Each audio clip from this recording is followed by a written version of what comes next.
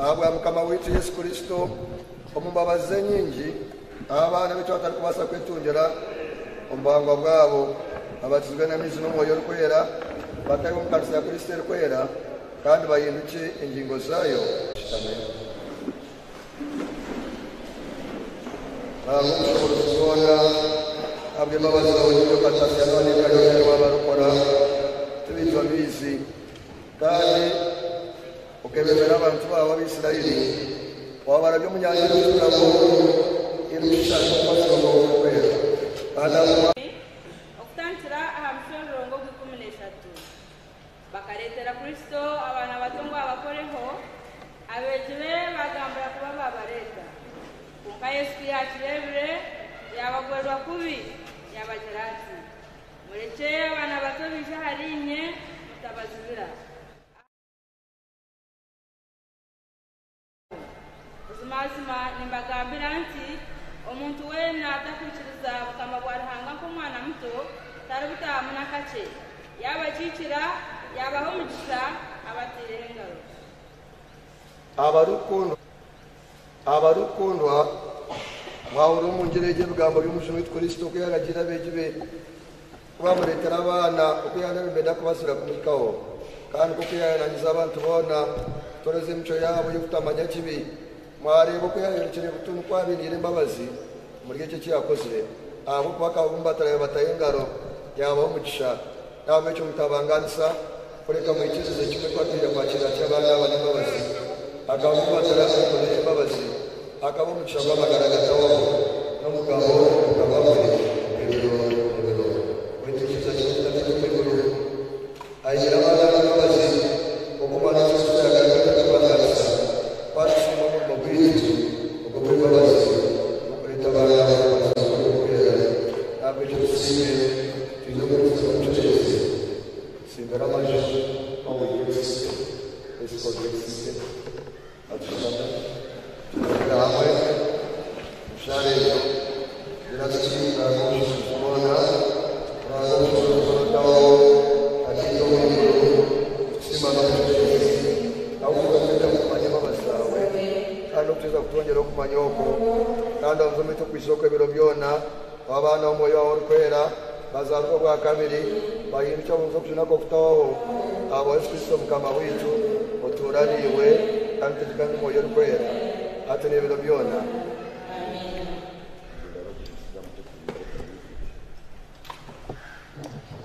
kanshaba abazaire n'abeema parents and the good parents you all stand up. The parents and the good parents. Abarukundo omunonga mwareeta abaana abakubatizibwa mwashaba mukama waitu yesu kristo ngaabikiriza byebi byabo abeeza n'omwoyo orikwera abikirize kuba omukama bw'omwiguru nokwe bw'amagara gatawaho kandi mwahurira ku kandi mwahurira ku mukama waitu yesu kristo yaraganisa omu ngeri ye kubaho ebyo byona ebi mwashaba kandi ebyo ebi yaraganise. Wabwetanora kutukana okwikiriza kimwe. Ntabwo ekyo kristo yaraganisa ebyo iyi mwabemba b'abaana aba bishimiye kubaraganira okusiyo barikura bakegambira kuba tiina sitaani mico yoona bakaguma nibisiga ekigambo kyaranga ekirikwera bakorebera ebiragiro bye. Ekyo nikubabuuza this goes to you. Mu izina ry'abaana abo nimwikiza kutaana sitaani mico yoona n'emingiso y'ensi egitiine kweri n'ekitiinisa kyayo hamwe n'okwetenga kwayo kundi okubiri okwetenga okw'omubiri ngu mureke kubikuratira n'okwaka okwikiza kubategeka Grande, grande, grande. Okay, somebody give them the rainbow. Where is the rainbow? Where is the rainbow? Come on, let's go back now. We are on page 228. Sharon, the brother today. Here is our, here is our rainbow. We are page Maganabra and 228. That's where we are. So it's a part one, so tutakuwa so part two. Tena tunakuwa tunabinchiza ama bini magati emerere twatulinchiza. Let's all stand and we affirm our face with the word down. Inchiriza, inchiriza la kusha uruzubona, Madi Gurnense, Nais Kisumar Mukamawitu, Wazi Maria Mwishoshkine, Kanwele Vendo Moyorpera, Karazulu ya Potio Prato, ya Banga Msharaba, ya Fa, ya Zifa, ya Shukutu Mbafu, Hacho Chakati ya Zoko Mbafu, ya Timbo Miguru, Penta Mazi ya Mshabana Mshabana, Kana ya Msharaba ya Mshabana, Ninchezo Moyorpera, Tansa Katu Mwerpera, Watansa Kawarpera, tusazizwe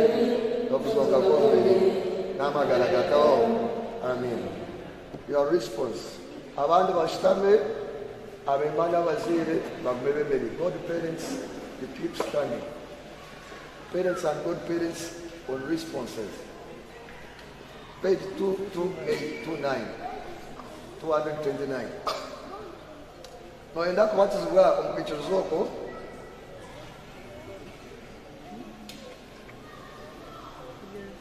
ego niko dupenda noikiriza kurebera ngakunda ebirikwera nokurebera jiro bye nokubigenderamu ebiro byona by'amagara gawe. Ngoroho kandi utegeke ebintu byona obusinge obutawaho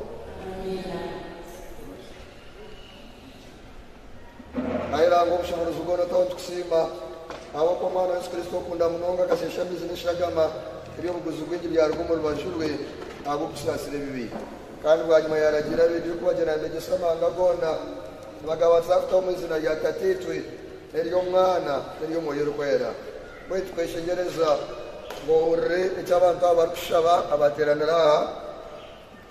Oshorore amaizi aga oshorore amaizi aga oshorore amaizi aga gaba akamanyiso k'okwozyaho ebibi kandi okiza oshorore amaizi aga gaba akamanyiso k'okwozyaho ebibi kandi okyoza abaana bazze aga batuzibwamu tuyisule ekimu embabazi awo kandi bagume omutogo abaana bakwesiga kandi abatolerwe abo yesu kristo mukama waitu.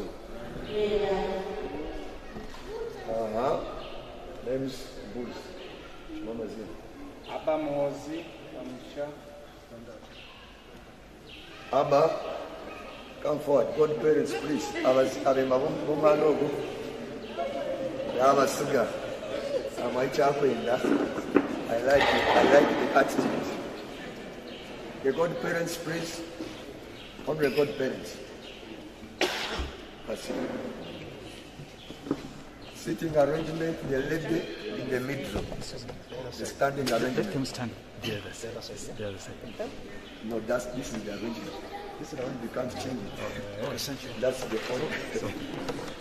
Aha, mweta mazina Aba Mozi Abba Moz Kamdisha. Tukubaza kutamu izina rya Tatitwe, ery'Umwana, n'ery'Umwoyo Rwera. Abba Moz Kamdisha ni mutasi w'umutukufu bwa Kristo. Kandi mutaka amahiso k'umusharaba amakuru gacyo kuri gatari kwatoshe bwa Kristo kameze Kristo abambirwe twarigumana rwana mu mashya n'ibintu sinasitana nsiyo rurango rwe kandi twarigumana ryo mu rwanyu muri kwezi kwa Kristo. Ebiro byona eby'amagara ge Abba congratulations Dede Bateka Dede. Dede. Please come forward. Uh-huh. The woman in the middle, that's the standing arrangement. What is in, huh?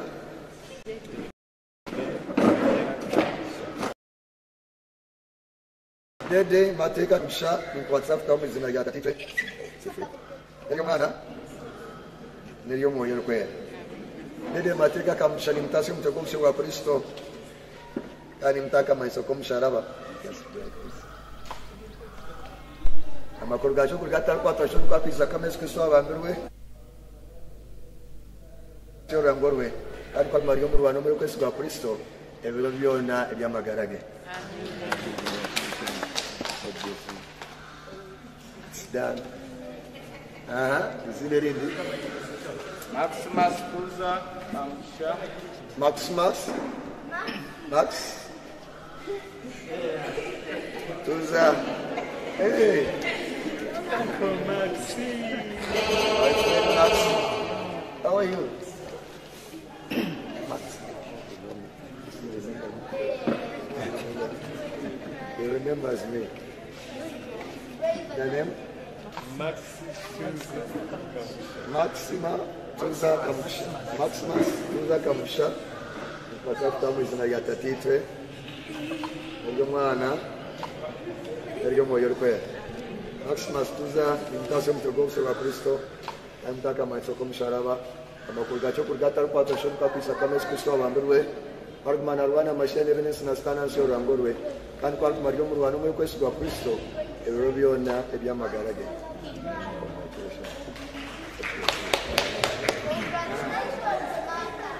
Faustin Manzi Kamusha.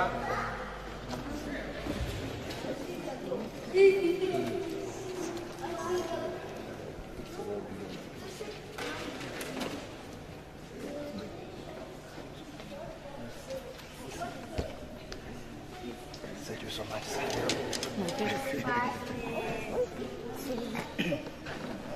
You stand there.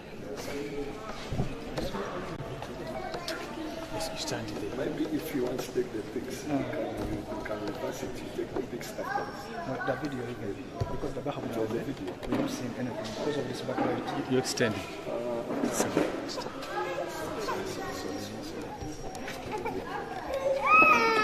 Mumwete izina Faustin Manzi Kamusha.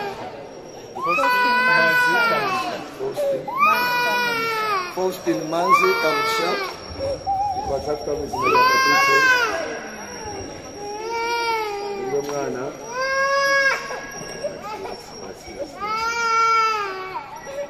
eryo mwoyo orikwera twasingiritasi omuteko obuso bwa kristo ntakamaiso k'omusharaba bakurugacho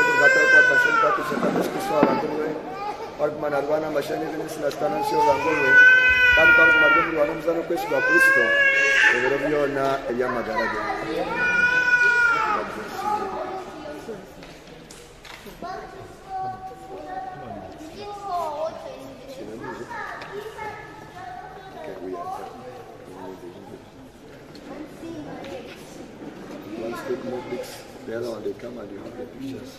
Can you invite them? Okay, can we have the parents of Abba Mozi? Godparents, can you please come back? They want to take the snapshot. Yes. And stand here, you get the background. You come with your child. Yes. Abba Mozi, please. And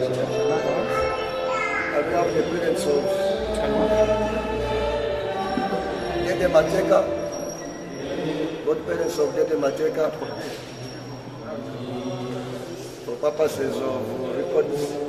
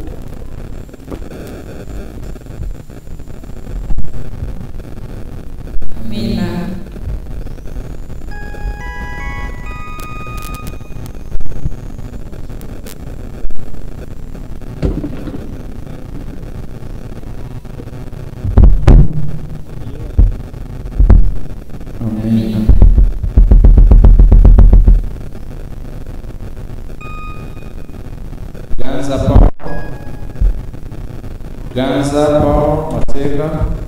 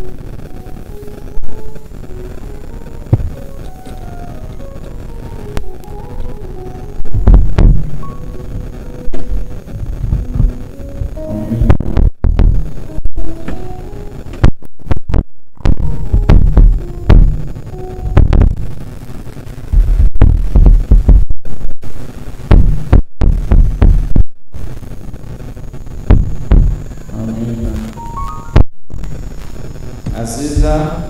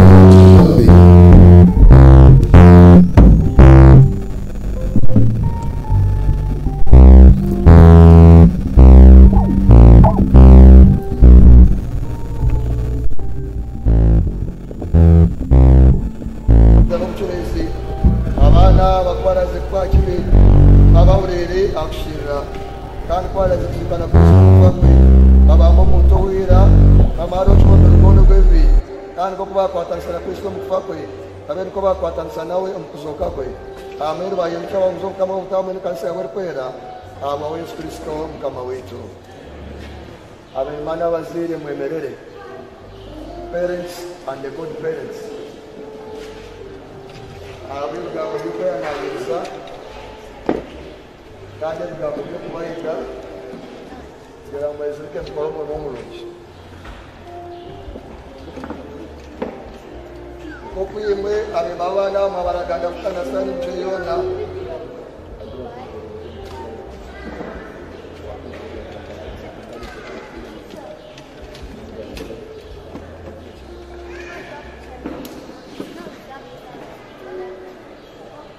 okwima abima abaana bamwe baraganda kukanasa n'emico yoona ekizaranga n'okumuhereza mwisegura y'omurimo gwanyu. Kurenga abaana bakubasiya bate emyaka yikwega bamanye mwe abaraganira murahira kubera ebikuru munonga kandi abo kwenda ngu babimanye gye mwe mbete kora ebikubuurwa kandi okukira munonga orebe mubegesi b'enkirizo okushaba kwa mukama wiitu nebiragiriitwe omu rurimi rwabyo. Kandi ebindi byona ebi omukrista yashimire kumanya n'okwikiriza amagara gaabo gabone kubagye kandi omurimo gwanyu kurenga abaana abanimururwa gye bagire emico y'enkristaayo nibatiina ranga tushike obutosha bw'okubatizibwa tworeke ebitania tukwekukura tw'ekigo ky'omujuni kristo n'okwindwa tukashishana nawe. Kandi koko yafiire akazuuka aha bwitu itwamanyirize kubatizibwa tushemereire kuba kibi n'okuzooka akushikiriza kandi ekindi tugume twite okwetenga kwita okubi kandi okusisikiire tubone kugumizamu omuco n'emirundi tutiinara ekindi mushemereire kurenga abaana aba nibareetwa aha murebezi kuteebwayo engaro kubahereza kwegenkiriza okushaba kwa mukama wiitu n'ebiragiro ikumi omu rurimi rwabyo kandi okwegesibwa katisitimu y'ekanisa eyandiikirwe ihamba omurimo ekigambo kyaranga kitwanangiriza kimwe ngu abaana ababatizibwe kwafa batakozire ekibi ahatari kubanganisa abo baana bafa bajwire bwena ahabwo ebigambo by'okweyanangiriza But there are Baba member Torum Kanisa. You make sure you take them to church. They listen to the word of God. They know what is already in church. It's a kind of no kubora, parenting, upbringing. Kuborreje tivatinaranga. Beido kutinaranga. Mbagambirukko ekigambo kyaranga. Kandi ndomuzeyo mu no more mbaza akanisa otalukuzeyo. or what ranga waba otamanyire mukama. When thou Yubayuga, you Mayum come. That's all. Know God and make him known. Kama abayuza Amen. Bwe twagakweshongora era omu twebembere tubataase omu kanisa tweshongora igana ikumi na bitanu twena twemerere all stand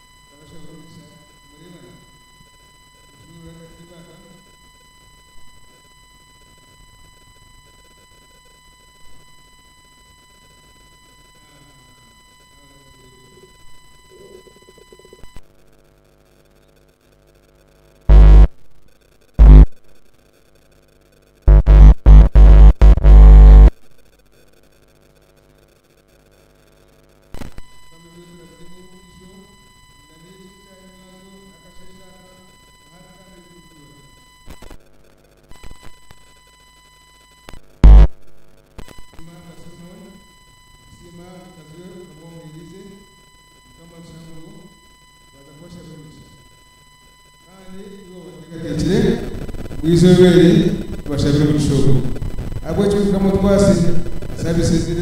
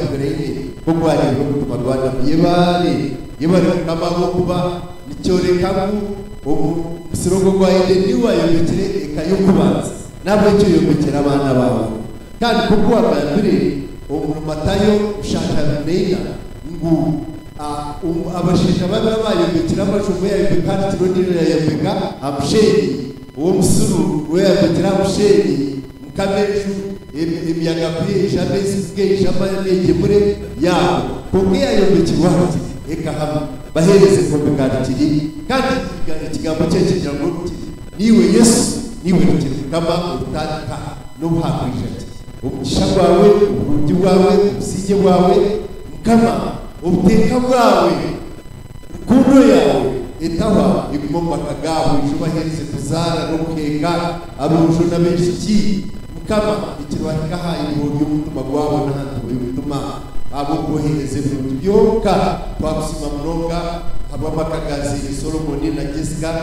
museveni nabo bamugisha abanywana barya inkunzi ihangana yetu ya uganda. Mukama n'abaherereye amagara gabo bakatwereza ubusinge tukabasha kuhereza mukama omugisha abaana beitu betu kababwine ihorere twine n'obugana twabishaba byona kandi twayakina tusimba abakubana mu mango wawe uribyo kushaba byetu omwizina lya rangatatete n'iryo mwana kubera.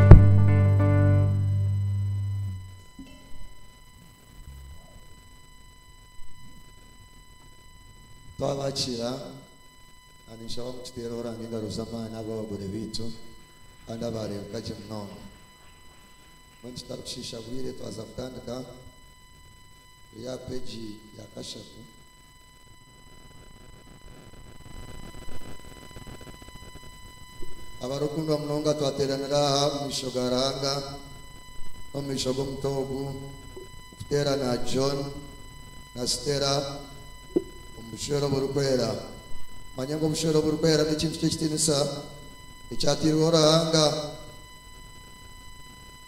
abantu batakasisire kandi kitoleka okuterana kwa kristo n'ekanisa okw'omwoyo kandi obushobora burikwera kristo akabusiima yawisa ekitinisa obu yataho obugyenyi kandi yagarraye eyabanize kukora ekyokutangaza na pawulo orikwera akakisiima kyekyo ekitinisa abantu boona. Kyo kishemereire omuntu weena kutara kukiza kubutahamu atabanze kubuteekateeka omunonga arekye kufa kubutaibwamu akaharuro nk'enyami ab'okweteeka kw'omubiri nk'enyamiisho ezitiine bwingi kureka butayimu nayetwara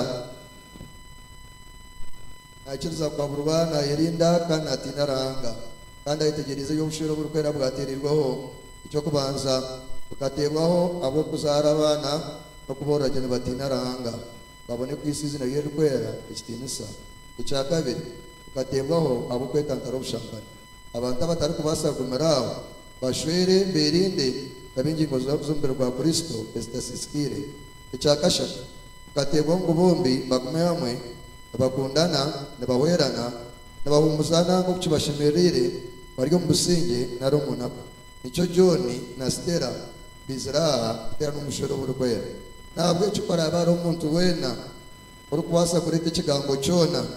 Icy'amazima kubazibira guterana uko biragiro biri akigambe hati mbwenu aba alina ensonga y'amazima ngaekigambo kyona ekyamazima kipatar john astera ekireetera ekanisa narokuruga hati ogwo omuntu akirekere kino abandi abantu mushitame abantu mushitame kureka abagore bitu. Bemerera aha nyine wareeta ensonga agutyo ekizibu giitwa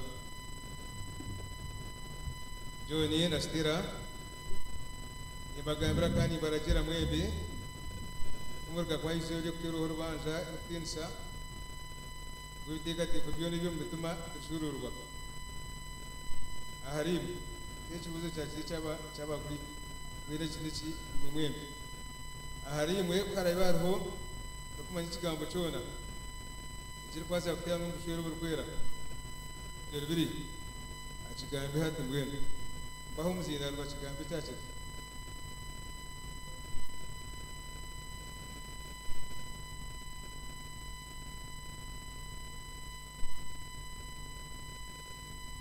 jirwa jona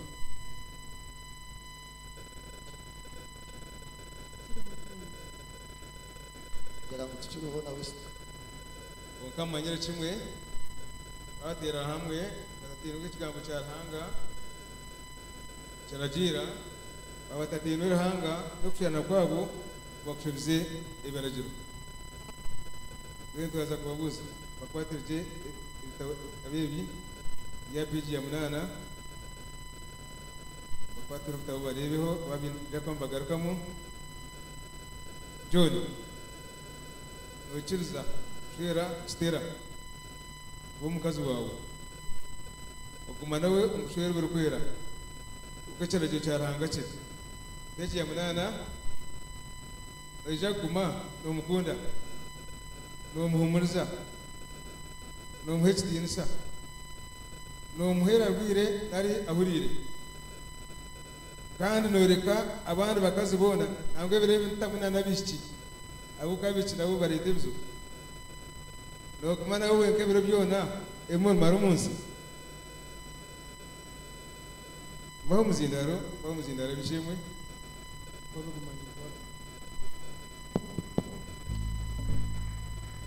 sitera okiriza mushwerwa joni w'omushaija wawe guma nawe omushwere burikwera ubwo ekiragiro kyaranga kiri ojja kuguma n'omuhurira n'omuheereza n'omukunda nomuhe ekitiinisa nomuhera arwire narahurire. Kandi noreka abandi bashaija boona nangwa n'abasigazi. Nibaguma nawe wenka ebiro byona ebimwe nimara omunsi niko ndiguma ni- nikora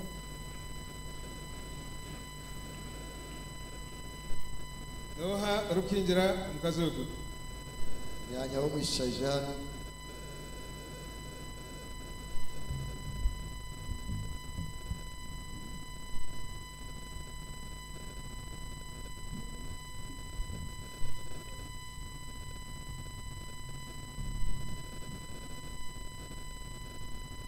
menyanyi ya perlu muka ya sa ya ga ya ya ga menyanyi ya sa gitu kon ka jeno mate ko shungu de ren kici na magurana e changu chazu ko changu ah haka shi gara kai ah mun iro jeno no shiber nunga bueno estera tu amherza jeno Oye, vas a ah Hazuk Rewana.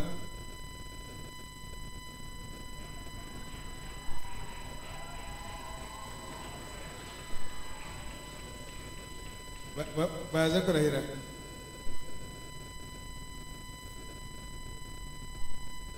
Agent of John Mateka, Mixweri Stera, Mumsinge,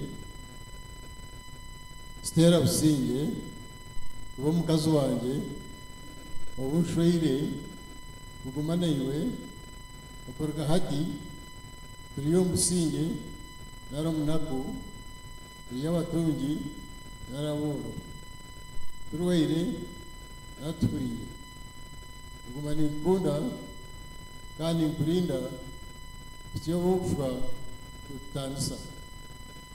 kyo kya ruhanga ekirikwera okukiri oku niko nakurahira.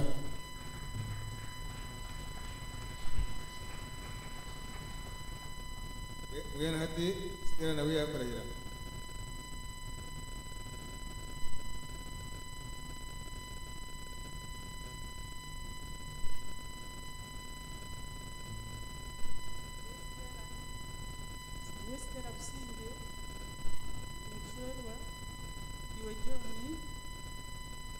omushaija o onshwire ogumana iwe okuya hati turi mu businge nari urunaku turi abatungi n'ingaboro turwaire nari tuhuriire kuguma ninkunda ninkurinda kandi ninkuru okusya okufa kutaanisa kuko ekiro- ekiragiro kyarangu kirikwera okukiri oku niko nakurahira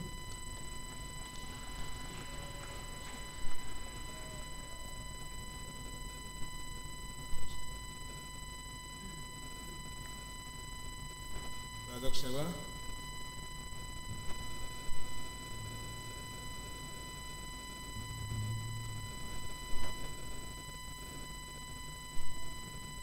Badak Shabiri Beta, Vajdika Shabiri.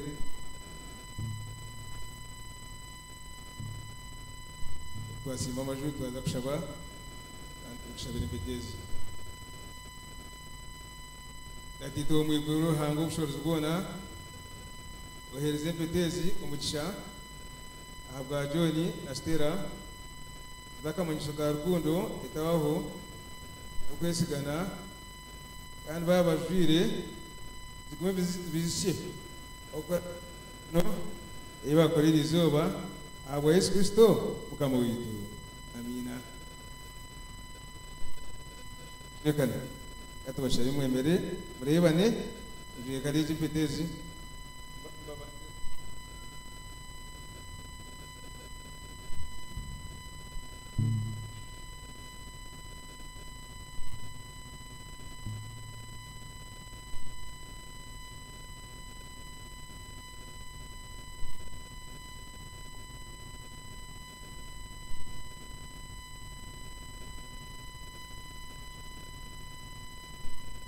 Sera mshauri mpeteji ninkwekitensa urundi rwanjye n'ibintu byanjye byona iby'umunsi umwezerano yatateitwe n'iyo mwana n'iyo mwari kwera amina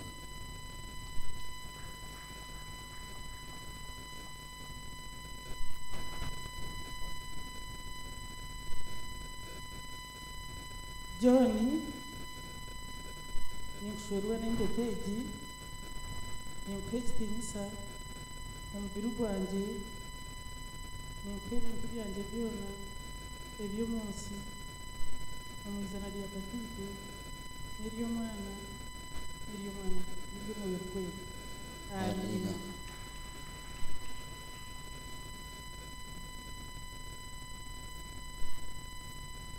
Twaza kushaba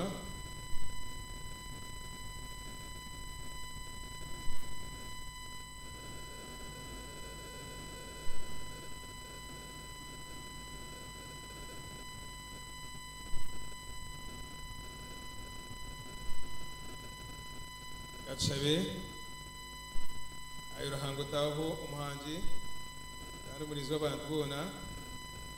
N'imbabazi zone z'umwoyo ukumuvuma garagataho yoni na stera abaturushabira umugisha mu izina ryawe kandi ko kwishaka na rebeka bakumwe hamwe ubwesigwa n'abantu aba bari kubakiriza ibarahira baragana. Kandi bagume hamwe. bino byona bakunda ndakimwe birina obusinge twaza nk'ebiragiro byayo biri abwa yesu kristo tukamubigurira amen.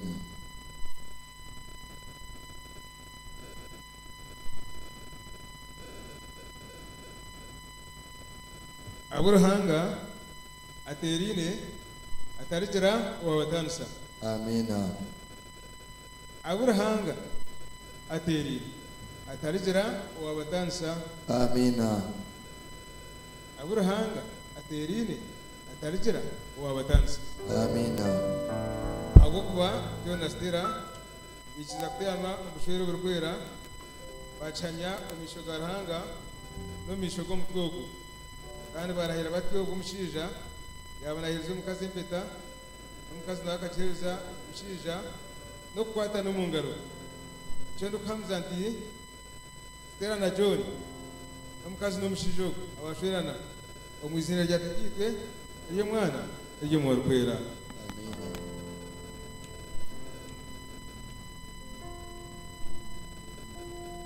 rahanga katiitwe rahanga omwana rahanga omworukwera abaho omugisha. Abajune kandi abarinde. Ahabw'okusaasira kwe mukama gume naabareeba arukundo kandi abishikye ninga abizemu sayona eyomwoyo n'imbabazi ogume hamwe imbere by'amagara kandi ambere biriija ogw'amagara agatawaho mweramugire ngu amina. Amina. Abaganda bagamba ngu kiwede haleluya.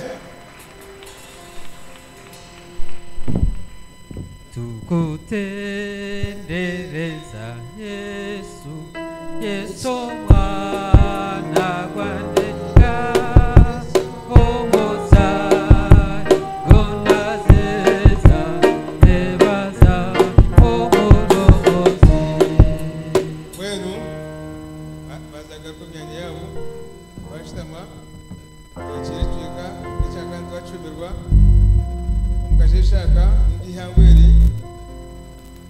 umukwaze twakire umureberezi wahumwire wo kwita bishop nathan gasatura kandi ari urwo rw'umureberezi ubu kandi uhumurire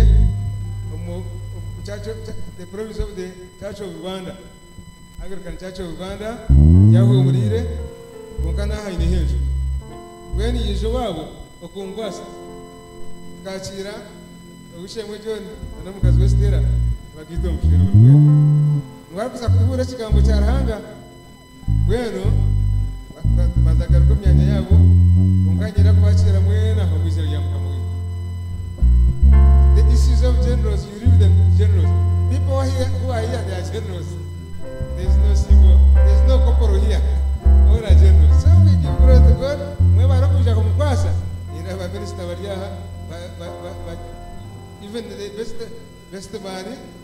God is glorified.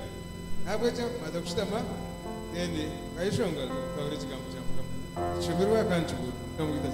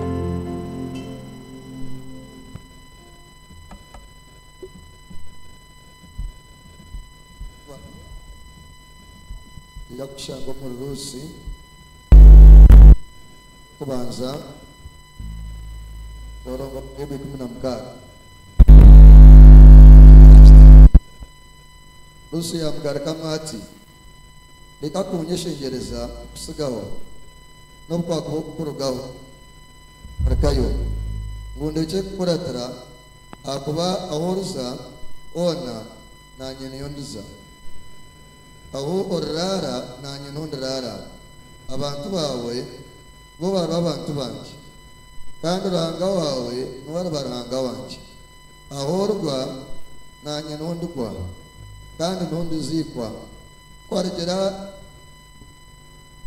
ekyantanisa ekyantanisa niiwe kitarurufu mukama akindure n'okukiraho nahume kuyareebere amaririire kimwe genda nawe yarekera awo kumugambira. Eki n'ekicweka kitu ky'okubanza ekyatushomerwa ekicweka kya kabiri kyakushanga omu barayi pawulo yandikira abakorinso y'okubanza eshura ikumi n'eshatu kankiramu kyolugoko wansi nobunga akugamba ennimi z'abantu nez'abamaliika konka ntiine kukunda nkaba ndi nk'omuringa ogurikurangira nk'ekyoma ekirikugamba kandi nobunaakugira ekitonkyo ky'obunabi kamanye n'amazoona n'obwenge bwona kandi nobunaakugira okwikiriza kwona okwakumbaasa kwiyaho enshozi konka ntiine kukunda nkaba ntari kintu. kandi nobunaakugamba kandi nobunaakugamba ebintu byange byona. Kuriisa booro kandi nobunaakayo omubiri gwange okibwa konka ntiine kukunda tikiine kikyakungasira okukunda okumusiriza kugira embabazi okukunda kugira iyari okukunda tweyimbisa twetungoora tukora bikwisa nshono twesherura byawe tukora tukora kukakugwibwa kubi. Tuteekateeka kibi aha muntu tukushemererwa tutashyikirira kureka kushemererwa amazima okukunda kwemera byona kwikiriza byona kugira amaswari byona kugumisiriza byona. Okukunda kwaho ibiro byona obunabi bwo buryawaho okugamba enimi buryiwaho n'obwenge buryawaho. Ahakuba tumanya tumanyaho kakye turakoraho kakye konka ebikiri kubirisha ebitakiri bigiwa. Ubu nabire ndi muto nkaba nteekateeka nkaba ngamba nk'omuto netegereza nk'omuto nteekateeka nk'omuto ko nakuzire nareka eby'obuto namanya ngu hati nitureeba omu ndeberwamu tarikuhezagye konka omu biro ebyo niyamanyira kimwe koko namanyire kimwe. Mbwene ebirikugumaho nibishatu okwikiriza amasiko n'okukunda okukira byona n'okugunda ekyo edaki kakyo okyagala ki byaguma gambire bona ebyokujonwa okutali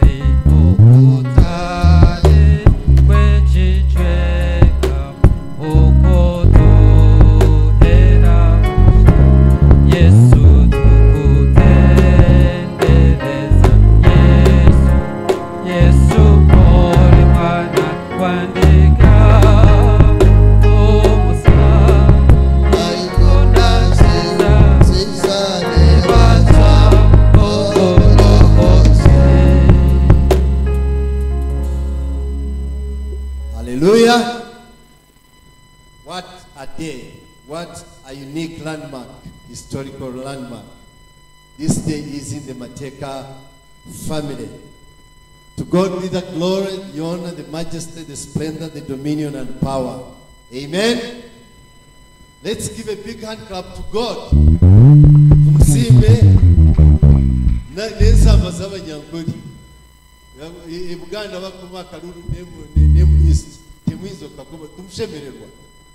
Mushemererweho mu- mu- mu muhimbizi Eh, sime gasatura is my name and uh, as my bishop my younger brother introduced me i just retired two years ago uh, from the diocese at the Anglican uh, Church of Rwanda, but I am born the, in this soil. This is my homeland, where I was born and brought up. And hona azariwe, hona akurire, kashomera rubare, aha, rukumi rwe na shaju na ibiri, nashomera makobere high school kungiri, uh, naza makerere, konka kuna heze hanga ya, ya tozoku kuza kuri umurimo gwe, the rest is history as they say. But uh, my Lord Bishop, uh, a little more information. I'm now coming back gradually. I'm already uh, fencing my farm uh, right in Rushen here. So sooner you receive me more and more. Mundeba. Uh, thank you.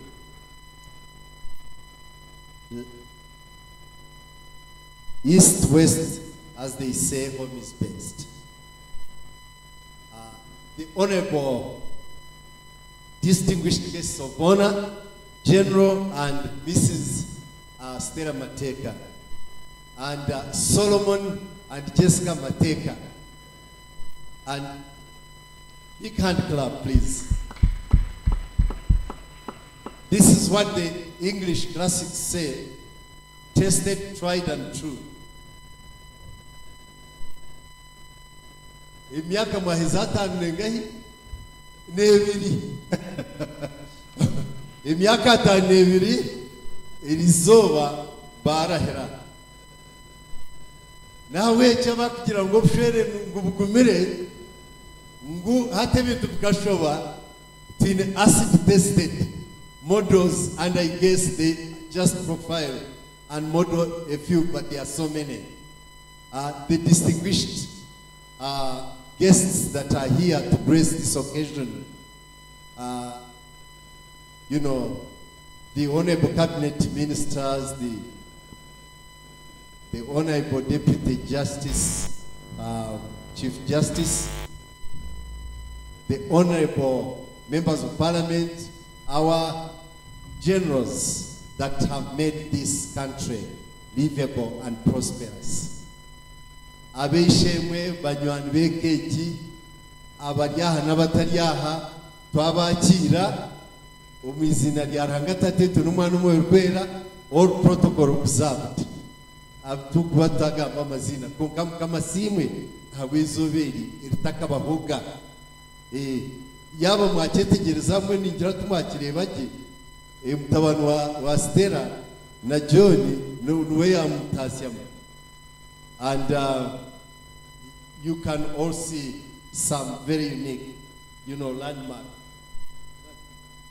So, for the sake of the diverse um, audience, but also for the time, we'll be mixing languages a bit.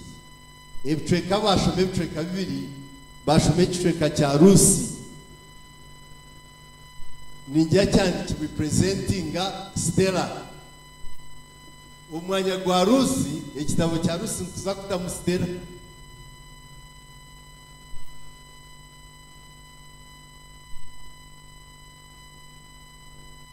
rusi yamugarukamu ati reka kunyeshengereza ngo kukusigaba kunkusigaba no kwakuba okugarukayo ngu ndeke kuratira aha kuba. Ahoriza hona nanye ni ho ndiza aho rara ni ho nanye ndirara abantu babo nibo baribo abantu banjye kandi ruhanga wawe ni we ariba ruhanga wanjye. Aho rugwa nanye ni ho ndirwa kandi ni ho ndizikwa. Kandi kuharigire cyantandisa ni we kitarufumu kama akinture okukiraho. Naomi kuyarebire amarire amarire kimwe kugenda nawe yarekeraho kumugambira.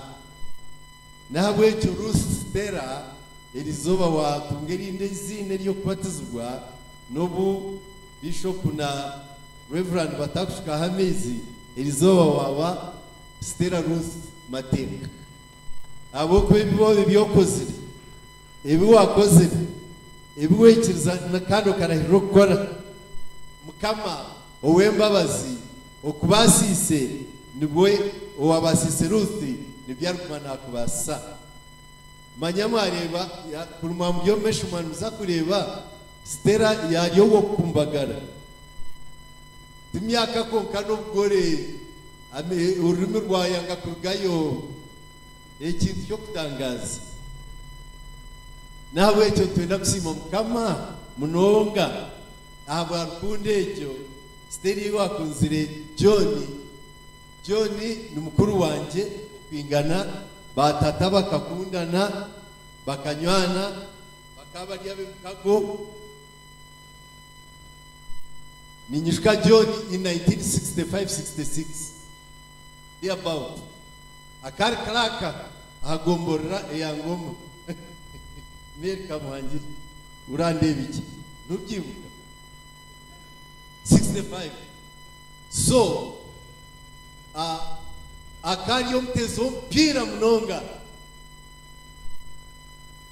man, ma, ma, ma, is it uh, man you asem akariyo mutezi w'umupira munonga ariyo mutsigazi we kwatafuta aha bwo kabwo mupira gwe ubu nibo bamukonscriptinga indiyame in 1966 yes. And i remember john as uh, the adjutant of mbarara simba barracks captain john mateka. Uh, one time i dropped in to see him in uh, very very early 70s uh, but i also remember uh, going to see to visit him in his beautiful place in the cell. Yeah, he was 10 times smaller than he is now. and now, all that journey, God has accompanied you. Aba- abashendekerize abahekere yabara byo muri bingi bingi munonga ningira ngo mitima yabo nta himiti ko kusima kwingi munonga ukwa rukundo iranga yabahira hagati yabo konka n'ibyabarabizemo ibyo gusimbirana bingi. Yabahereza abana bazara baheka mwene mukirebera izuba beja koreka abantu bamukama ibirungi ebi rukundo egyo bayigaruka bagishoma omubaraha eyi paulo yahandikira abakorinso eyokubanza ishura ye kumi n'eshatu he talks about love. And i will just cite a few just a few verses for the sake of time. Okukunda kugumisiriza okukunda kugira embabazi okukunda tukugira eihari. Okukunda twehimbuza okukunda twe- twetungura tukukora birukwita nshoni. Tukwesherura byako. Tukurahuka kugubwa kubi. Tukuteekateka kibi aha muntu. Tukushemererwa tudashyikirira. Kureka kushemererwa amazima mbwenu ebirikugumaho ebirikugumaho ni bishatu. Okwikiriza amatsiko n'okukunda. Faith hope and love. Konka ekikukira byona n'okukunda. Only love will last. All the tests of time and weathers will weather all the storms ntwenda kusima mukama ahabwokuba uh, general john and general stella because i'm told uh, if, if i'm mistaken uh, you will not uh, prosecute uh, bishop. But i'm always told that a wife has a higher rank something like that. So she might be a lieutenant general general coordinator. So we want to really really celebrate. You talk of celebration this is the celebration. Hallelujah. Mushemererwe baitu neki obwalo mu bukube kubanga abantu baffe mukama yabaweereza ebirowoozo ebirungi okusobola okutegeka obulungi ekiseera nga kino ne basanyuka okukamala ne bajaguza era ne bayita emikwano. Era ng'abanabudo bwe bagamba gakyali mabaga gwerinda ojja kukiraba. So newakuba nti nagendeyo mu mishani naye mutima gwange gukyateeka era n'enimi newakuba nti zi- zimikisinga zikyalimu tegeera tegeeramu so nimpendera solomoni sheija mutabani wange na jessica. Hariho ekigambo ekiri omu matayo eshura ya matthew 7 kwiha omushorongo gwa abiri nenda kuhika nka abiri na- na munana. Nikigamba abashaija babiri abayombekire amaju. Omuntu omwe yesu yamu- yamushoborera ngu n'omuntu w'omunyabwenge owahuriire ebigambo bya yesu akabita omu nkora ogwo yamugereranisa n'omushaija w'omunyabwenge owayombekire enju ye ahari kiri. Amen ngo ejo yayisha emiyaga yatera emiyegemure yayeshuka byatera hariya ejoju n'amaani konka ejeju yaguma eyemerere k'amafane tiyatengeta n'akake tiyakumwa n'akake tiyarugaho n'itafaari aha kube koyombekirwa hari iki aha bikiri konka yesu yagaruka yashobora ondijo uwo musuru nari utagira owayombekire enju ye aha mushenyi. Nawe same architecture plan maybe design same kind of you know beauty beitu egyenju ngu enjura kuyeyizire emyegemure yateera emiyaga yeija amaizi geija geijura ngu enjura yagwa haza egyenju gwekagwa kandi yagwisa amaani ahabw'enkya b'eshemu ahabwekuba ekayombekirwe aha mushenyi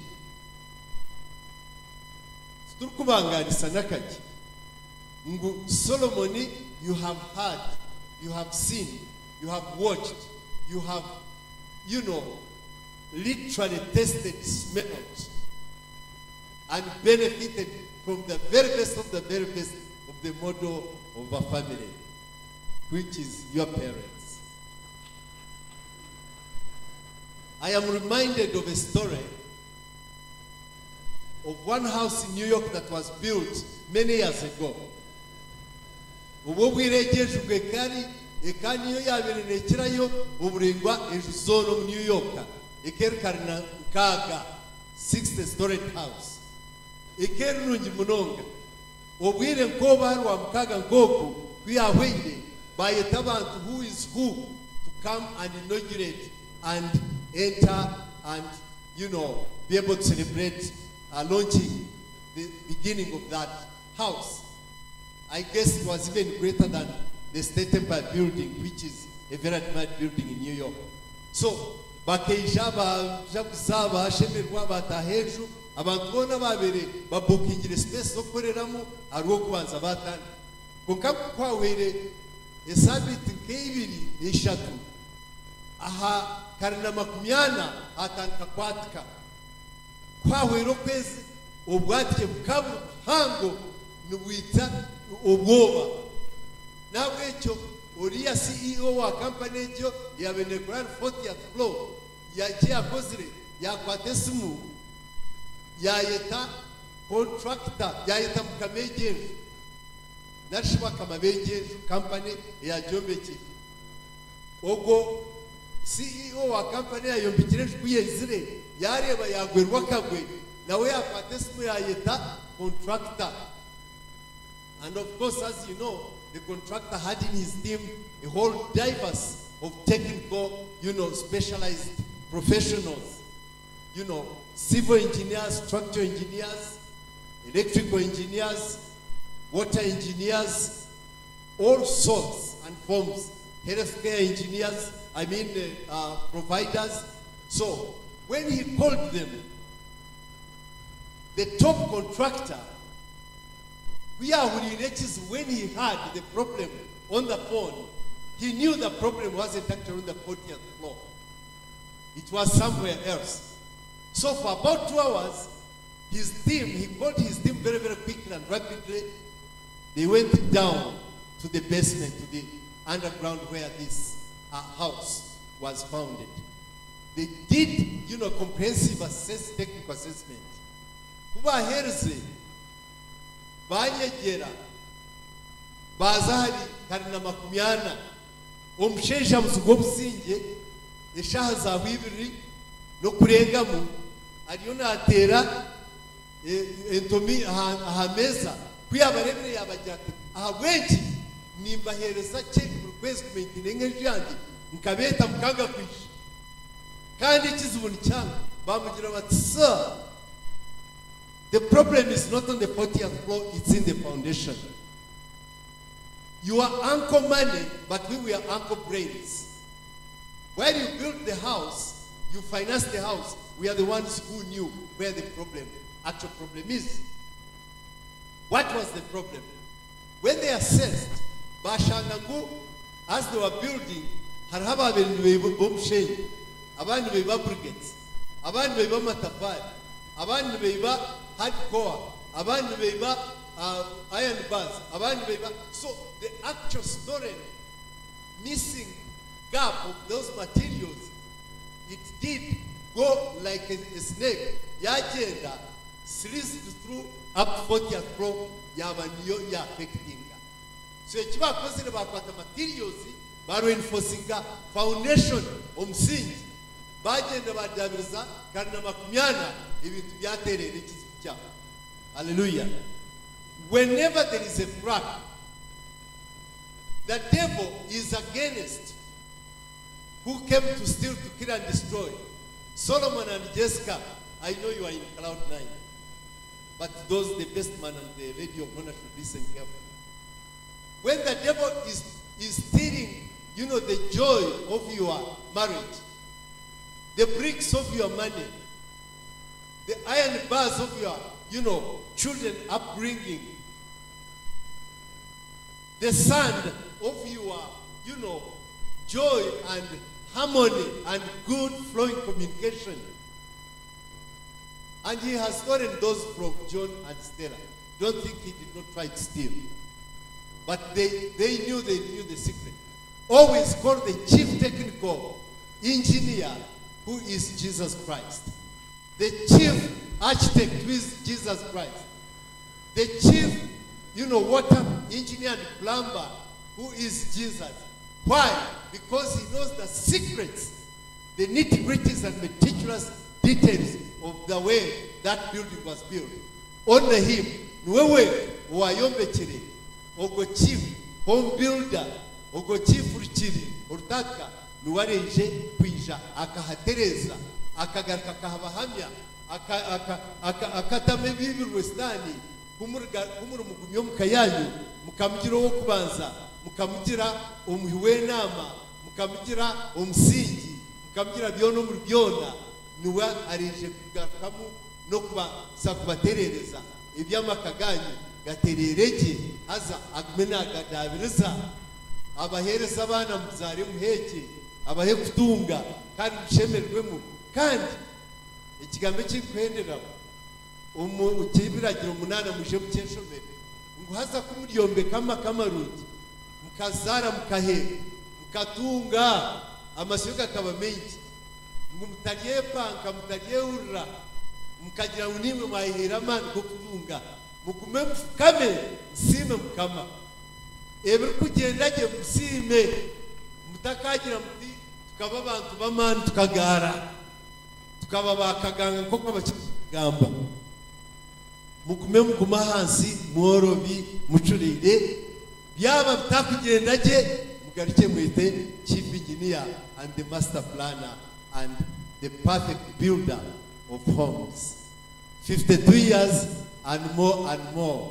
Twenda mwe mwishe mugaruke after 50 years 25 our bishop just celebrated. 25 years me i am almost celebrating 40 by the grace of god others i guess are doing much better than me. May god bless you. May god give you that lasting peace and blessing and harmony.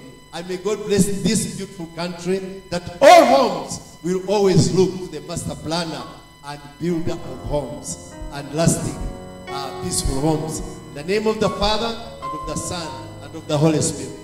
God bless you. Tendereza Yesu Yesu mwana kwandika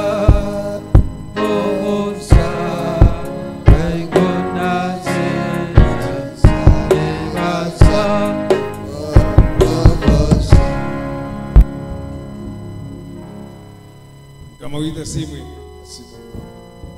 Kigambo ekyo ni kikuru munonga. Kigambo kikumbira karamata. Kigambo kya rukundo kyo batushomera kandi take it very serious. Witu hamwe stera witu solomoni na jessica. It is only the love of god in christ jesus that will make the foundation more stronger every day. At your age, at their age. Akeshongora ko nikakunda. Keshongore can i sing for you? First corinthians chapter 13 verse 1 to 7 i'm going to sing it it is about the love. Love is the greatest thing love is the greatest thing have you heard love is the only thing Da-da-da-da. Love is the greatest thing. So let us think about love.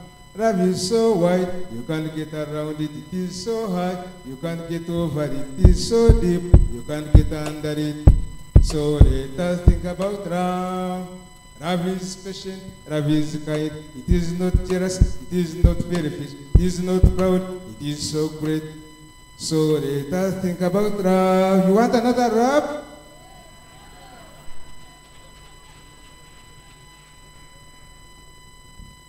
You know, the, the singing is good.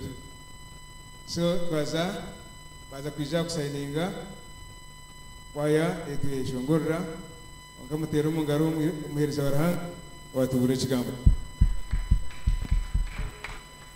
kwaya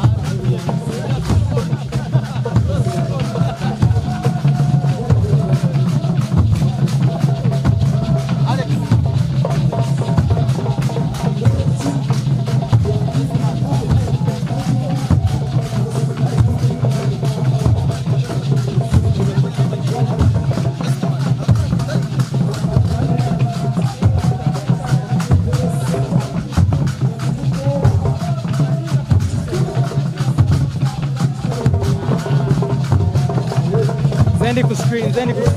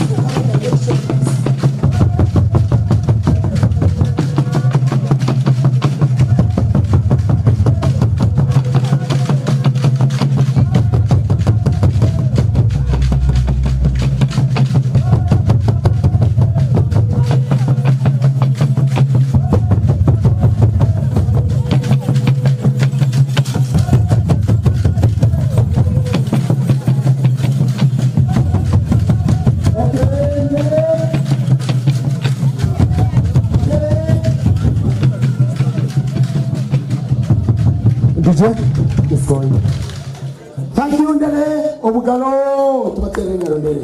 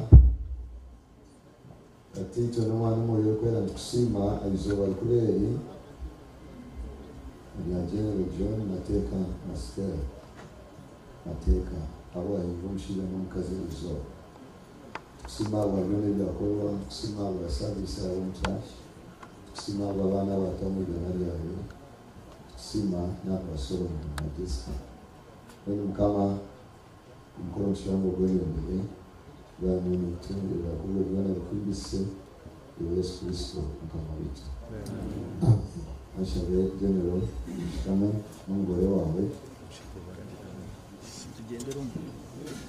tena akatushitama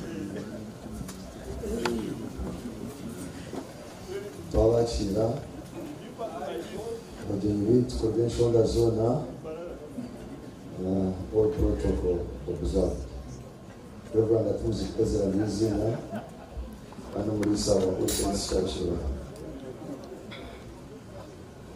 Ukamuicheze bamvire kanisa era eyo ekigambo ekitebulifure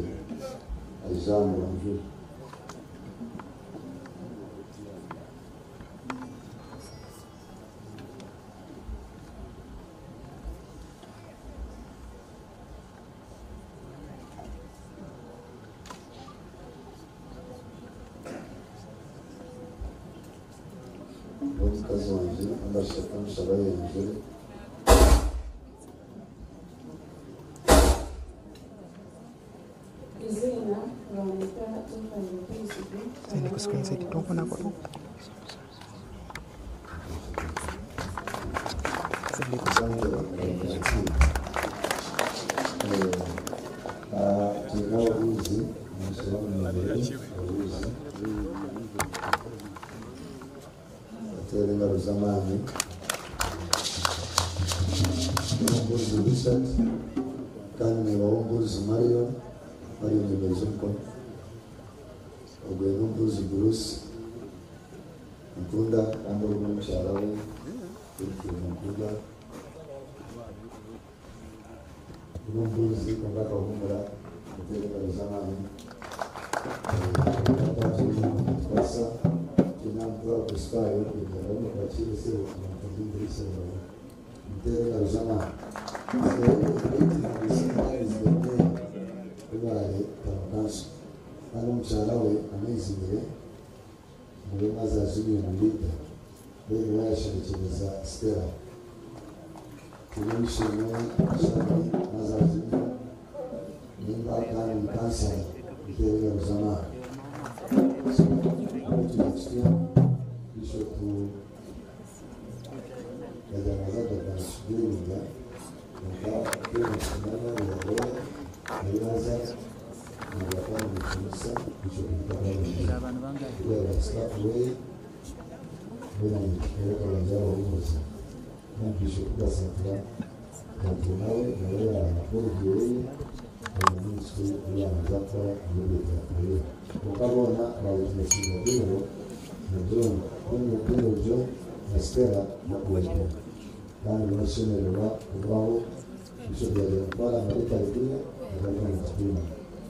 Masimarandan manda kuzavakuru Benden masimarandan Umisa olsun iskaç Cenel okuyetim siz onu yandım işte bir hocamla İtizeme yaptık Cenel okuyorduk üniversiz onu Bıçaklar değil Cenel okuyusunda Katlanatması kondaki kansa Bakıyorum hocama Bunlar katılın yaptığınız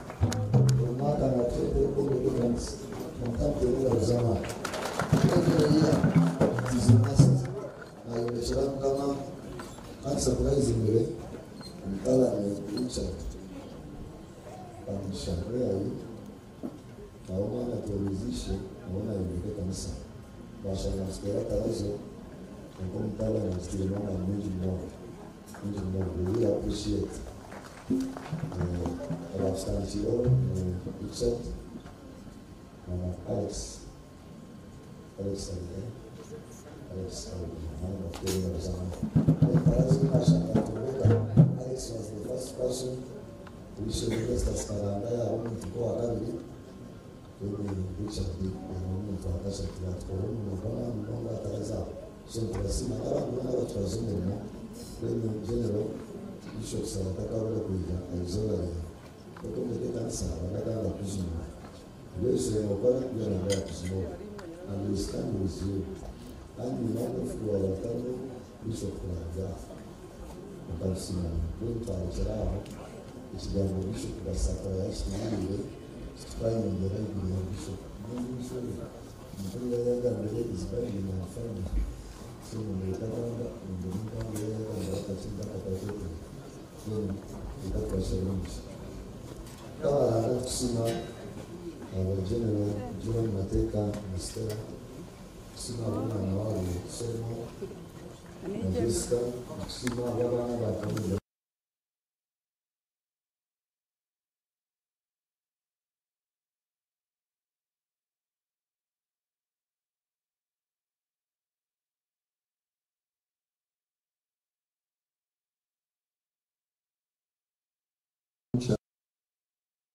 abagenero byo mu mateka misitera kusima abana wabo somo na jessica kusima abana bakamira solomon n'umukyala we mwereza omugisha omufiirewe omugisha waranga ati tolima n'omwoyo orikwera gume n'abo boona abitwagambaho gume ari twe twena abija kubitemesa imizobe utariturugaho kuruga hati nokuseerwa byombi we bari munonga umuterero w'umugabo amahoro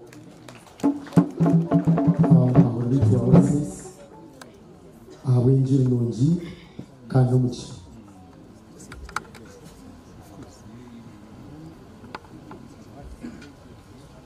we bari munonga abantu ijana yabika so kandi ko kurya. Umwahoro yagira ngo twakira general na stella k'abagore basa kandi kikire cause general atwiriye navuga ati ne driving permit. It is over here, John.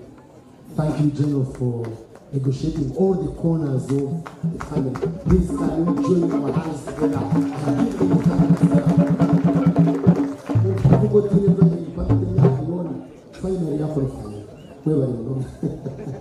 so tuanza kutunga cha and we have people in charge for you our dear guests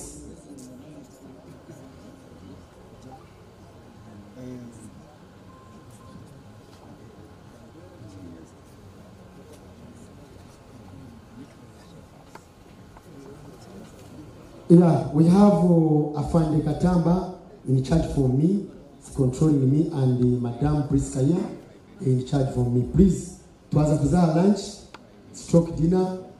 Uh, the organization is like this.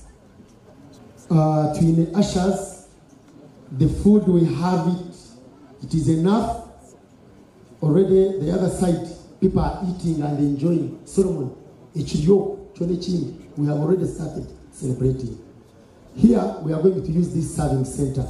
We have four serving points. So, it will be a table by table item. tujya kubanza n'abagore bitu Ah, general na stella nabo baje kutwiguriraho dj yaza kuturondera icyicungo kirungi nishaba dj ari kurondera katushabira katusabira ekyokulya katusabira ekyokulya then ashas position yourself very well kama vile mimi kusema ndio baba ndio mtala kulingana nikushawambia kile kinasikia kuzo wewe mtoto kodi kwa shambia na kile uwezo mshahara tundo ndio kama ndio ndio kile kinasikia kuzo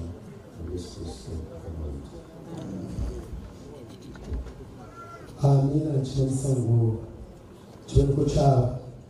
So, déjà ça va, Boniface, déjà tu es dedans, tu es oui, tu es dans le la femme là. Donc ça, je déjà que dans le voilà, voilà, viens là, on avait pas pour. Chegou para chegou. Lá para chegou minha, mas não vai não vai. Está com isso.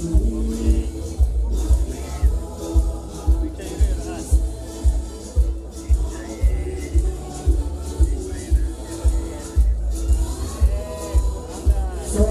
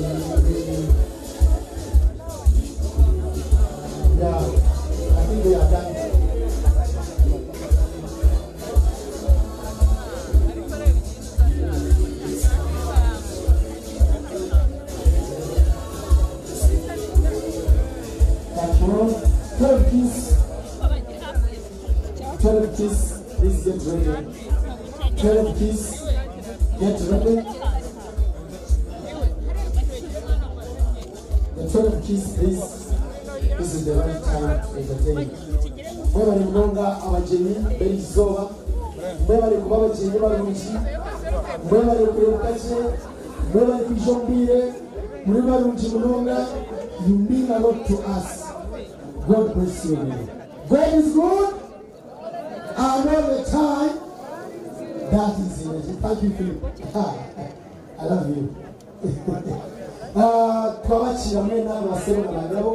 thank you for coming to the partakers engineer tukugira ma icyekezi yabo n'amahirwe ntacyo kirenga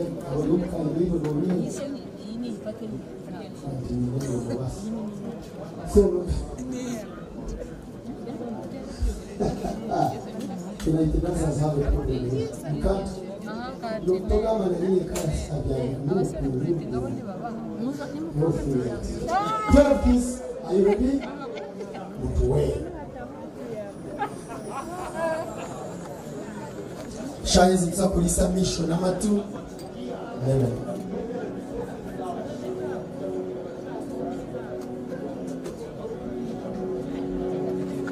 Those who don't have food, we have the food of eyes and food.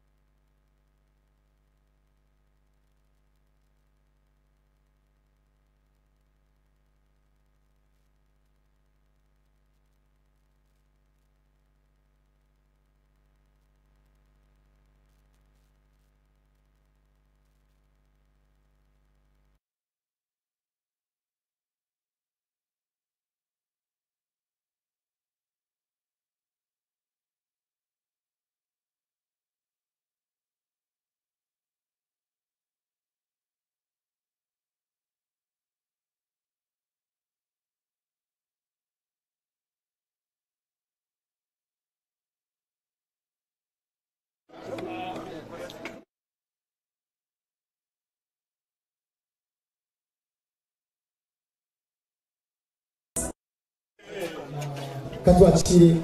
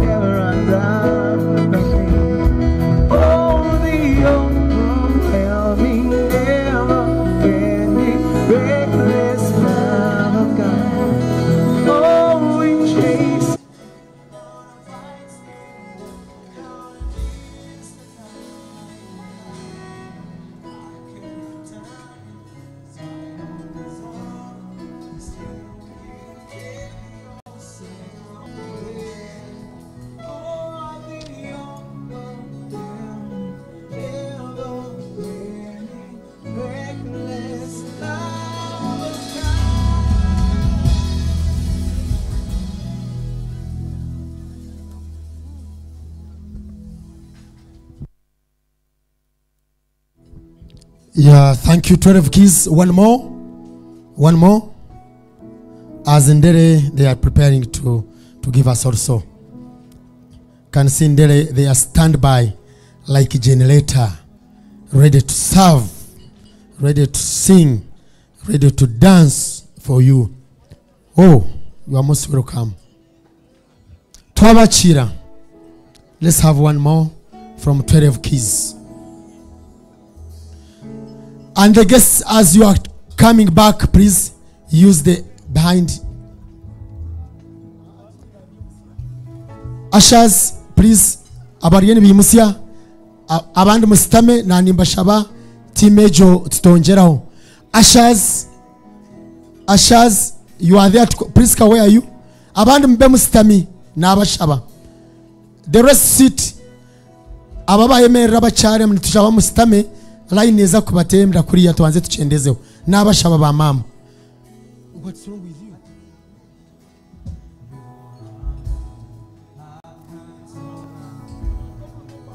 Ushers please. Bakugira ngo temerera utemerera. Please. We are controlled by ushers ushers mwatandika kuregeza. Remain there. If i don't mention the line please don't. The rest of the guests you can go behind and give them we are avoiding that clue.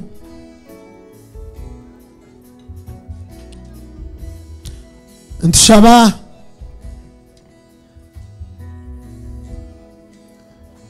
abari kwijaba banze basitame afande katamba new guests should first sit then we take them to the dinner. Because i can see jam which is not good abakurura babakubi those who cannot be patient abatakagumisiriza ntibasa kutweresa line ya muzeyi afande there. We have another dining. So but wabasa kugumisiriza notobwire ntukutaha wahurira ngo waba impatient tuwagumisiriza we have another dining there and we are ready. But if we are to use this dining please let's respect our ushers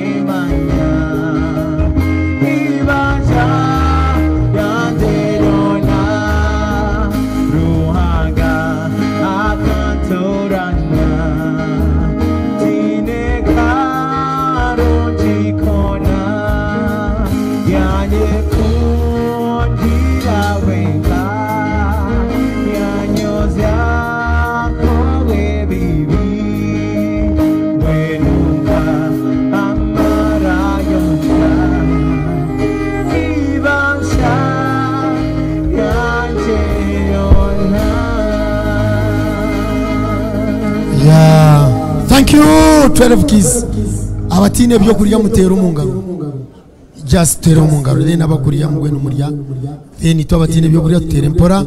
Time itu yahika nimbashaba basebo na banyabo egi layini eyinkureba bayemerera tinkakikunda nikibi noba oguma omu mwanya oyimuka mpora mpora. So ntija kubikora tityo abamwe ntuenjoyinga ebyeshongoro abandi food at the same time tugenda kubikora wamu kasavu kanyama tumalirize bombi so let's have ndere. Omwago kugira ngo guma hariyo yemerire nobwe uguma mu ntebe ya western that's it. the difference is similarity. So thank you. Hati nk'ejo wawachurira kurira mwana Ne- niho ninkora nk'ekikondo cy'amashanyarazi kitwara amashanyarazi kirarumwira na nanyu nagabu namara kagazindara konka guma hurura mwana. Hurura saundi yengarabi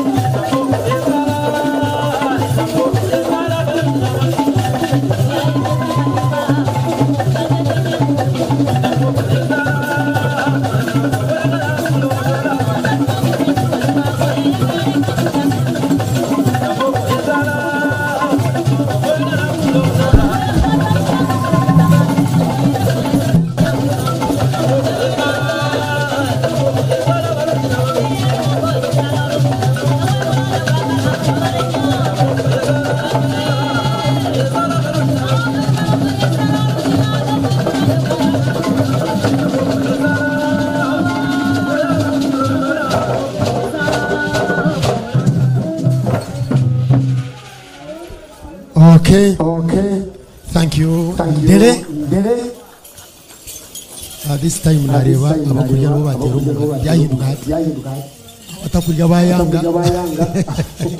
thank you general coordinator thank you for that's why we like this amen very disciplined. Ushanga general natera umugara abantu bagambira abantu kuko wakore kuko wakora imprevent atakutera kuko general yatera can you imagine?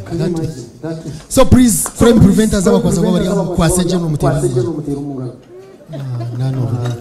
so thank you. Katwakire uh, abantu mwena tubakunda. We love you. You mean a lot to the family of general and stella. You mean a lot to solomon and uh, his dear wife mwarebukaje munonga. This is the real family. Baba barungi bari organized kandi abantu bariye bari so uh, we are almost starting uh, the speeches. Haro speeches tukija ku jumping in as we are taking lunch. But tujya kureka abagore bitu babanze baheza n'abandi then speeches zizaguma zigenda mpora mpora. Kuba inente we have the main speakers abakuza gamba today. Twakwimusya nimba ntakwenda wimusye tumanye abana bo twarize nabo. No it's you speeches zawa we want a list for those who want to give cows. We have registration here. You come and register it then you sit. Abokuba mate, mateka yanja ngu ntwenda kuhurira music ebyeshongoro just to enjoy cyonka ekyo mm. twenda ngu tuhurire music tuhurire ebitaguriro konka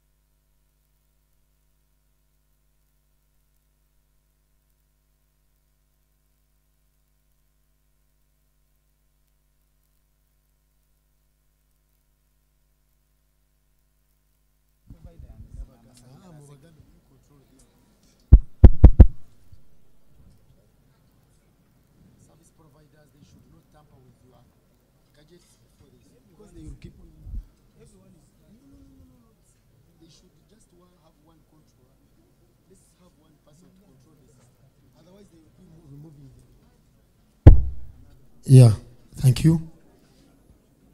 Uh,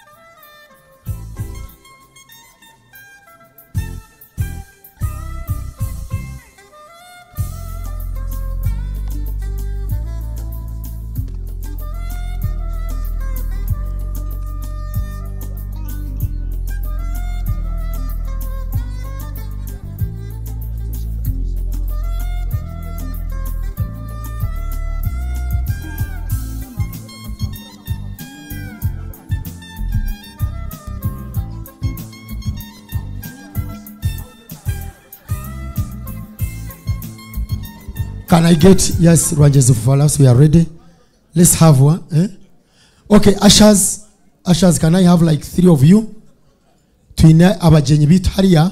Ushers, ushers, twine abagenyi bitu hariya abije abashendekerize nibetaga abantu nka bashatu bo kubasavinga babaretere food they are seated where are you seated nindeba aya demba Uh,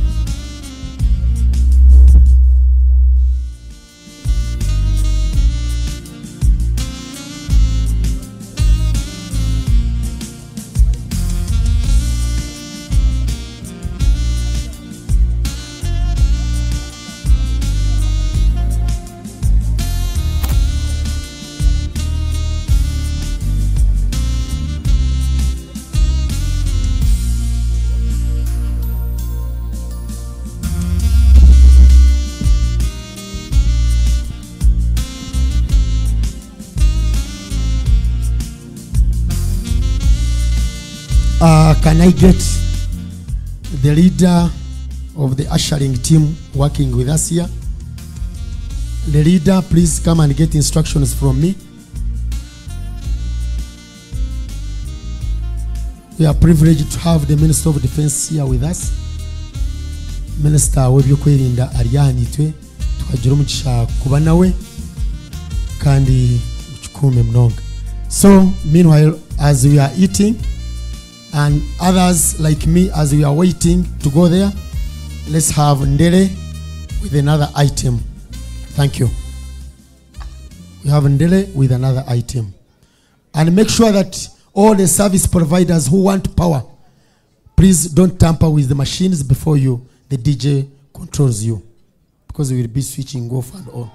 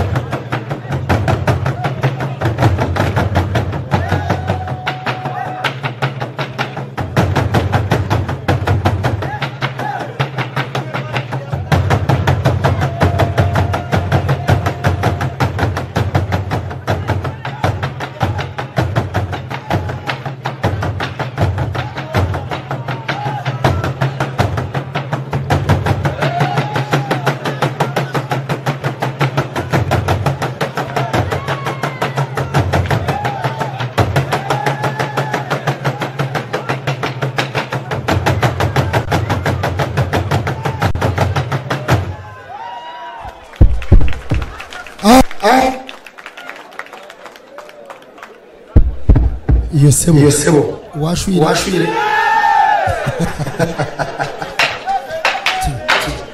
Ate omwishiki wawe yashwerwa nk'ogu oteeke otagiye barra n'etaro sha yoona naguruka omu nju nagenda.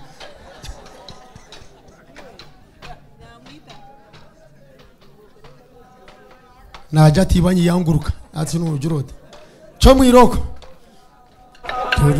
thank you rwandese ndere center to We enjoy. we enjoy We are- we are we are- ibyeshongoro byanyu n'ibirungi munonga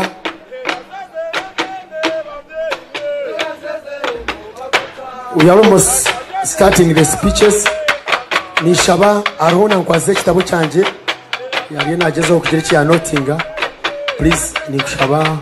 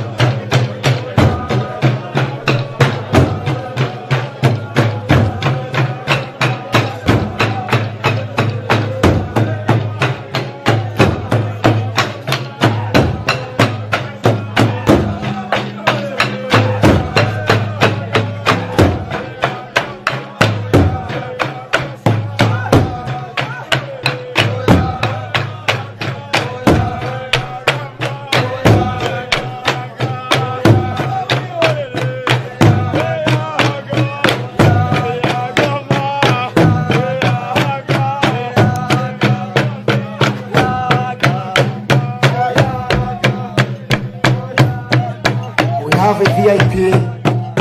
Uh, we have a VIP short call center.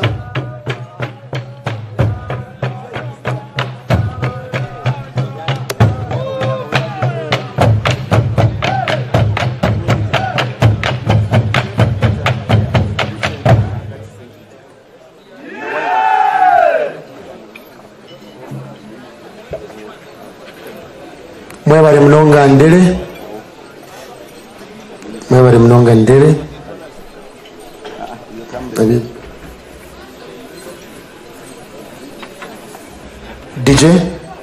ます。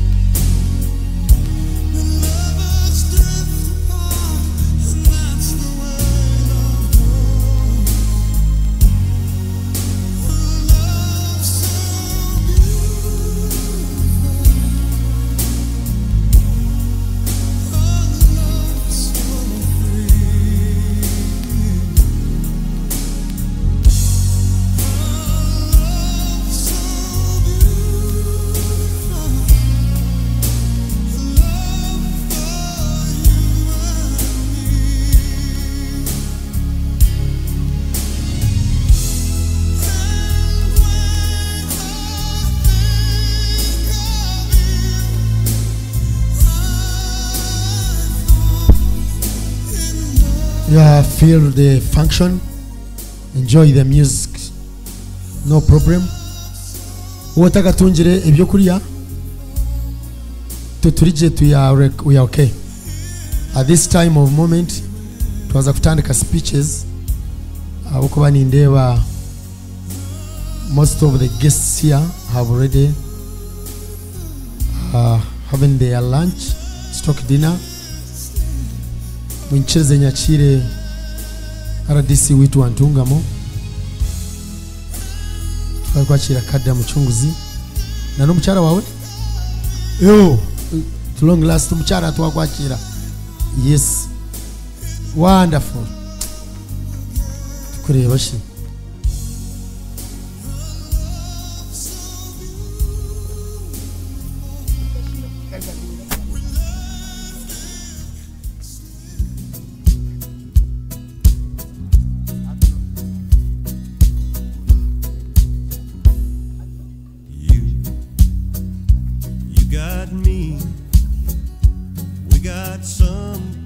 Yeah, can we have Trinity? Trinity? Trinity, please. We are now okay. Saja tutemo speech as we wind up with the entertainment.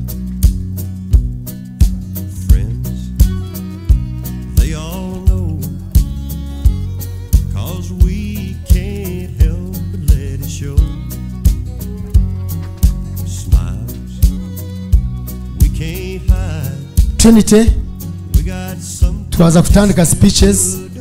Meanwhile, I'm, I, as I get instructions from Solomon.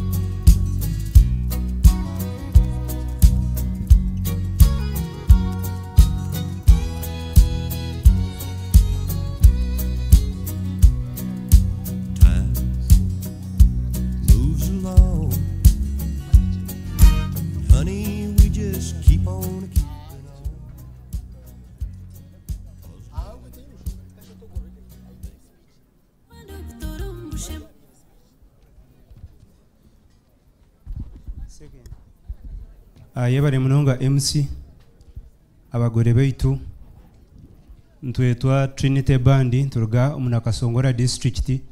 So ntusiima ruhanga habw'omukoro ogu kandi twasiima n'abeshongozi reka naitwe tugamba aha burungi bwa nrm habw'okuba mazima muzeeyi ebi warwaniriire nibyebi ebi nibyo bijuma reka naitwe tugambe ha burungi obu dj teze ekyeshongoro akazindara kandi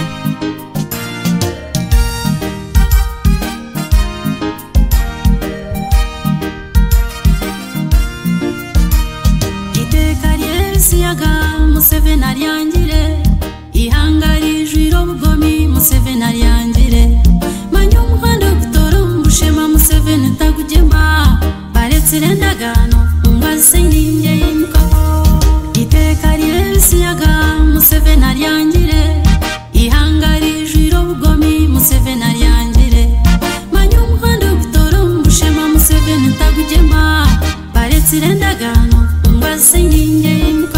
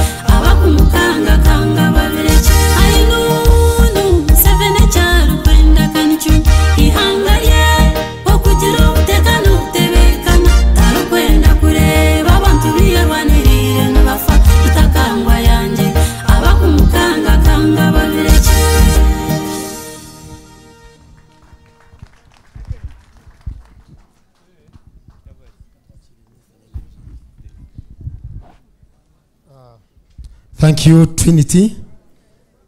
Abo n'aba trinity mwe bari munonga. Uh, are you ready? Okay i want to re, to know if the ambassador katurebe is around. He has been around i think he has gone out. Okay wow wow wow. So twantushaba minisita twine minister wa defense aha basebo na banyabo ow'ebyokweerinda ryaha kandi twenda kusiima munonga bwa security eruguruguru omu ihanga ryona. Obu obukubamu obu just nobwenda kanga kanga but we are happy. Tubyama gye twimuka gye na munana z'ekiro tugenda we are very okay. So nija kushaba ambassador katurebe aije atwimukize minister aho speech then bwanyuma agende. Abuka yanajya ngo ina hakwenda kuza handi.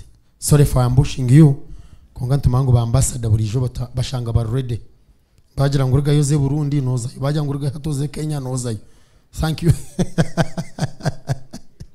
Thank you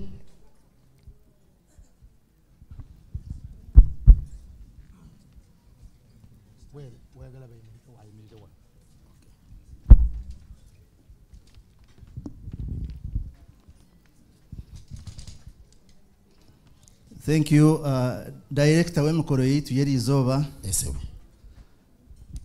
abagore bitu bakuru general john mateka n'omukyara wawe murungi solomon and jessica n'abantu mwena abeija okushikiriza omukoro gwa general mateka n'omukyara we na solomon n'omukundo we jessica. I don't have much to say because uh, it's not my day to say anything. I was only tasked to invite our minister, uh, Honorable Sempija, Minister of Defense and Veteran Affairs of the Republic of Uganda. Sebo, Honorable Minister, it's my pleasure and honor to receive you to come and say a word or two on behalf of one of your good friends and uh, senior citizen of this country, General Mateka and his family. I thank you.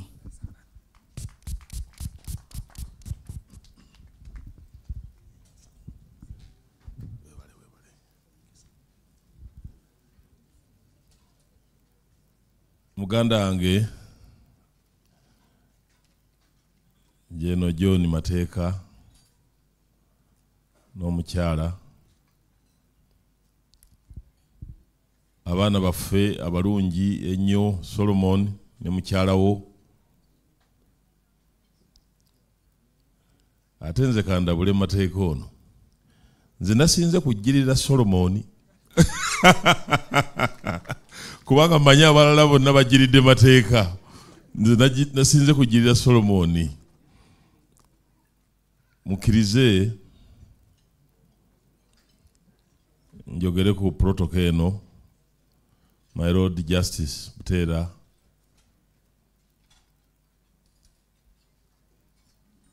general collector and all the generals here. Our elders Muzei Kalazarwe, Dr. Mbonyi, and others, all invited guests, all our good guests who have accepted to come and attend this memorable function of the Matekas. mwenna mwenna mwekubireko mu ngalo nga za maanyi maanyi maanyi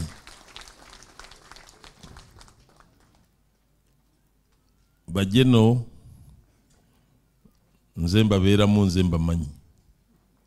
Bye bakola biba bwe bityo engeri jeno gyawasa olwaleero n'awasa ne mutabani we.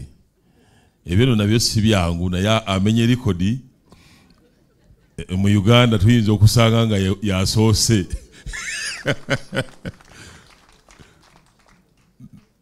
Nolwekyo jeno ssebo tuli basanyufu. Nnyo nnyo nnyo nnyo.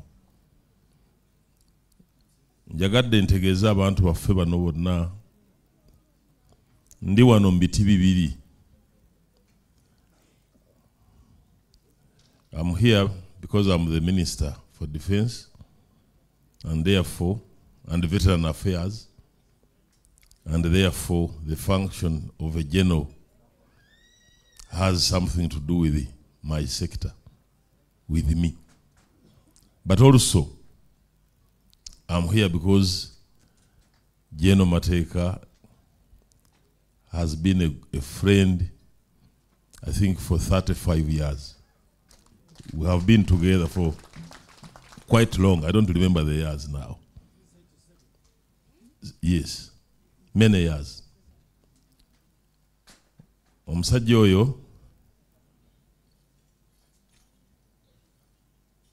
mbadde kaseese nenyimirizaamu katono neŋamba kange- kanziruke ŋŋende ku, ku mukolo gw'amateeka kubanga abantu ne ku ofiisi nabategeeza nti nyina okubeerayo. Okusooka tulina okusiima bajenozi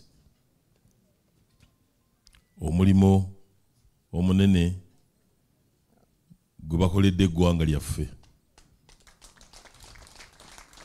Buli lwofuna omukisa gwonna okusiima abasajja bano okusiima bakulu bano obasiima nolwekyo nanyigiriza neŋamba nyina okubeerawo okusiima okweyambisa omukisa guno okusiima meja jeno john mateeka. Omulimu gwakoledde eggwanga lye naye ate nange okumwebaza ebbanga nze lyemulabidde nze wano okwebaza obuweereza obulungi bwewaweereza okuva emabega yonna. Bishopu ayogedde ku byamanyi naffe we twakusangira. Naye nze ebbanga lye namulabira lyali bbanga nalyo lya byafaayo birala naye kambabuulireko akamu nti oba ana- anakikkiriza temunyiiga wemanki njogeddeko byesandiyogedde naye omukulu oyo omukulembeze waffe ow'eggwanga ng'agezaako okukola kyonna okulaba nti agatta eggwanga lyaffe. Ya- yayogerako yamubuulira akaama n'amugamba omanyi. Abaganda bano mu mirembe giri egy'abantu bali be tuyita aba- abalus- lusibira mu bbwa abe nankola olu- oluganda mujja kuluyiga abaganda tiba babonaabona nnyo mu mukono gw'amagye agaaliwo. Omukulu pulezidenti yagamba ono negenda ofune abantu. Mugezeeko okuwandiika abaganda bayingire mu magye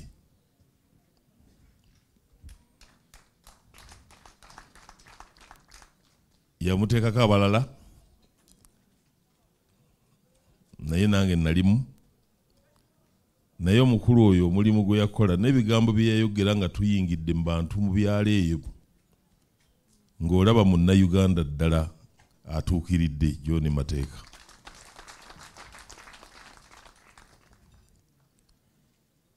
Eh, eh, ekyo kye kimu ku byo naye n'ebirala bingi. Era nze nyina ebintu ebirala bingi nnyo bye nayagala ku bakama bange bano. Kubanga bonna nayita mu ngalo zaabwe bano bonna era oyo omukulu burundi mukulu joni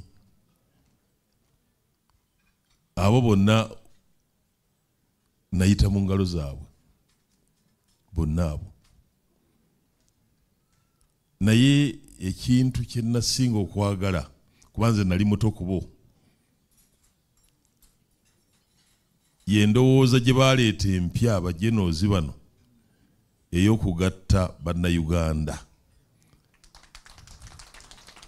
Abavubuka abaliwo abato temumanyi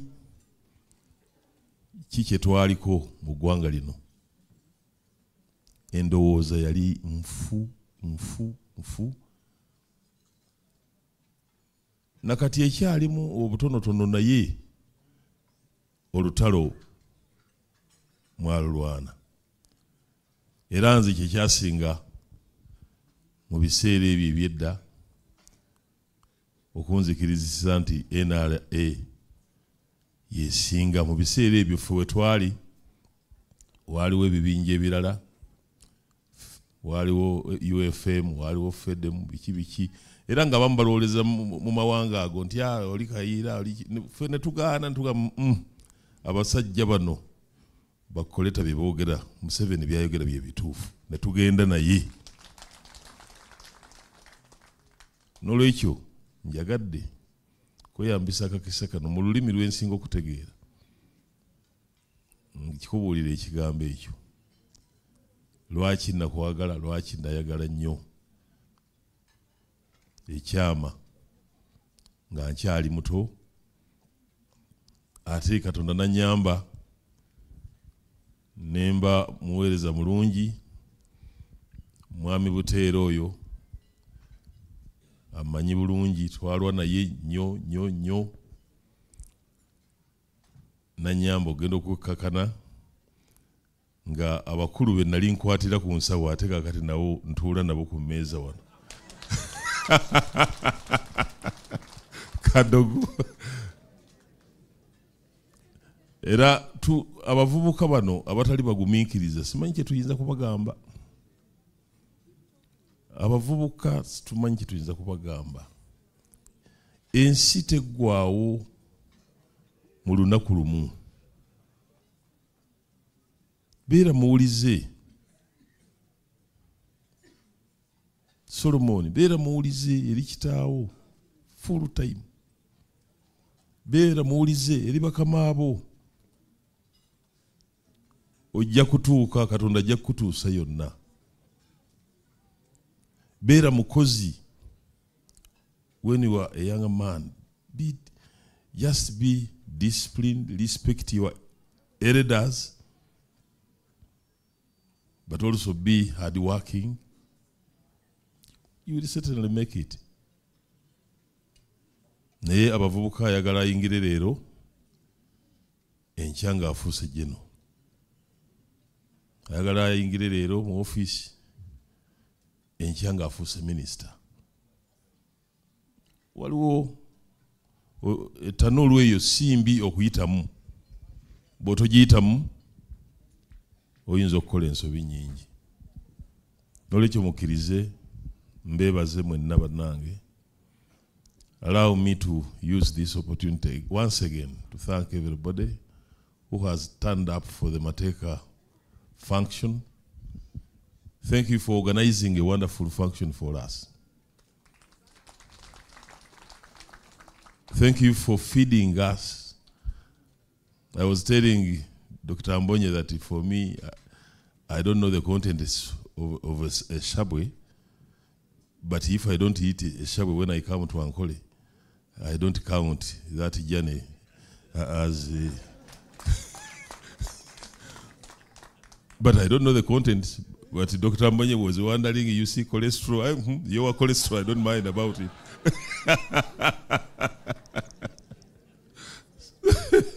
So, and I told him that I would ask General Kavuma who is likely to know how it is made. So, on behalf of uh, the Minister of Defense and uh, Veteran Affairs, which I superintend, I want to wish you good life and many more years to come. And my son and daughter-in-law, we wish you all the best in life. By the way, when we were at church, there is a lady who came to me, ah, do you see that Solomon? Although he is black, but Mateka looked like that, like him when he was that age. So we pray for you. If he has made it to this level, you will also make it. Mateka, thank you for organizing a very wonderful home. I feel I should come back when these other people are not here to enjoy the life that is here. May God bless you. Uh, I, they told me that if I bring a cow from that side, it may have karusu. So I, I decided to bring it in, in a, a different way. Thank you.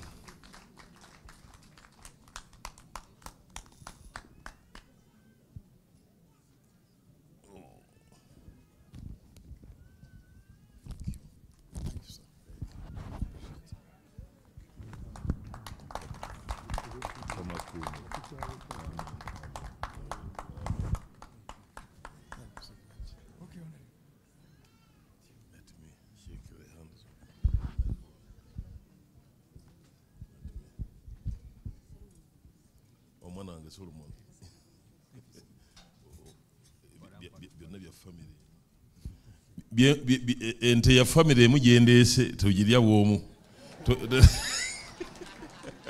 Gwe wabikoze.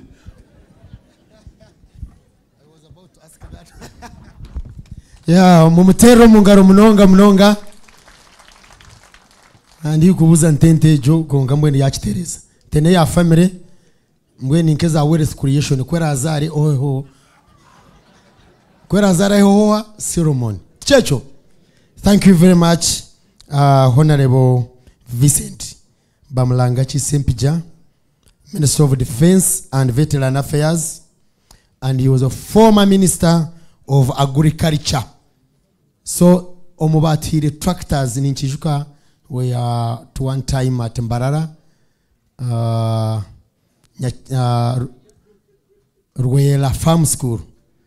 Obu yabe natwa tractor. So we are one of the beneficiaries uh, who yeah abuahire tractor. We bari munonga minister and we have uh, meanwhile deco are you working on the lights? Deco decorator please work on the lights because we want our photos to come out very well. Deco please come and work on the lights. Uh, ladies and gentlemen twinaha abantu bakuru munonga kandi nibamanyisa kihango aha we have our minister kandi yagenda we have honorable emeritus and wife general retired ivan coleta former uppd representative in the parliament. Uh, niwe yashendekereza minister.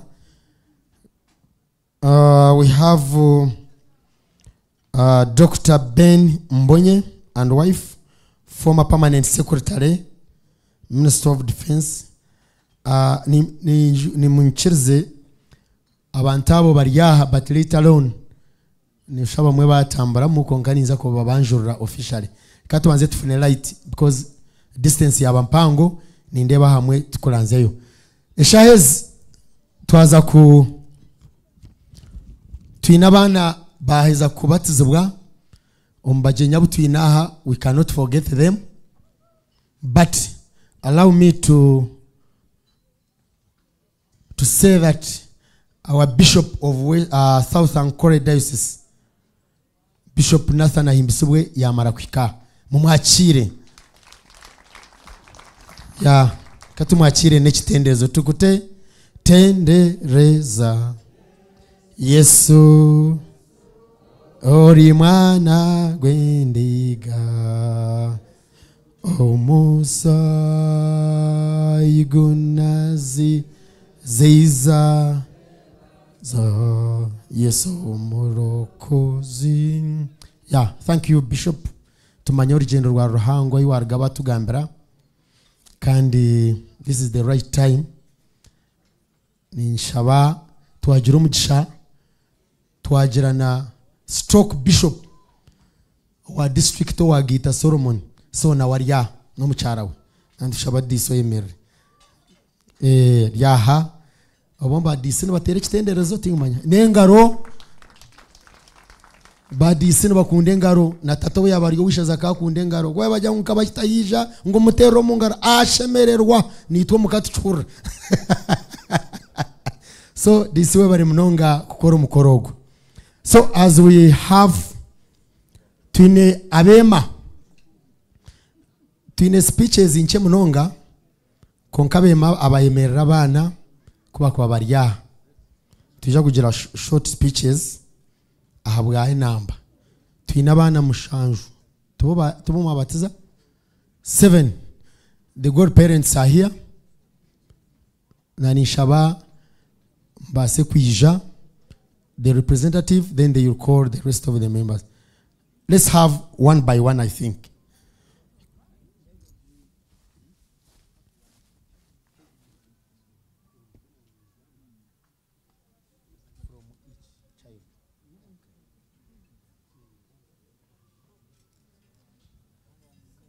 Dj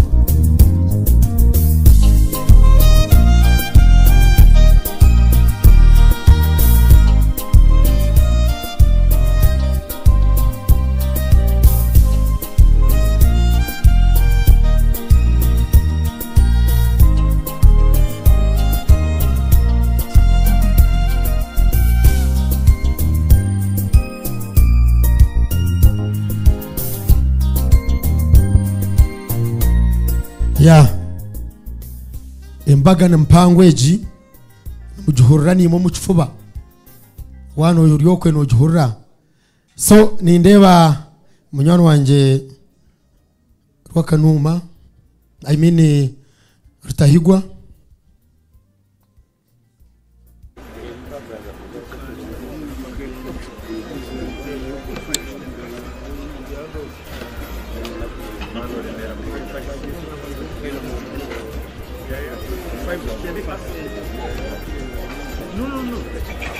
ya nshyirizanire yite munyurane wanjye ndahigwa tukutebe kanisa abema iyi ni ikigango cy'ibiri ya myanya wanjye ndahigwa ntibamanya ndahenda ndakikingwe ntabayaheze niba yo tutunga lights ni mfano wa decoration light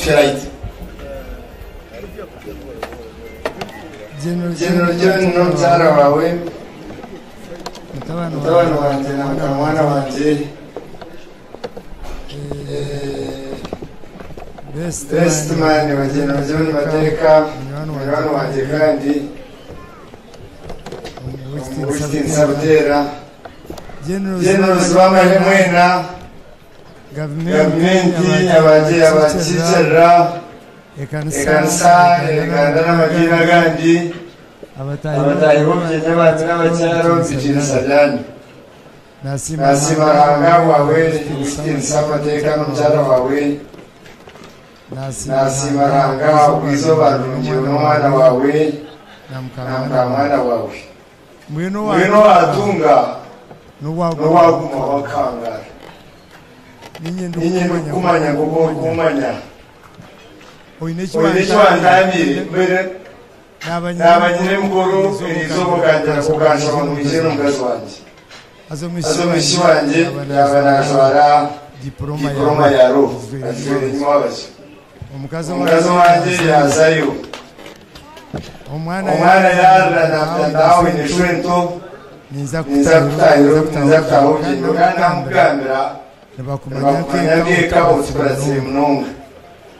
azuri ni kiwa ndafire nakyo wangoreye kingashikanuraga nkutwerere ngwe nakurindirayo ndibene yaboneyo mukazi naye amutaba umwana wawe abantu abana wawe kandi unkize kugira mbere kiwandambiye nk'abatamba bwenakara w'ishimwe nkani nge murabati nkani nkani nkuru abaganda bita runkupe azamadinga dinga jemura urfano jemura mate.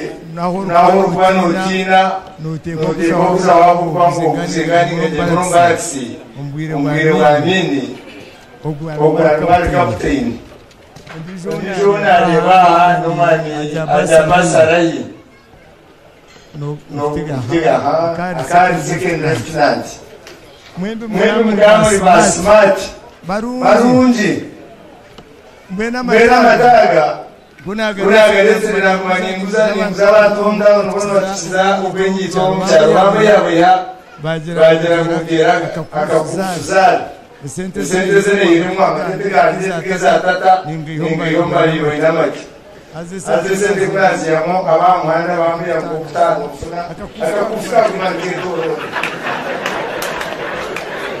sente bazitwara tubasitwire namangu enyini okusa ate byanjebyakomu mbwenu sitaani nafshi hange wange komenya musitaani ndagira ngu mbwenu bakozire eki nkasaba abatware sente n'amatenanga nafamizi omu kasheeshe tonkati bwenu obukatakasanwe bakishoka bari aha atekasunu tinchiga tamugana okutemula nenkitemula nenkunabira amaizi nakumanitamu ati amateeka aragayo kasi amaizi gakunabintatamu na gayiyongera kunakumanyisinga esente nyingi zekibi mwene sitani yicara ngaoyanireka ebiro makumyana by'amaizi nabyamashuma byahika se amaizi gatarugagyegyeza kunsasire mashoborreti Ngati katiba ningeteseka chama cha Israel zakarindikwa ngashukuru mchungu mwenu omutahana atahamuka okuba kweta nkobuyamba kwingakashira kare hataina agire omumarasi ounaagirega kusa kubanga bwesa bwesa bwesa bwesa bwesa bwesa bwesa bwesa bwesa bwesa azana weeyazisa esaffu ekyango natamuleko gwebibiri obuyamba bwazazzayo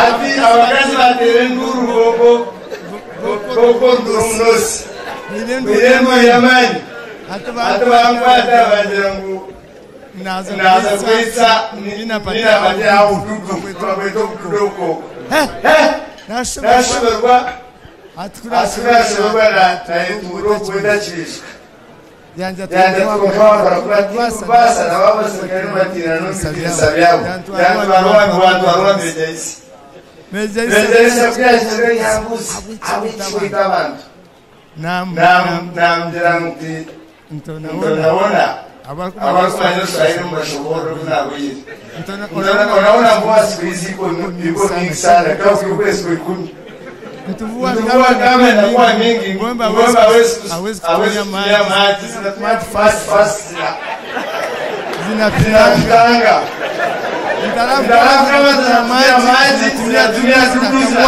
dudu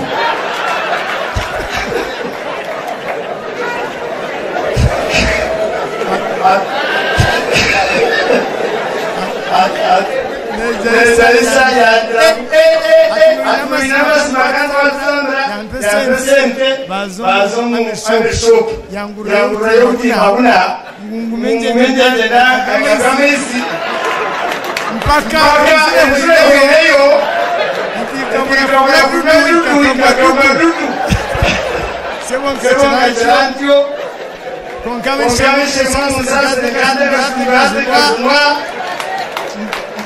nkani ngamura kitemura izina rya mukama simwe jeno na kwente ndizo na jo mwana wawe tanenza nenda msilamu ya familia kama simu bari mwoga watayoga watayoga banza banza mwezo mwezo abo pastor na kwente kwente kejo kejo bari muronga allow me to munchirize I will be dynamic nzagumanyinduramu kurugira imbere kweli munchirize nyakire DC nije kugambaho ibigambo bibiri kuwagira kuwa timana bagwitokita ungajya gushobora dendabwanyuma bishop agambeho twite abema nirubaheza kazanye imitabo so disi papachi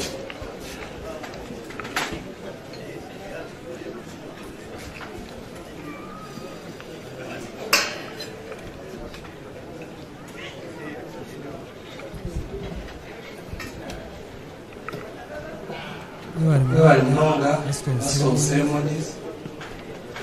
abagore bitu irizoba genero umucara wawe abagore bitu bato solomon umucara wawe n'abashagatire abayobozi ba gavumenti abantu baranga mwena bishopu witungwa abanyaki n'ababyaha mwe n'ububwiriza byanyu kamana bakunda kamana turonge mwenyekiti simba apete mtero mungarawizowera kamadowa mani akwechiyako rawu nkomu zina lyanje davis chiza nkolako mwezi wa disi abatunga mu district nijaha ahabweshonga nkuru biri yokubanza nokushemerwa neka ya general ahabwizoberi genda ntakamumanyire ibyo wishaza byashenye ukabanza kumenya umucara wawe. atwakira urubare. yatwunda yaturebera abana be. Ikejo nakumanyije ukuntu. Ubundi madamu twavuga twakira utungamo tutagucikaho mubasa kusazira ku nka ku ndabo y'icyo ubwo rero w'iki solomoni. abanyadini imibonano kimanya imihango mutine emiringo mingi eyokutunga obushwere nooza omukanisa niga omukereziya ninga barayi barikweta civil marriage omu ofisi ya bisi babwita mwine omwizina ry'abanyaha mukirize mushabe yabakubitu bintu kye batuherekere sora omukyara wawe babanzurire nk'abagore bitu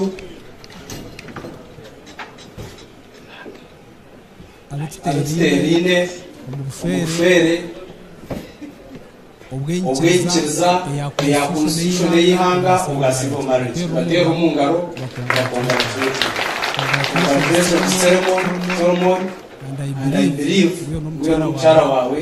angana ijana ku baherezo bangazi n'abana muzari muzarukane mugire misha bw'iyuhanga ahereza abana beye amukunda anebyo muzagamba bingi mugumana tubashabira mukama bakwase bagire ubuhangazi umushorera mwe bari mu ndi umucyaro wanjye banjye ntakagira undi umusigazi muto n'umucyara wanjye mirongo itatu n'icye gladys nakora akamunsi ku nzu ifite ubusuku uzabandurira mu musigati kandi na dayiregita w'amashomero marundu mutungamo brilliance people's primary school brilliance staff primary school ari we n'abana kugira ngo tutungure by'ubwitesi imyanga yitu y'abarimo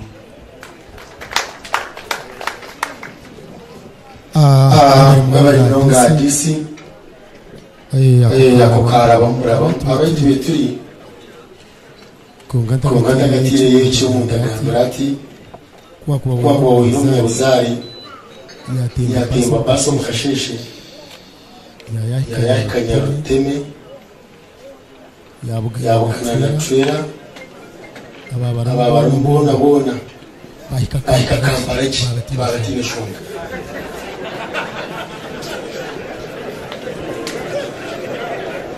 bigambo by'umuntu ariko kigira ngo yakora imishobe hariho n'uwabiri atebye yatebye ati abantu bona bavuga ko ngo bahika yoja tawo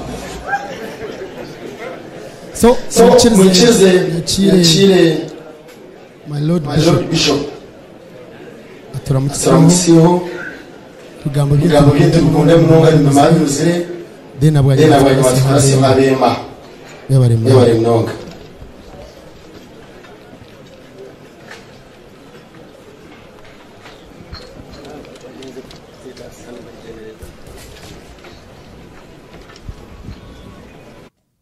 abagore bitu b'inzobere general john and stella solomon and jessica. Nimanyi izobere twana tubagita omu cathedral omu all saints nagira ngo ubugeni bwo kubanza imyaka ikumi n'ibiri n'umureberezi ubwa ubwa yesha bwita. Bwita. Ukashabira ukashabira umugisha family family kenshi kandi kubashanya wanganabura umugore w'ishuba igishuba cya rutayingwa mwarumange cya bakari icyo é ente kunyumuyamba bukara bamumunda bwe bukashobora kunyumuyamba umunyarwanda é icyo é cyo é gifite é ashobora é no é mu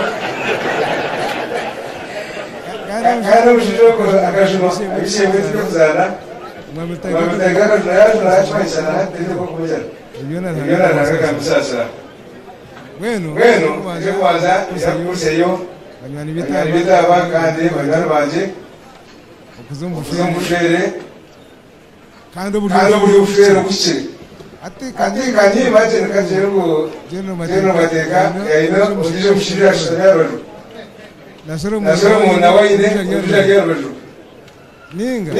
Esika ino wayina nawe kuba ryarubajja umwe hasibandi rero nuriya nawe muri kwa hariya tumukora ngo ujye mu nsi wo mu business.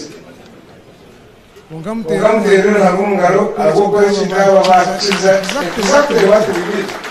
Was in the government and also in the church.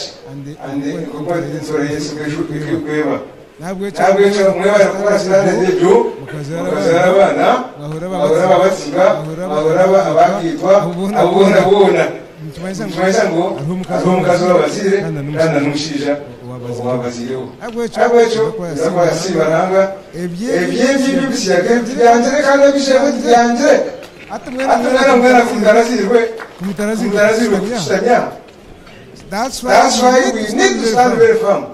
kana ivakutara kuvateterezi o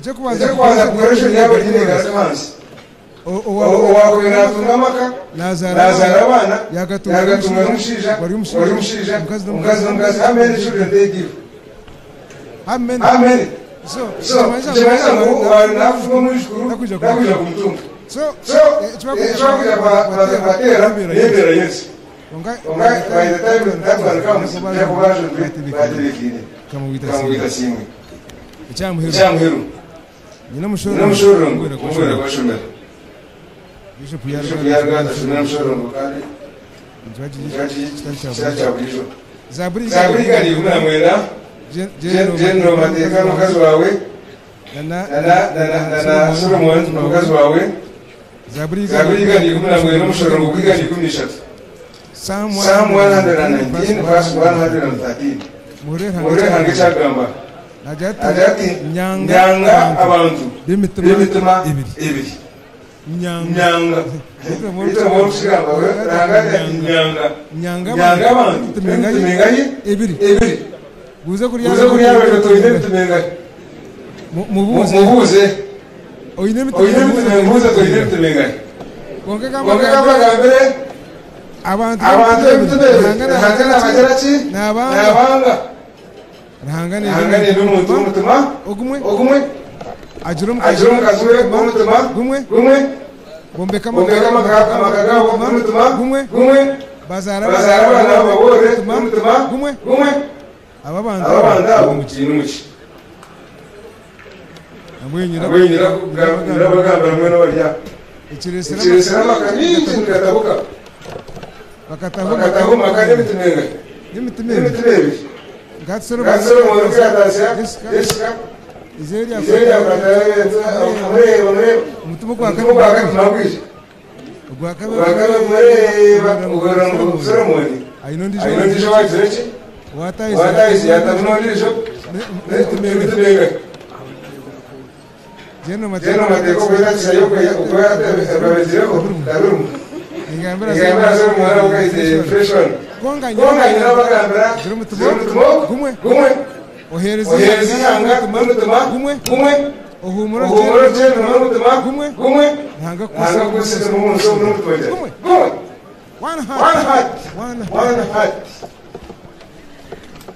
and go and look for somebody who has, who has served the Lord with one with heart. one heart that person, that person will never regret mu uburyo mu kanisa uburyo mukereza uburyo muhe uburyo busabanti uburyo yagukantoriti uburyo shopipa you do it with one heart you never regret. you never regret. sonyina kwasha abana banje n'abajyana banje isizo bugenerozi you leave them bugenerozi ku mwanya n'abashaba mugire umutumwa for better for better for worse. for worse. For richer, for richer for poorer, for poorer. In sickness, in sickness, and in and in health whichever, whichever extreme you go to inonja ngo ugene batekana n'ubwani ibi byatujya boro ibintu by'iwabo ibiryo already n'abagerasi n'abagiga kokakamba kanzira bisisana n'ubwiga for for richer. when things come to richer people have money. By the way. You, you people have money nyaro nyaro nawe nekore kutina nigora na zo mu office nyine bwaganje bendire bwabe nagamba nyonga atagamba nyonga ni blessing gacho umushayi yigura yigura grower skachi mugore ntare dane dane dano chechi tuwa chona chijwire it. was it yihamaka akamwe yamuna nakacheka kako yakavereza nanyira musharu nache tonga chinoa changu chigenda achi If that person is not very careful, for which, for which we destroy the family, we destroy, we destroy the work. So, So You need to, you manage, need to manage for richer. As you as manage, for kwara. Ya people who have no money. Kubrita naboro. Muzika za kajenda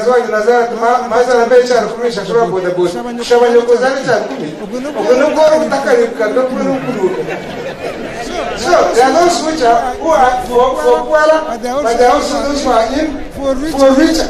So you, need to be careful so that you remain, faithful with one. I, I understand how say urumundaro urerebuye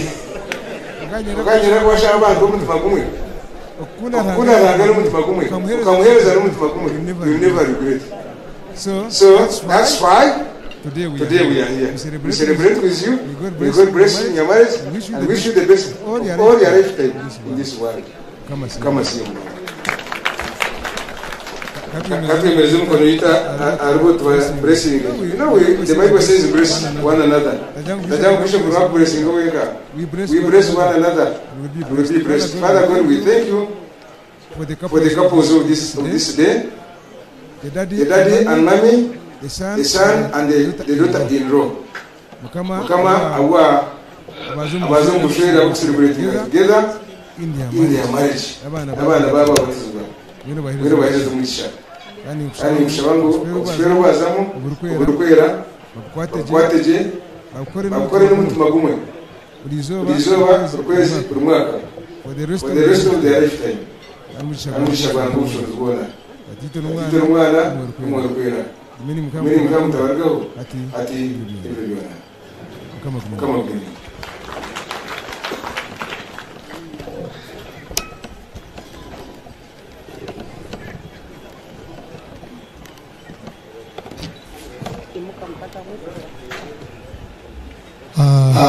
webaye mlonga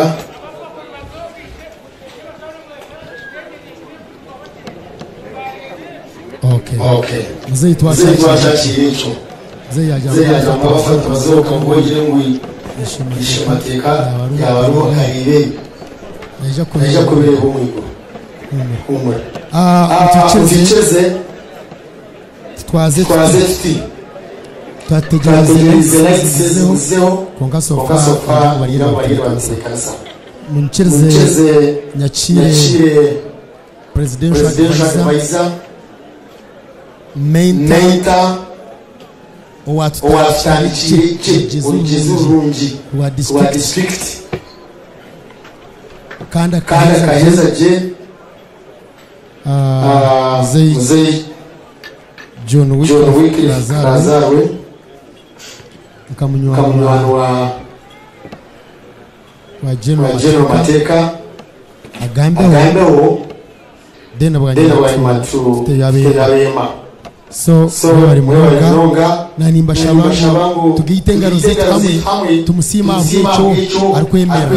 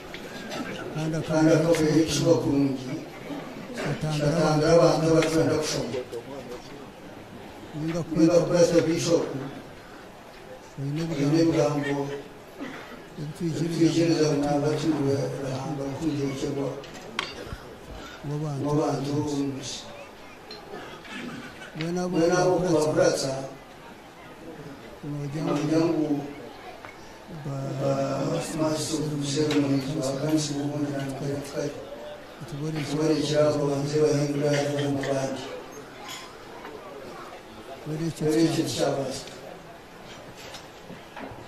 Wenu mukama simu abokona obutandike yowe.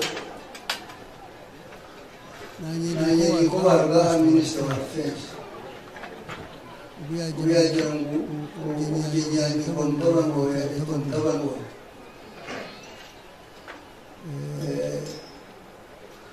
ntangira mwana w'umushasire urare bidakwiye n'umwongo ubu cyawe urengera isozi uze turarinduka ndetse n'ibishuko ya muganga niza ku marakanya gake arugero mu mategeko n'umukazubesite rero shitani ebibira eby'amaanyi makye kalazaluuma bebumuna kigahanga ebyekisaka ettaka gyagako ebivuukeyo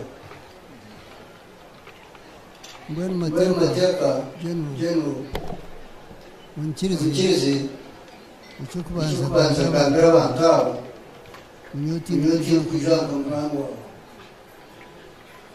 ogwo ni mzaha nga nkugundira omumanyi abakama baija kugukuulinga bakufoma miki mbwene obwo omurikureeba okumweta munyani wange mbishobera nokuntuza kumugamba kugamba ninyiza kutuzaho abantu emishakuri kaine gemerera não? Mateko mateko kumureba kureba mawe akashinga agashengekereza nyina naza naza umafurika umafurika mwisho mwishovu tumfitina fitina kutuza kutuza abantu abantu imyaka yanjye ahabukuba ahakuba ubatina ubatina kugamba kutuza notazenge yashendekereza minogo minogo minogo imyaka n'enyoko amateka n'okubara endereza kumbeya ati kuri nyina yamushendekereza ngugo iza kuku sitwira fira hamwe hamwe museki iginesina sina zayibonu nesitwa nesitwabonye mwene mwe y'omunsi n'ekifo abeekintu ekyaba mukabaata 8 nkomwaka gwana n'ebiri twafuruka tulonde okushoma twarigambu kyanga ekigombo n'ekiira kabezi nabo babanza okuteganisa kutura bara ekyo sana nikyo mbeera kyange kikishuba infact ekyo babanza kutura bara ntitwazimanya natwafukamye cyo ubagira kurata twatuzakanyije twagira umugisha ziribye batiri aho bagatungukaga ko batwarengeza bagira ibishije ibibazo n'abasitwari twabasitwari tuza korogosho mbwene kurana n'ebiri ukihati mateka neza kubagambira ugena imyaka ingana y'ubwo amaka rayo ka juma ya be wakatwa jamanya mutuma mbitekate twagumaturwame izo izo isheku yagiye kura yatutumanye n'umukuru wanjye bombi nayishe n'umukuru wanjye tubakiri umusomo wonka amateka adapfira n'umujurizi ishe yatutumaga mbere bantu baganga abana babo. baban baban bai taka bacika hazab ya hazab ya yondira watan watan sun kutirka bueno bueno ubun bu zai ba da mu shi jo bon kan bueno bon bueno yake ka yake ka ji da zaho nun kan ni kan ni ya ji jange an funge ma ba ba jawan manye kan funge ndebe ndebe gyengomekyekikyaza kukola nkokubakuzire ekikugenda kulaba bonaabonaawo okubanda emanzi okwigira zikakora ebitoko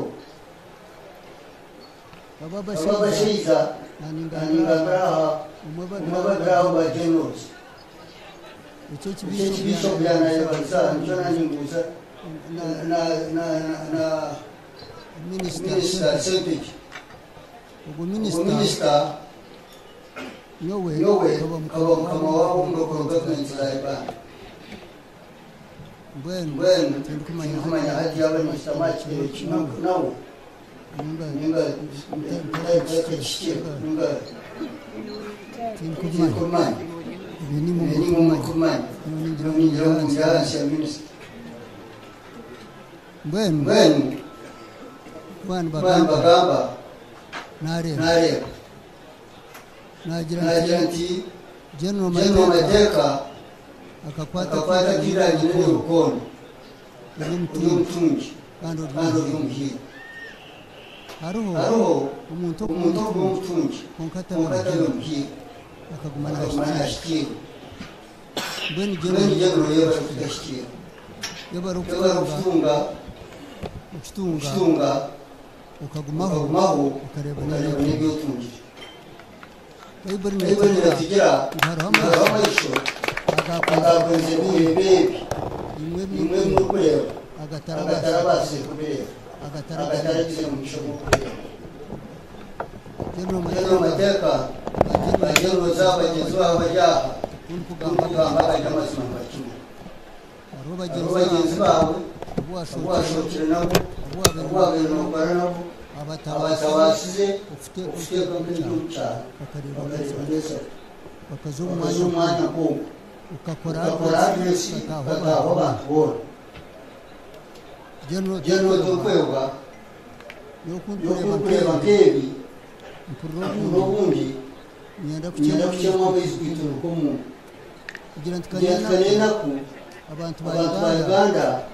okutamanya ebbala birimu okutamanya ahi barigire onkanyishwa ng'omushaija akoreera omwana we amwetabeeho mbwenu gyenda rabaija mwesiime musiime ruhanga okubaheereza omugisha kureeba mateeka bwanyuma ya probation y'emyaka makumya ataano n'ebiri oyina omukazi okutumuka beitoro bashaija bashaija atanu n'ebiri ogira omukazi ataha probation ogira omushaija ataha ataha taka kubaka kumbaka ekyo nangwa nikyo mwakuteriire omu ngaro abashaija nibangahe emyaka ataano n'ebiri omushaija ari aho n'omukazi babaaho tibakagaitwaga ngu bategereize okugaitwa. Kugaitwa ryarenga mbwese hati iwe nooza omu hanemuunu nookoma aho nooza omu dansi yanyekiro yaha y'abatsigazi nooza nkahi kandi ho ntarikumanya nooza omuri kiiha abokubaire noogiteera nabo dansi nabo ne- n'ebicura nkanye bari aha. A- abokugenzera nabo ohanemuunu okwo ebyorashangeyo ebimwe nibikushobera. Mbwenu ekyo kankirekera aho nagira abantu n'abahirwa okureba general koreta tinkwenda kuguma ningamba obuzare nimujya ngu nabajoga naza kubeho ekitiinisa kyo bwa general. Wahurira ogwo nawe nowamawe nte ekiti nimurimunange mbwenu mwebarireba ababindi kureba boona abo bonsi ate okubakura taine kavuma eh, eh, ashinafu burundi eh, eh, mugume eh, mugume ha- hari naho tindi kwahweza bantu mwe muri abantu babahirwa bokutangaza umunsi ruhango kugira ati mwe ninza kubarekaho numba mukiriho nimurebe mwahendekire. Amaka ganyu nimbamanya bamwe hati nagiremu nakarenkazamu. Konka omuntu kushohora okakwata ihanga eri otaine ekyo- eki- ekyangwa ekyo ine okaturikirira abantu ababaire nibahemba omuriro omwe omuriro gukaka gwahememo ah, ebi muri kureba amaju aga rigaha ryago hakaba hariho obuju bwaitu obwente obwabariisa obwabahingi babitamu omuriro reba muri aha muri muri za tayi muri muri za shutu muri munanka mu bintu birikwera nimweranga ngo muriho munsi omuriro gukahememo ngo nibahemberera abanyarwanda nibahabingomo omuriro gwahemba nimwebare mateka okurwana mukirwana mwebare kureta ekyakutwire mundu wireba. Hata abantu nibombeka hata abantu nibatunga hata abantu nibataha amagyenyi nigarebwa ensi yoona aha mugongo za motoka zatera rayini hariya. na nti mwe naho ni ntembo ho ni mpuka yo ryari eh? Na reba mwer na bona abantu babona babaza babo abo abo kureba umuntu naguruka kora mu bicu oshoberwe kandi gymnastics ebyo exercise ejya amana agagahira nkai to kuryaje to businge nanda kutereta arahigura inyongo merenyera arkirire ngo baza kutereta arabazate ntubaza kutwitsa amashanyara zaba konka mbwenu okushemerwa nko kugera okushemerwa the limit is the sky. Mbwenu nyowe ekyo ninkibasiimira nabadweringaho aha bw'enshonga ahabwokuba omuntu kurohayahayo okahayo amagara gawe okahayo oburyo bwawe n'obwengye bwawe haza muheru okareeba ebijuma byawe. Mbwenu mumureebire ebijuma n'aba baana boona abarumwa n'aba bakuratsire n'abaijukuru banyahati mwashyira kugira abaijukuru bareebe omugasho omugasho gw'okwehayo ahabw'oburungi bw'ihanga ryawe ahabw'oburungi bw'eka yawe. Mateeka oku n'okwehayo ogizire oti kanga itwe n'omukazungu kandi hona turi yashye ya probation. Omukazi nawe yajya tona si mbwenu ina mateka ya probation.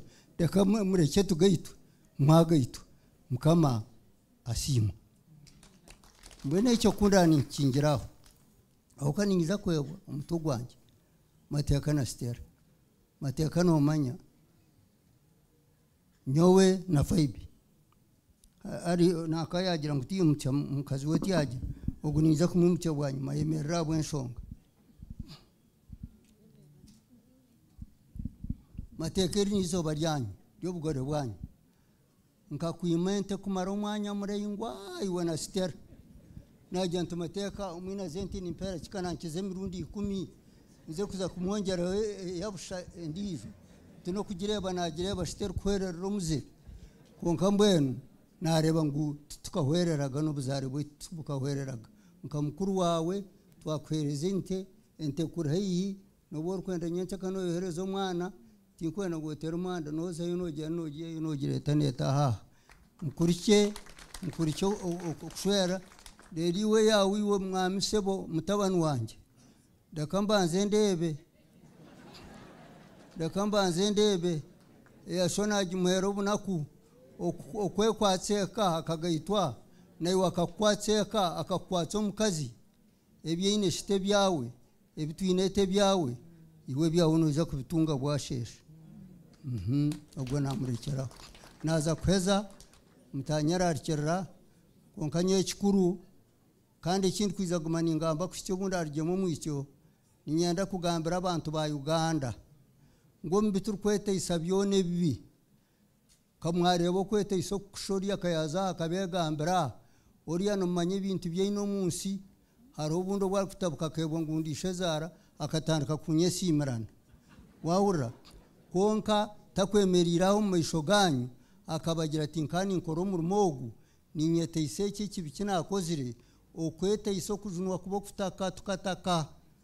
Turekirize kujunwa ngu twekuratiire tukataka twatakira ruhanga twagira ngu turikwebaasa waba otatabangiire nyowe niweyandabiza omuri ebi byona niwandabiza omu ihanga omu tinyine nkojo reeba egi yoona ningigenda nindeeba haiguru tindikuhurira nyine ekindi kutiina ninga ekindi kwerarikirira ngu abantu nibafananye abo obunaku obu nabamazire nabo nimbebembera mbwenu bagyenzi bange ninyenda kubeshengereza.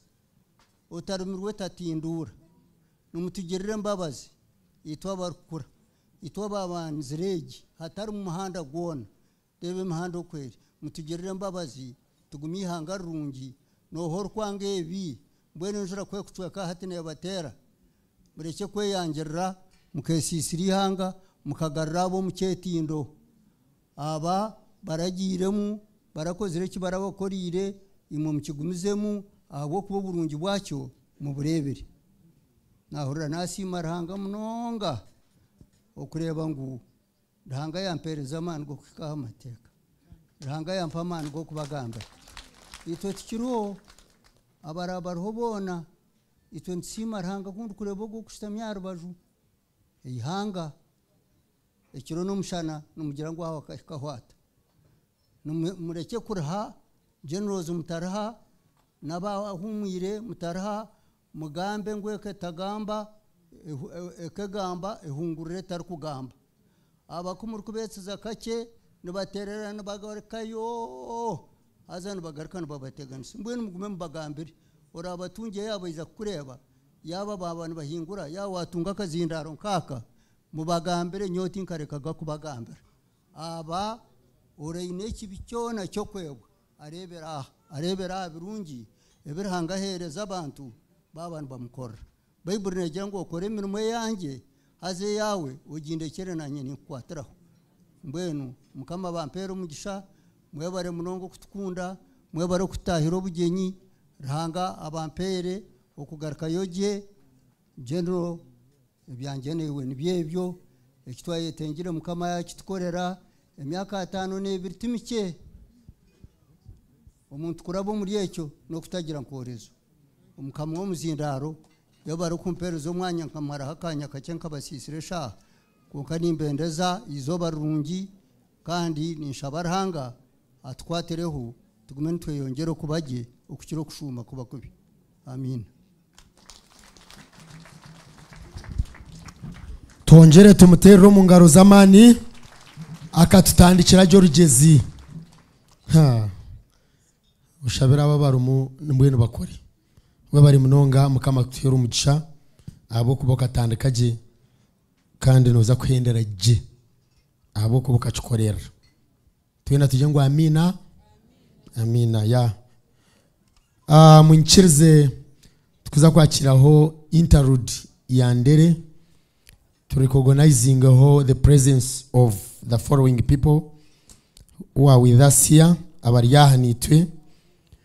We have retired general uh, uh, john mugume former general manager defense forces shop updf tinkumanya yaba nakitereza gye ainde ntakitereze mu nsasire. Aho keje mbaga na mpango ahantu yabone chome. Abundi ni nyanjura nabe bitinisa so we have uh, major general sam kavuma deputy coordinator operation wealth creation Ariani Itwe. please abona abantu bamani munonga munonga mm.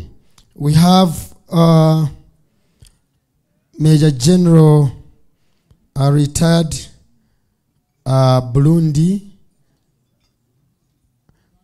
Munyuanisa, munywanisa eh, former uh, DA uh, in charge of Rwanda. Yeah. So we have Brigadier General uh, retired Emmanuel Musinguzi and wife. That is Director Veteran Affairs. They are here. Uh, we have Brigadier General retired Bosco Omule uh, one of the Flonasa member, together with the General uh, Ivan Koreta. They are here with us. Numuchara, please stand up for recognition. Twire ni ndebe Ivan Koreta nakwerebera nkakurebaho wito wa family i know you are family friend of our family you are family uh, friend of Nicholas Kasisi I'm then this uh, grandson of uh, family. So I love you to be with you here. Thank you for coming. abantu banzandaho umwankoma ugu nanyihayo so oyine eshonga nanye atebekane mwarengo nyine generals so leave matters of generals to Brigadier General uh, Ephraim Baguma, Mugume, and, wife Babo. Yes. Yes. Uh, this, uh, one, this one is uh, chief. chief. I I I alam I I is, I is ilmis. ilmis. Eh. Eh. Sini kabotana kunya mubintu gomire. Gani gani munda maigo gani kunyu taro taro. So mushamire kugure masu masu uniform parade parade yona yona mukunda konga bachika taro. Shobora kuzunguka zwanjye. Okay. Okay. Brigadier Brigadier General Retired Sam Sam Kakuru, Kakuru, former Deputy, former Deputy Chief, Chief of Personnel, Personnel, and, uh, and uh, Brigadier, Brigadier General Retired Tom Tumuhire Aria n'omukyala and wife wow, wow, wow, wow, wow, wow.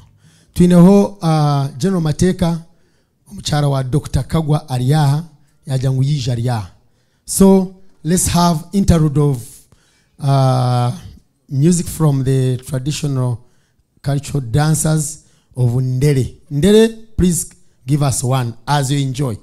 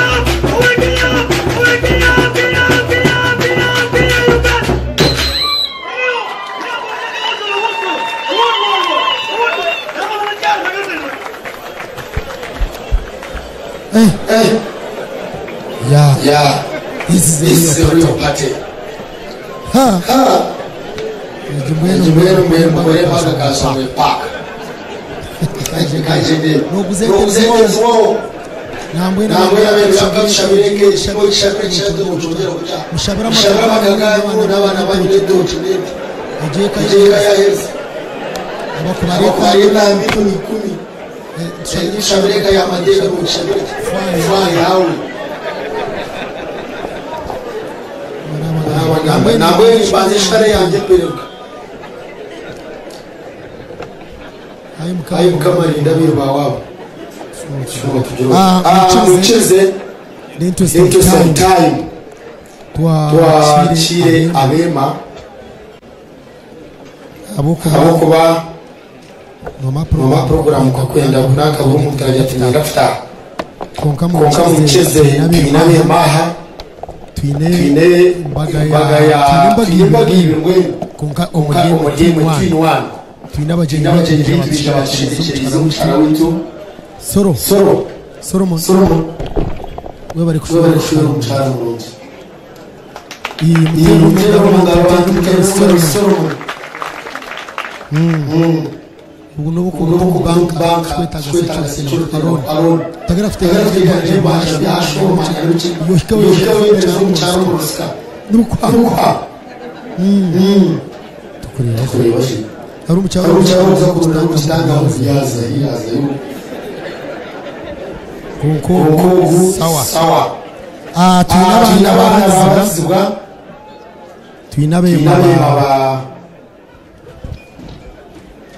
ah, oh.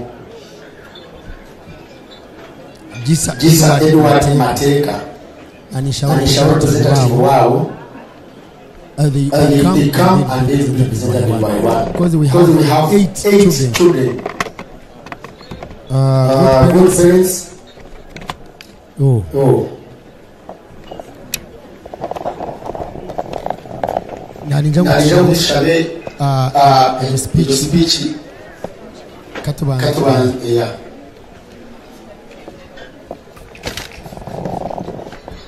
katushabeho yabeho yanatanga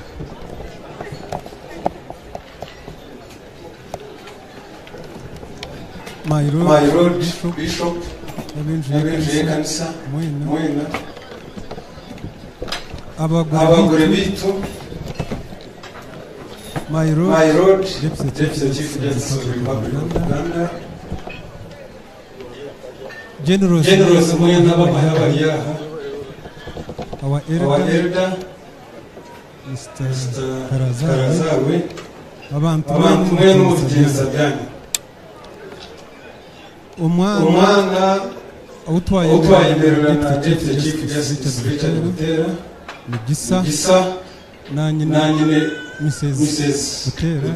komereza komereza umukono. umukono abantu god parents ba gisa edward mateka. Nyenda ntwara omu gishogu omu izina ry'abazire kusiima rogers. Tinkumanya rogers ahashitami gisa n'omutabani wa rogers family.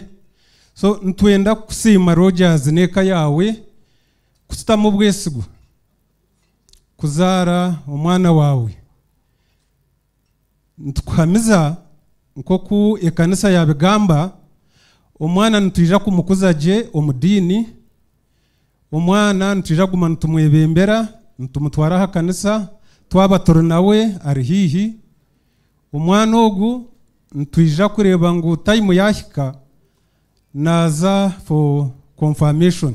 Ningashi ok- okuteebwaho engaro so omu izina ry'abaziire b'omwana ogo abo nayebembera ntusiima tutiine bugarukiro kusitamu obwesigwa obwo obumwa tutamu kandi tubahamiza ngu ntwija kumukuza gye omu diini nawe rogers yabatiza ondiijo omwana i think nta ntakarugira aha still hariho omwana wa rogers ondiijo uh, nare jonathan mateka namwemerera na my wife mebo yemerera and emmanuel mwemereze mukono.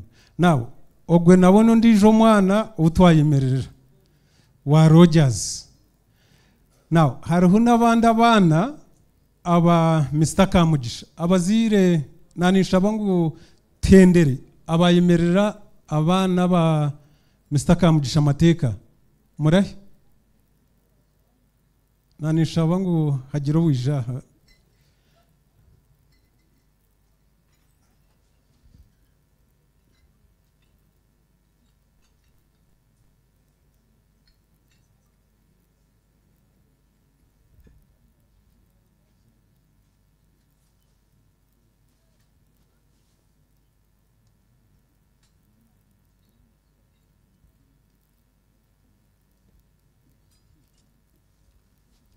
so abana abaana ba rogers abo twayemerera twagira ngo tuza kubaha ibirabo byabo. So abazira bayemerera abana ba kamugisha nanishaba ngo abazira abandi bagira icyo babagamba. Mwibare. Mwibare Um, mwebale munonga um, abagore beitu General Mateka na mutabani wawe. Uh, Deputy Chief Justice all protocol observed. Uh, nyo nayemerera mutabani wa Richard Mateka obaleta Dede Mateka Kamugisha uh, nashemererwa munonga kugira ngu bampa ekyo kitiinisa kandi on behalf of abaziire abandi uh, ninza kugezaho kukora ekirikubasika kureba ngu omwana nanye namutwara omu diini namureberera nk'oku kikubaasika mwebare munonga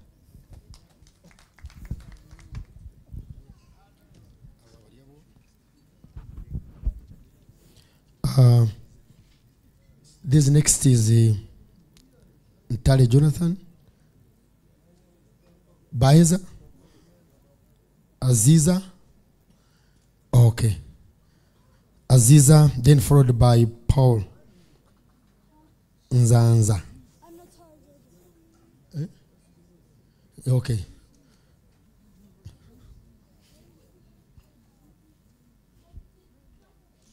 Let's do it like this. The rest of the good parents, Abataba represented, you come at the same time, such that we finish that story. Thank you.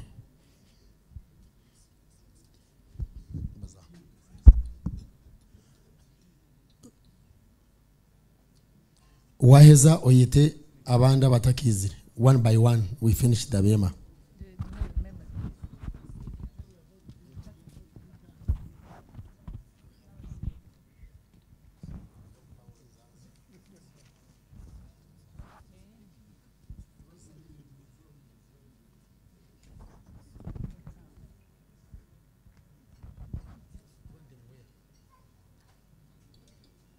I request to observe the protocol.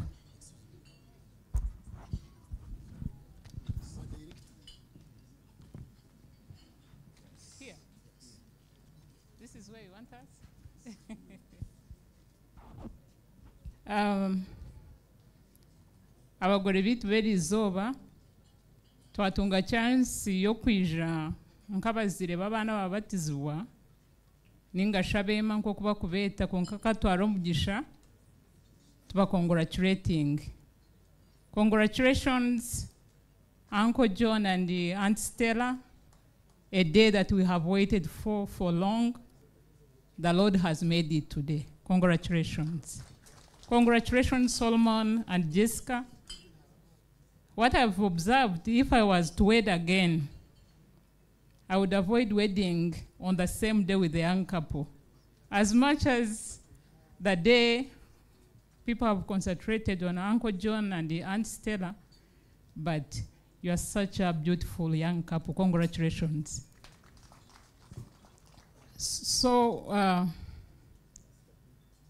nyowe naba ndi omwema w'abaana babiri konka omwe my husband yamugambireho owangaruza aha ni aziza stella mureithi the only girl that was baptized today.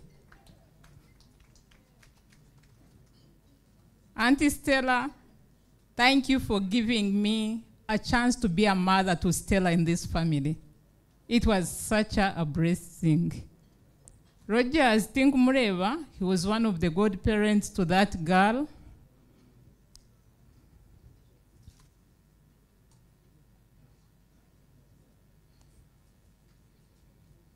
This is our beautiful daughter today. I am so excited. I know Barbara is not around, but Stella, you have two new moms today. Auntie Jane Butera, she's there. That one, look at her so that you don't forget her. And myself, and definitely Uncle Rogers is here. This one is always with you more than we are going to be. Naye bwa nagamba olujunka nanjye ogamba olunyankurira izooba so nkaba bataahi banje okuba bagambire twine commitment. First of all twine abaana abari omu myaka emwe na stella. But my speaking of english was deliberate because i believe she doesn't understand runyankore very well. So i wanted her to follow what we are saying. So we are blessed to have her. We shall do our best. We are Christians, practicing Christians and uh, God fearing people. I don't know where that word fearing comes, God loving people.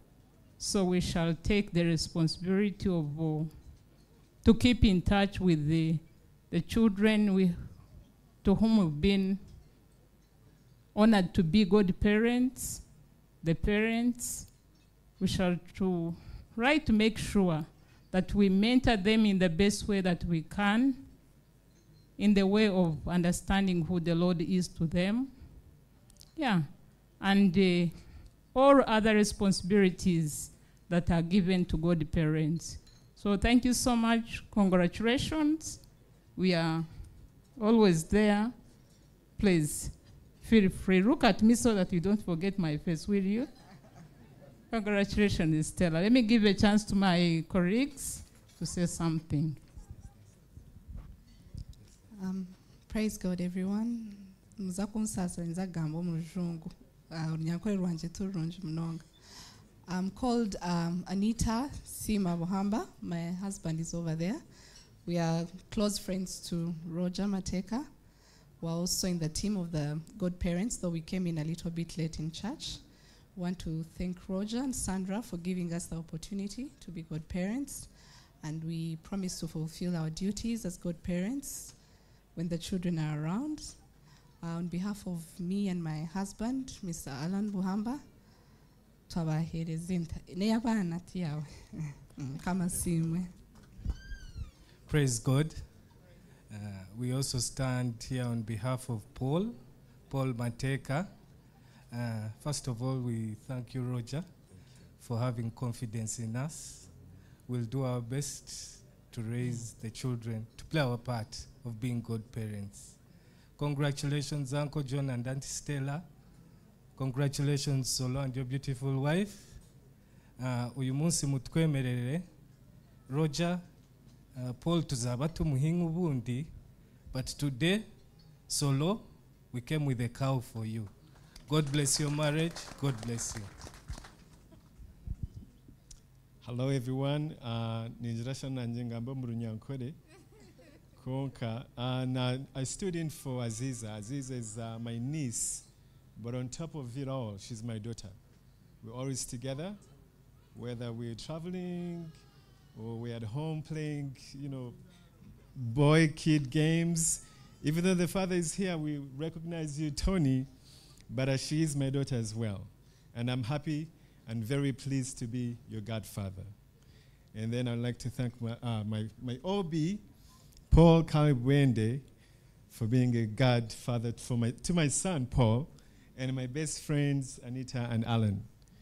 And uh, lastly, I'd like to uh, congratulate my father and mom and my brother Solomon and his lovely wife, Jessica. Thank you.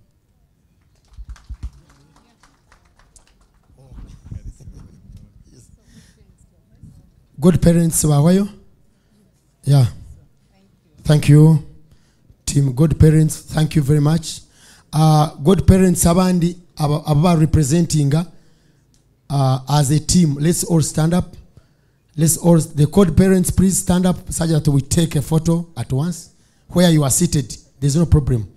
No matter all the godparents please stand up. Uh-huh. so the coverage please make sure that you cover that and you see uh, the way how you just do your things inside there. Uh,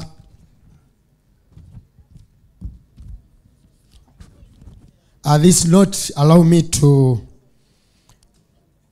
uh, to say that can I invite uh, Major General Sam Kavuma, Deputy Coordinator, Operation Wealth Creation.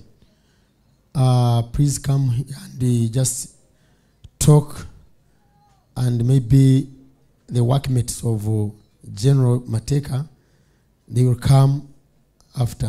Thank you. DJ, give us a transport to bring the General um, uh, Kavuma on the stage. Katolabe stocks za UPDF ngenkadde. DJ, where are you?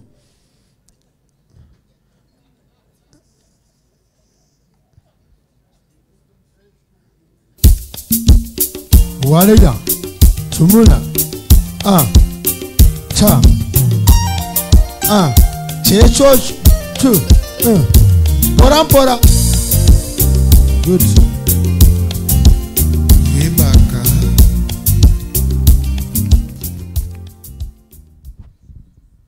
Uh, thank you very much, uh, Master of Ceremonies, for this uh, ambush. But of course, being a general, when we go for training, we train on how to lay ambushes against our enemies, but we are also given uh, skills to go through ambushes in case we are ambushed. So let me attempt to try some of the skills uh, to, to fight through this ambush. Abagore baitu john general na stella omwana waitu solomon n'omukyara wawe n'abantu ab'amaani abajwara naimwe okukira munonga best man wa john honorable justice the lordship the deputy chief justice omwambutera na metron na bestman na metron abasaidegi abantu bakuru mwena bugyenyi obu i don't know whether i'm standing in the right uh, tinkunda kuteera abantu mabega. Um, Let me address our elders present here. Umwami John Karazarwe, n'omukyara wawe Phoebe, n'abakama boona, generals, aba UPDF, both retired and active, headed by General Ivan Koreta, and your dear wife, other leaders, indeba bajaji abandi, n'abantu mwe n'abantu mu bengi tinguza kuza protocol kandi tingwenda kutura. Oh, my lord, the bishop of this area and the entire clergy, all of you abaija ku kutwatsa omukoro ogu ninyenda kutwara umugisha ogu bagira ngu ngambe omu kiti kimwe. Kandi nikyo ndikwija kugambaho kyonka ekimwahurira bayeta operation wealth creation where general john mateeka ekyakukoramu ninkora nawe ninye his immediate supervisor so ni cyo cyandeta aha na bagenzi baitu tukora nabo but of course numukimanya nyowe nkozire na geno mateka emyaka mingi. Mbweni nyenda kutwara umugishogu omu izina ry'eki kitongore okukurtya general john n'omukyara wawe stella okukora ekyafaayo baba bakigambire babanza kugamba emyaka ataano n'ebiri mutakamanye inege n'emyaka mingi. Kibayo nimushomana tukikore tutakikora mwakikozire nitubakurikya mwebare munonga kandi ruhanga simwe okukibakukoresa konka niyenda kusiima na uh, okwomutaano stera muramu waitu omukazi waitu ahabw'okugumisiriza ekintu kirengwa nk'eki. Egi empeta abakazi abaingi bagitwara nka security. Omukazi kori kumugaita aba ya- yatunga confidence na security amanya ngu nobu yakugobwaho ebintu konka eine aho ayegamire konka mbwenu iwe sitera okureba ngu omazire emyaka ataano n'ebiri otaine security y'amakaaga ori omukazi w'omuhendo munonga munonga munonga. Ninyijuka hariho abashaija bamwe bakagenda bari omu kibiina kya fathers union baza okushoma. Mbwenu omwahure nk'ogu nka bishop here yabagira ati baitu mukunda abakazi banyu. Ayayaya ngo ekyo nikyo tukora. Ngo abakazi okubakunda ngu itwe turi abakabi. Ayusuwa nimukunda abakazi banyu ngu ntibakundira kimwe? Mbwe nshoragizireho omukazi wawe uti ninkukunda ngu buri izooba tikibagambira ababuza towa kigambo abamwe ngo towa kigambo mukasheshe ntiza kwija abandi nyikiro abandi eh mwina amasumu atego ngwego. Hatagira ati buri musheija handikiye kigambo i love you. Ni nkukunda. Na kigambira ahandikira tsindikire message y'umukazi we bona bacyandika. Batsindika message bazitsindikira abakazi. Hatagira ati esimu mu- mutagumana zi iwe gihogu iwe gihoriya oriya gihogu ogwa gihogu. Mbwene abakazi bakagaraka mu message ezo abamwe bakagira ngo habaho kandi watomera? Abandi nkakugambira amaru wagonywa ngari yakuretera ikizibu abandi bakwata n'omukazi kandi mwe nobona oyenda kino ngambira kino ija nofa abandi ngambire egi message owabo gitsindikire nimanya ngu yahaba mungambire omukazi ogwo.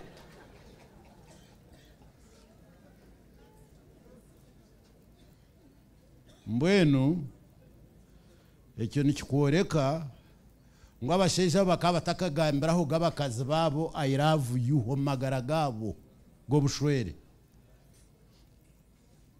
mwenu nikimanyisa nyowe nanye ndi omushaija kandi ndi omushaija mukuru w'emyaka mikuru.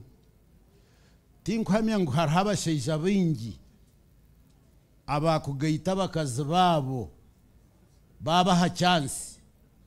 Hati naitwe abagaitire batugaruka ngu mwene hati okasharamu okugaruka kugaitwa n'omukazi ogu. Ningira ngu hari kikumi hakaragaho nka babiri abandi bakaoputinga kugaitwa n'abandi. Konka mbwenu ninyenda kusiima kubasiima mwembi. Okureba after 52 years of your, mar- of your being together. Aha muhero gwacyo mukikonfamingire ngo ntukundana. Mwebare munonga nimbasiima um, nyenda kugamba kakye aha operation wealth creation abarikumanya general john mateka akaza mu mahe kare. Kare kikumanyisa kore iri hangeri munonga emyaka mingi. Twe tukaba tukiri bato tu- tu- tu- turiyo muri za p7 za senior 1 ari- ariyo nakorera ihanga. Yagumiza muwe emyaka egyo yona. Yasavinga ihanga. Omu miringo etari emwe n'emwe. Mbwenu obunaku bukahika eki ekicweka yahumura yakura yahumura kwonka okuyahumura kuyahumura yahumura omu- omuri updf main. Kwonka tiyahumura kukorera abanyayuganda ninga okuhereza abanyayuganda security ei muri kureba obwakare the tradition meaning of security was national security. Oku okusecuringa borders za uganda that meant uganda is secure and we enjoy security. Kwonka no- after beta cold war the war between usa and the ussr i think it was in 1992 rukumi orwenda cyenda nena un siriwe ekitongore kibakweta U- undp bakora conference bakora orukiiko bareba bagarukamu ku okushwijima security. Kwokwo security nemanyisa the national one. Mbwenu orukiiko orwo rwasharamu ngu ngu they, they, they decided to shift from national security to human security. And they redefined security bakagarukamu ba- badefininga security as freedom from fear and freedom from want that is how they, they, they, they, they re- redefined security. Security means freedom from fear and freedom from want. Now, bargo national security bagicwa human security. Bagihereza seven clusters. We have seven, there are seven clusters of human security. Number one is political security. Numbasa kugira borders ziri secure, but you can have political issues inside the secure borders. Eya kabiri yaba political security, rather economic, economic, economic. Numbasa kuba mwine borders ziri secure kwonka economically people have got issues. endizo food security. endizo environmental security. endizo health security. And izo community security. There are seven of them. mbwenu hati kugamba general john mateka kuyahereza national security ya border hati we na bagenzi be beija okukora hari human security ziriya components zinabagambira especially economic security and food security. Mbwenu omurimo gwa operation werese creation? No kucoordinatinga iwe the werese creator the primary werese creator? Iwe. Abamwe abantu tubakukyetegereza genda bagira kuba kuvugana amateka ninga bambugana bagira ngo tereze sente zo ku zo creatinga werese ah ah. Buri umuntu oyinenda buri umuntu oyine family no murumo gwawe ku creatinga werese akuba noyenda kuriya noyenda ko urugari iwe the primary wese creator oza hari government. Government eyo eine kusapotinga abantu bayo. Kutereze nguto ekata amashanyarazi ekata security ekata obusinge ekata rero tukabasa ku- gukora ibintu bikutahiza mbwenu wese creation uh, operation wese creation eye mukuru itwent coordinatinga government n'ogwo omuntu owabutosha to making sure ngu services zamuhika ebintu ebishemeye kumuhika byamuhika nigwo murimo gwaitu mbwenu general john mateka n'omwe ahari abo aba gavumenti yashaziremu ngu ekore omurimo ogwo ogwa human security habwokuba kwato kubasa kushemererwa na guriya kandi ogu gutakozire.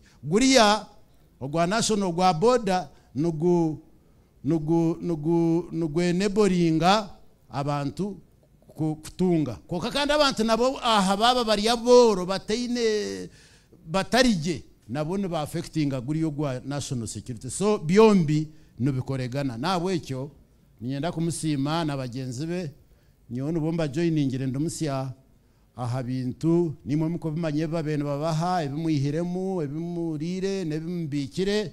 Nawe ekyo yenda kumusima aha b'omurimo gw'amaani gw'amaani ogwakozire we na bagenzi be okurwanisa obworo omuri uganda n'omu bicweka nke byakunuye omu ngaro. Nimpendera ebyobushwere itwabakuru nitugamba munonga hariyo ogu twebwe ogu konka ningira ngu mbwena ebyobushwere ebindi kumanyaho kake tinkwija kubigambira bariya. Abo kube byabo babandize babiheza baija aha kutweratira ngu nimutureeba tuhereze ebyobushwere twabushemererwamu mbwenu hatabu tukandi abu twine kutaha amaisho naaba. Mbwenu banamwe ebyobushwere tariho fomera ngu nobukoroti konka hariho ebintu ebishemeye kukorwa wanoyenda ngo obushwere bwanyu bugumizemu. Ekyokubanza n'okukundana. Kandi imwe muri gye murebera ahari aba abazaire banyu.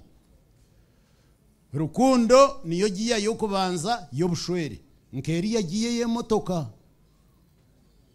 Okugamba ninga communication niyo giya ya kabiri. Y'obushwere. Mutarigire ekintu kyona ekikubazibira kugamba.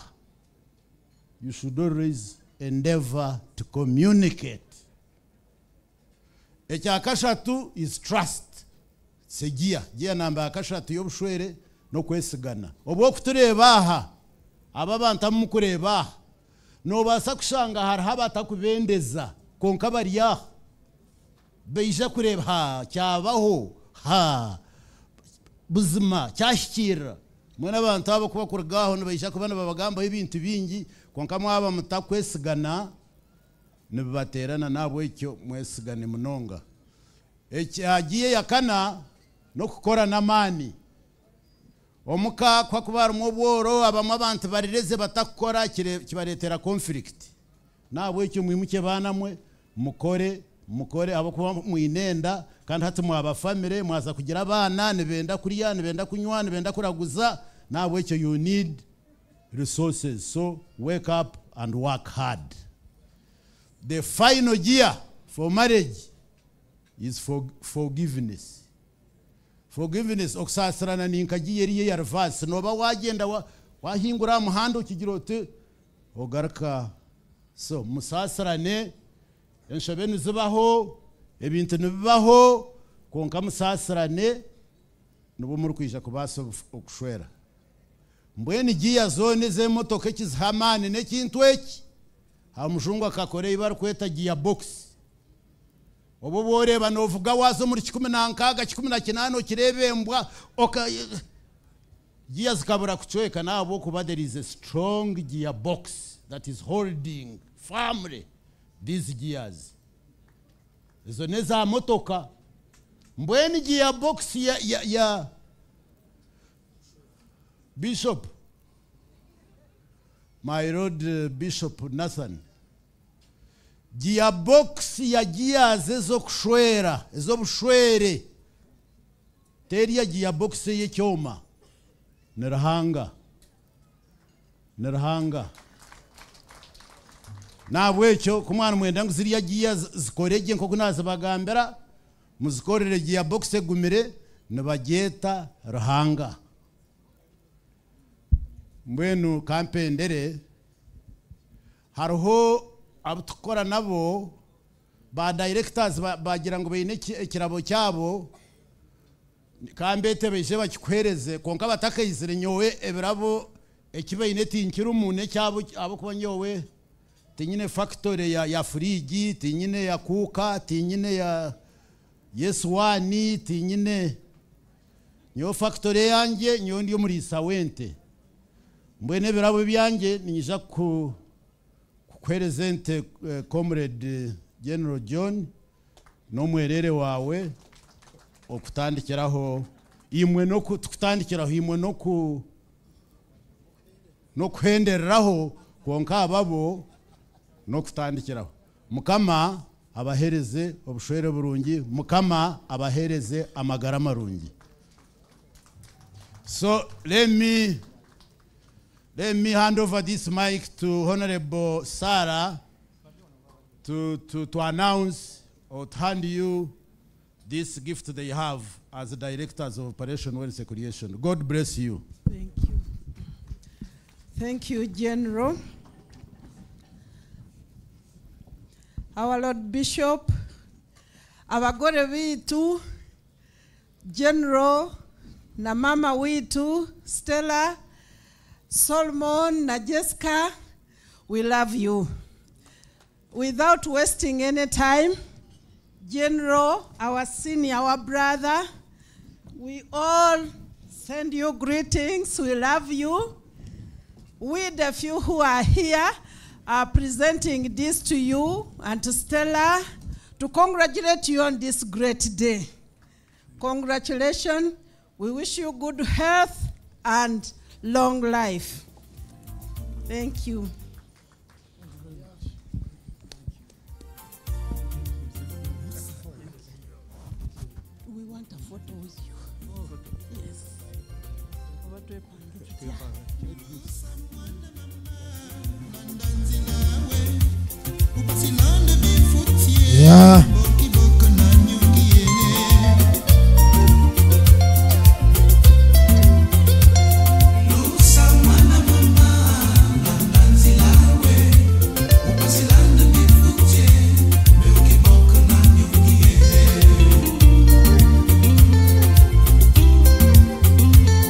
Family Friends Association prepare. We are going on a marathon. Pastor B, you will prepare. DJ, thank you. Umukikuru hariya nebuza ati rero bamuretera keke. General ni umuhe ikirabo cy'imbundu, ati ni umuhe icyo kindi. Yes. Uh, let's have uh, Family Friends Association jumping. DJ, just give them one as they come. To Azam Marathon, we have uh, DJ, continue. Tuwe, tuwe.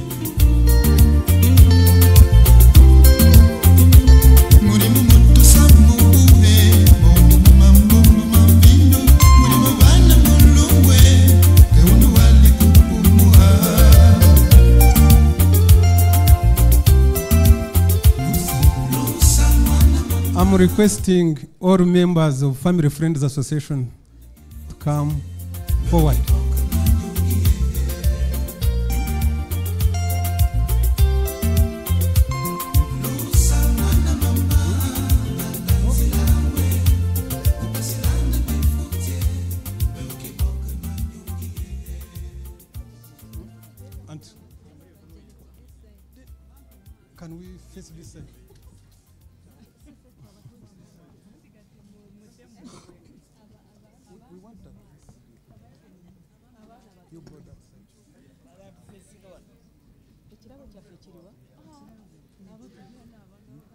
Uh, General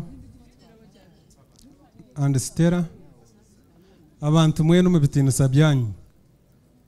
Family friends association na association ya members makumyabiri ashatu families makumyabiri ege egi association nekwatanisa omu birungi n'ebibi omu ba members boona kandi egi association buri kwezi nituboganira omu maka ga each member. Okwo kwezi twaba turi omu family omu ka ya general mateeka next month nituza omu ndiijo then ekindi abaana biitu boona nabo ni members.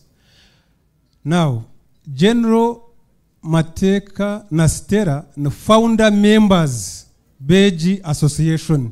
So general mateka na stera congratulations. Nka association we are happy for you and stera for this milestone. Nitubakurisya ari eki ekintu ekimwahikaho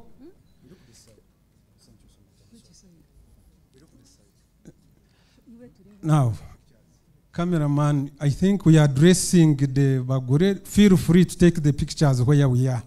So, as an association, na Ninshavangu members, they are requesting General and Stera and the deputy chief just, because the deputy chief just a member with the association. So members of Ashavangu to joining. Thank you. Mm. Mubaterere omungaro as they join us. Akuba ni members bitu kandi ni founder members in fact bakwija aha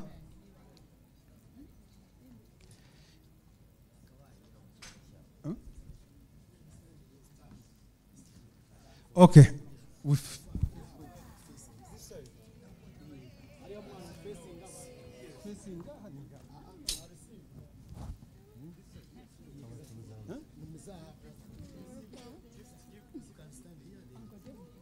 Face.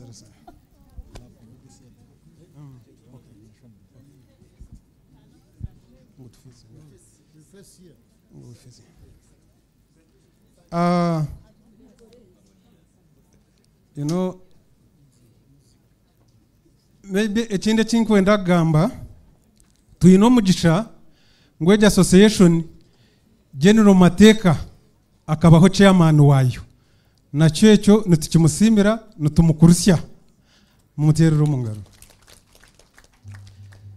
association age general na stera nk'oku mwagitandikire members boona abingi majority bari aha bakutahira obugyenyi mubaterere omu ngaro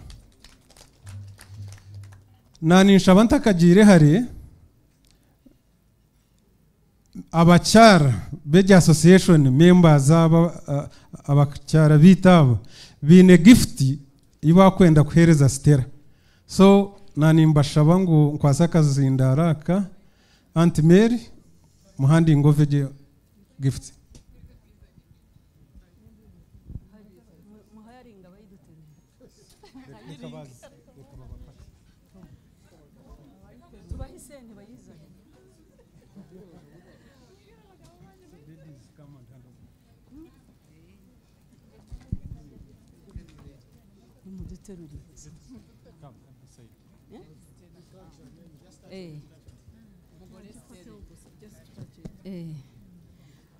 Uh, eh, you and and the general, uh, my Lord Bishop, and the ho- your house, no, the clergy, the generals, all invited guests in your own capacities.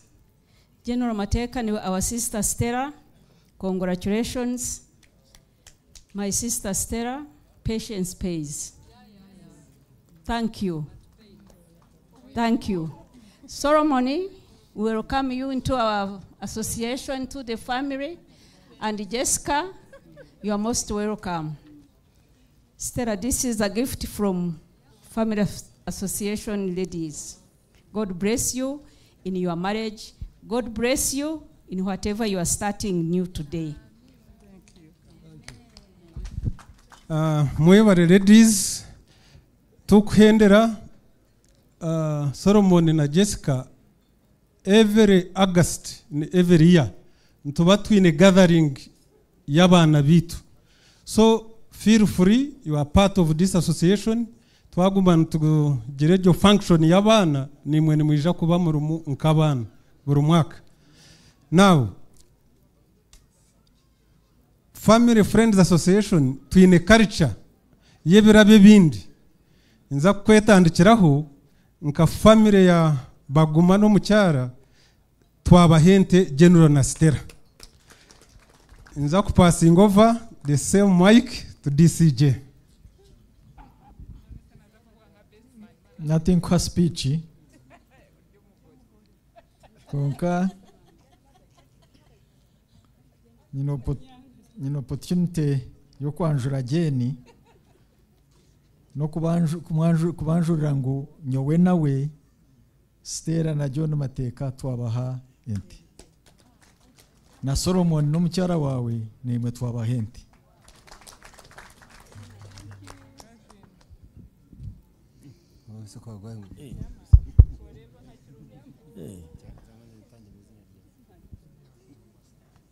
Uyu mugabo arimo arambwira ngo ayitange mu izina ryanjye.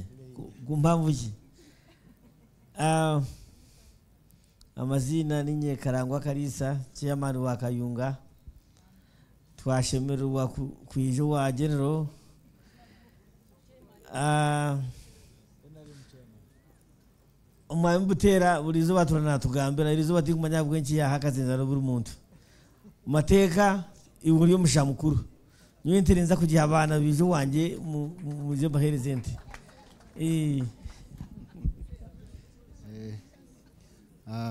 nanjye nashemererwa munonga. Habwa imbaga ya anko general mateka ah, kamembo association nanjye n'umucyara wanjye ari nkahe ejo bakurebe umucyara wanjye joy. Joy. Eh, nitwe twakohereza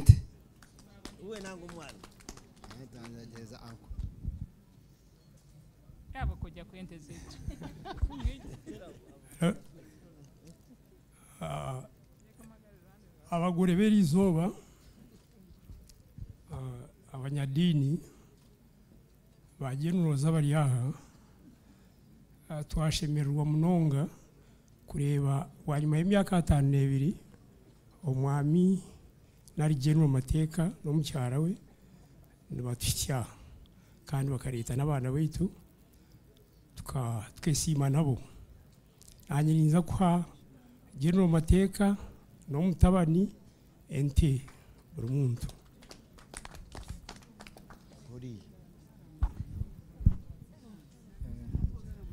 Uh, itwe ente twa twagiheire solomon. Congratulations again to the both of you. General mateka n'omukyara amazina ni joseph matsiko Ah, turabatabarutsa kuri uyu munsi ukomeye. Ah, njyewe n'umugore wanjye kereni tubahaye inka. Amazina yanjye ndi gatare tom. Mpana inka na general mateka n'umu asitera. Uyu munsi ndaha inka salmoni nk'umushuti yanjye uje mu muryango salmon nakwendi umwe bari munonga nanjye nitwa joviya mugeni cyane cyane geno andi sitera ndabashimira cyane ndabashimira urukundo ndagushimira genero cyane. Ndenda nguhaye inka we na sitera ariko ni we wayimbanjije burya- bwa bundi. Ntabwo mwitura yaratwituraga yituraga. Leti george ati yari barahanaga. Ariko aranyibutsa ni imfura. Nyenda kubagambira ngo mushijogu ne imfura buzima. Nkanta kwishwe ntejo ngubaka hana konka wewe nka yanyeta ati jovi ati nomanya ngo barakampire enumi. Ati mwene nyenda kugarura mjini iwe wenka enumejo wakitwa engunda akichwarike eryenumi mubuzima so na- nanye n'abaana banje twakwende. Ekindi nyina obutumwa bwa yofesi bugemana namugira nti ndiyo ninza mpororo ntungamu mu mbaga yawe. Yangira ati oh ati ogwo omushaija buzima n'enfura. Ati mbwenu omugire ngu na yakwente nawe. Tanga nayibare tukuhendera tomuhine ekyanagamba salmoni inka ntabwo nayiguhaye njyenyine madamu uvayo hano batagira akanga ngo ntabwo inka ni iz'iwawe ka aha. Dore salmoni inka tuyitanze turi babiri njye na madamu. Ntabwo ari iyanjye njyenyine thanks. Yeah, for the interest of time members mwebare munonga.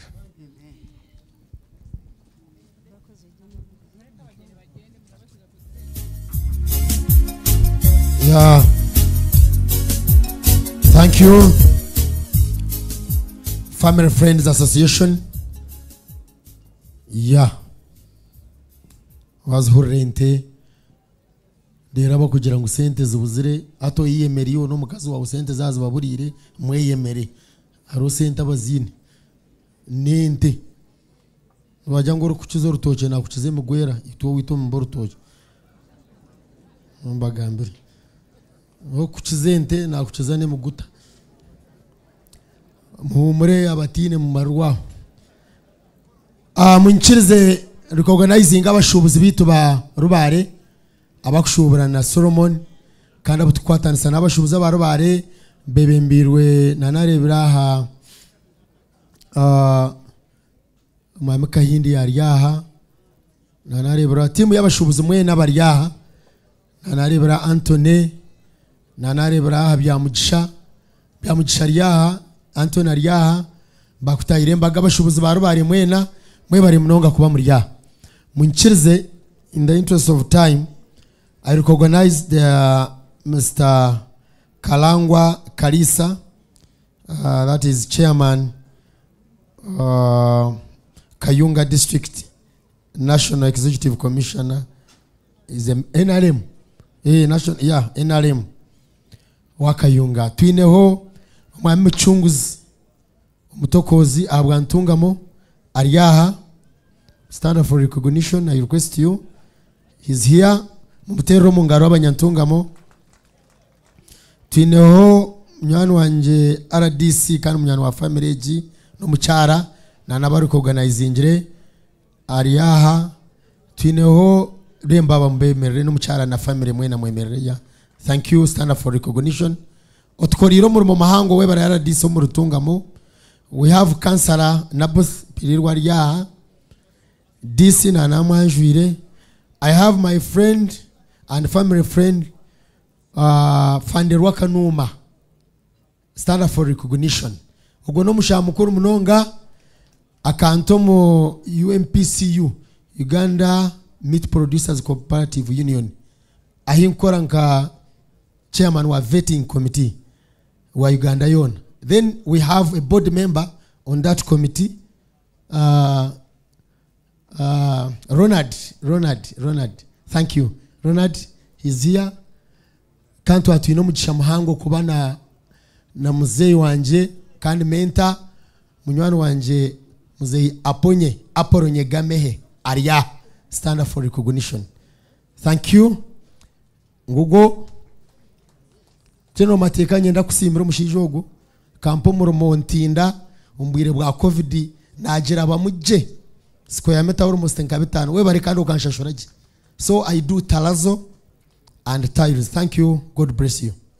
Uh, munchirze to recognizing the presence of bishop god Nathan, eh? nathan. Nathan gasatura ya yeah thank you nathan gasatura. Twakwakira. Ya. Yeah twabita iyo wakitarisibuka tuburege munongo ine kigambo. Na kigamba kisinzira. Konka bomo kujunwa kwanga konka ucukurura mu kifuba nchijumera. Nati rwatubura bantu mwe mwaferwa mushijo gwa inenjiri ambwe no kugira ngo abakuye Solomon tuwajundwa ya kanisa? Twantenda kushaba Jessica. Uwo mukazi w'umutima takwata sumu yiba. Sumu yabaro yagamba ntujya utarusana iyo fundikiraho ujya umutwara abanza yagireba. Yarebe tine buzubu agisha. Thank you. Munkirize uh, twakire mothers union bine ekirabo kyabo kandi nkiba nkyenda amateeka n'abadireyi ngaha because once i was the chairman fathers union south ankole diocese where i retired honorable ntatereze kanisa ki- ekisibo eh, three terms. So munterero mungaro nkarutayaringa gye nkatandika gye nahendera mwebare. So nkirize mothers union muhe ekirabo cyanyu very quickly. Then to turete banywani ba solomon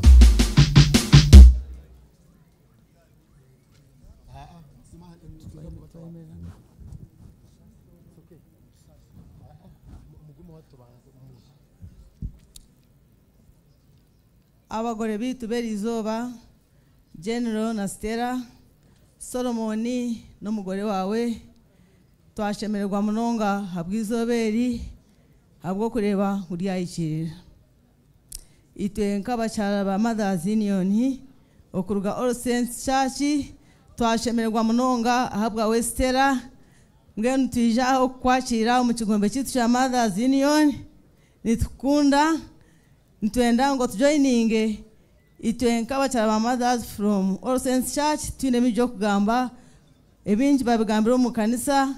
Babishops bagamba byona nibabimanya konka twija n'ekirabo eki okyakiire kije rukundo. Obwe mukama ari omuhezo wawe. Amazina batari kumanya anet kansime kandi mothers union leader ow'oburisa bwa all saints mukama abampera omugisha. Tendereza ye yesu yesu oh, mwana gwendiga yesu omusayi omusayi guna gunaziza ebaza yesu omurokozi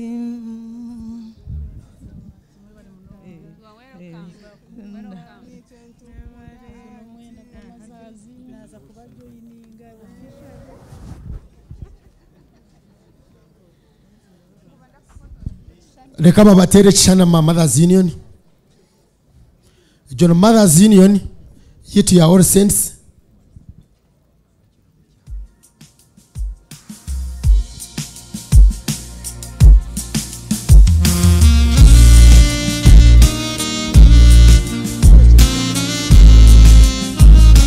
Jono mothers union abo n'abakyara abatebekiine baturize yakugira ati ninza cyabukuju ni cyabukuju.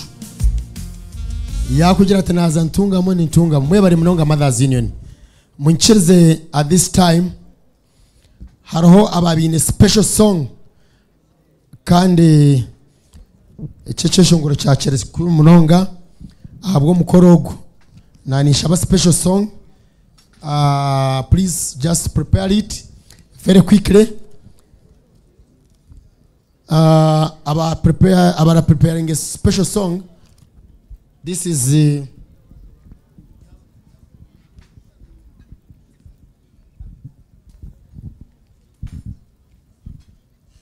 we have uh, 20 choir from Nakasongola come up with a special song. Then after that, twakire uh, abija bashendekereze abo kwa ngo nibenda kugenda yabare munonga. Dj nterera jano mateka.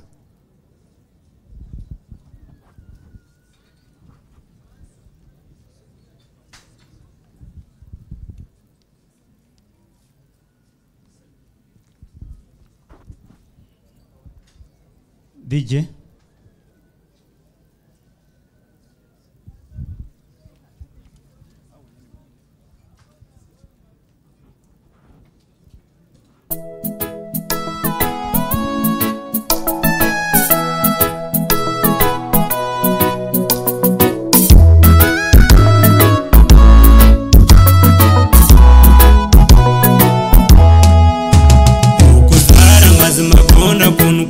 kusimbira mwazarwa wingi chono chisimbira ranga? Kuba mwazarwa nkuru bakeni cyenda mugashora kanda yano mateka y'abarema nyokareka y'irembo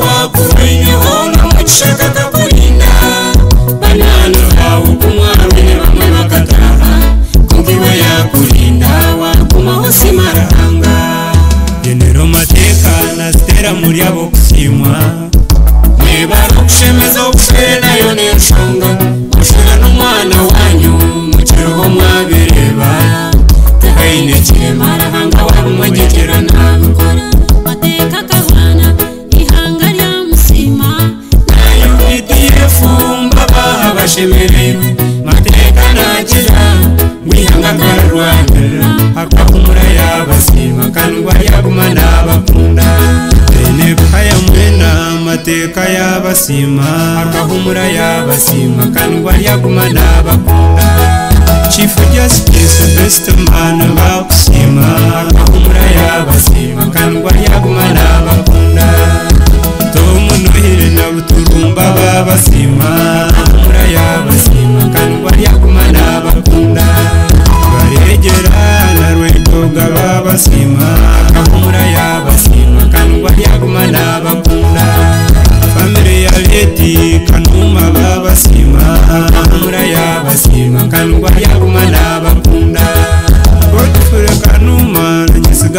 yabasima amura yabasima nkandwa yagumana bakunda idiya butagirana imima babasima amura yabasima nkandwa yagumana bakunda byoyite bekingana cyene babasima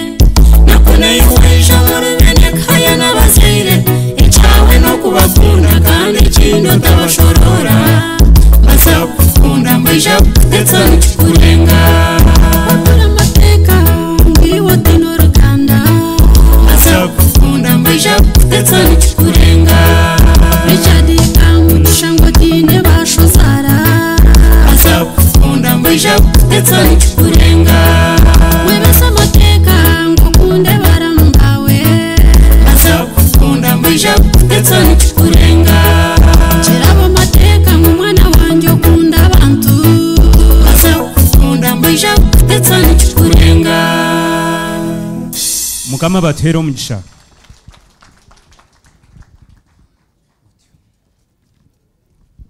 mwebare munonga mbongere engaro nanye n'emitwaro etaano ehanise tinkabatwerera ahabwokuba mukazi yija zibazire. So next time don't go. Munkirize at this time twakira bija bashendekerize jessica aho they are going very far bagambeho ebigambo biki byabo.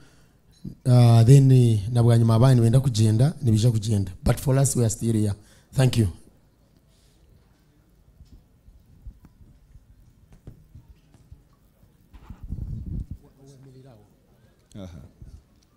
Mukama simwe. Nasima abatahi b'ubugenyi bagenzi banjye nasima mporo yeto n'abasima n'abasima kwekunda. Nimwebare kuguma mwihanga mukarikikirira rikashemera nimwebare baitu tukaija twaforo kensi yafunda. Uwiteka rubanga. Umugurusi wanjye niyo yabaye nataha twataha bwera bwaifu. Naitwe twagenda twakora abashaija. Kwihobu nshanju nena ubwo twatashye mwihanga eri ikibuga ni cyecyo nkayimwe. Itwe turafurikire munonga nimwe bari kuguma. Yabari mateka yabari yabari yabari yabari. Izo nkakugambira. Manya hariho abantu batagarira mpana manya twatugarura twakwereza na yoga botana na imwe abakazi tuboyine ba- babenishe murari. Bariyo weitu nimwe bari nimwe bari. Yabare yabare yabare nyowe ubuzara ubunye naha ubu uri kungambisa zaha kamanda tatento ubwo mwishyikiye ni umunyanyazi ubwo uri kureba ubwo ni umunyanyazi mwebare mwebare kutukunda manye washwera ubwo kuntu utukunda ubu twashwera mu myanya uko nayitwe kandi tubakunda itwe tarabayinemu umuribenishe murari ni mwebare ni mwebare mwene cyane taha twagira ubwira abantu bimuka nimuhobereho abantu tutahe ihangana hari. Mwimuke iza amusija none na- naza kukora kora ije nakutuma w'amateka kureba mu nyanya zutari insasa ni we mwanange mukuru ni we mwojo wanjye mukuru kundi kuba naremerwe nagira nti uza kureba mu nyanya zutari inyanga. Reka aya mateka kurebe abandi baryeje. Umwojo unye wondebe nyundi muramu wawe. Oyijo nozana nurira ngo abana mwingana konka ni kwikitino sanka muramu wanje abwo kubukoze urumurimo kwa mine ogunta rukwe basuza nkanya na yukora atera umuhanda wahikishe mbaburi. Address ni nunge nubwo kugamba izina ryanjye terufwiri taruhe cyo kubura buzima? wetu umuntu afurika nshanjonera na afurenti na tatatu itwara twazi tabuganda nayigumye tinkareba gaheru tinkashora ngo napakatsaho n'izuba neri. Neri umwe neri umwe neri umwe ubuntu ujya ngo ni buradurensi munywani wanjye ekehuriri wahurira iwe cyo rukwenda umuka n'umushiki wo gukoreje mwisi intuje kubireba mwebare n'inkuwashu yebare manya muza kutunga abana banjye mugumeho mukama bampera umugisha amateka nakusima n'umucyara wawe wakora umurimo gw'amani kankora mutseho mushazire wanjye n'ingashomo umukayikoro yabare yabare yabare yabare kugumisereza yabare kugumaho. Niwe mutwe gweka mukama bampera umugisha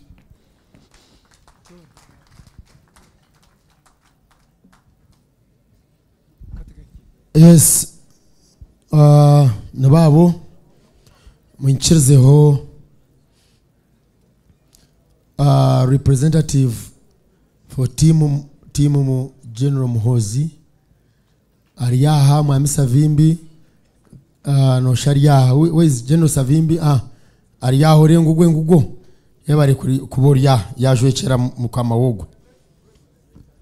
oh so naza kuyicereza pastor b.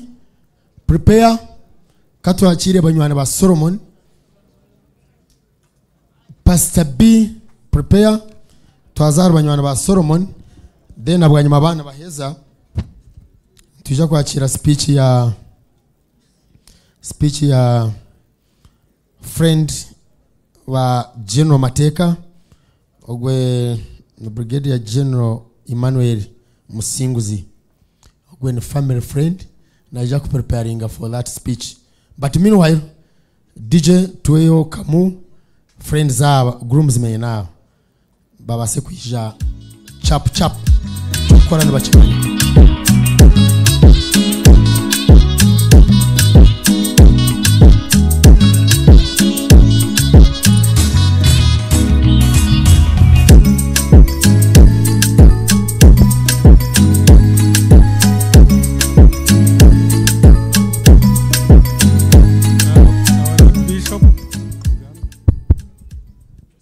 our Lord Bishop, government representatives, abagore b'izoberi, Afande and Aunt Stella, Solomon and Jessica, congratulations.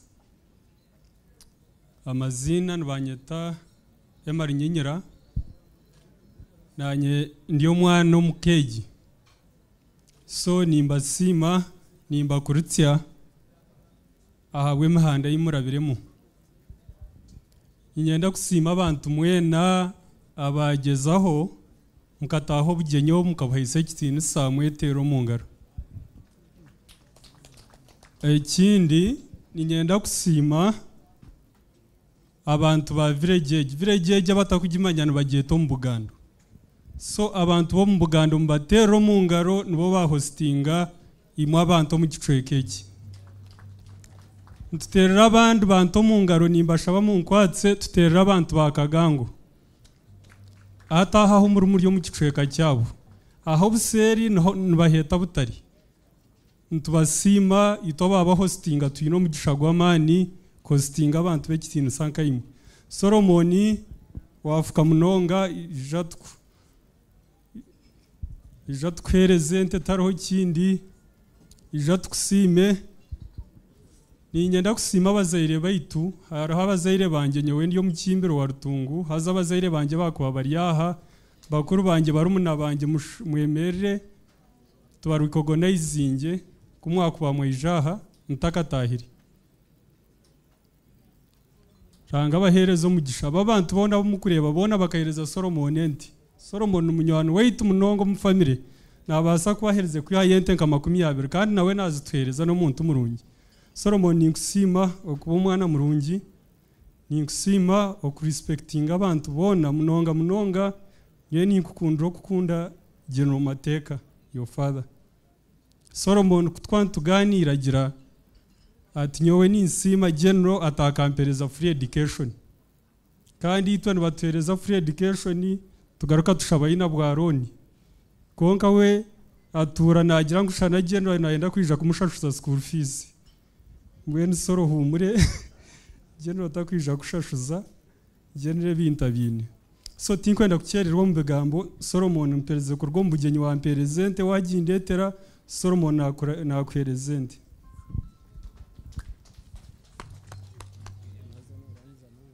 Kama waita simwe.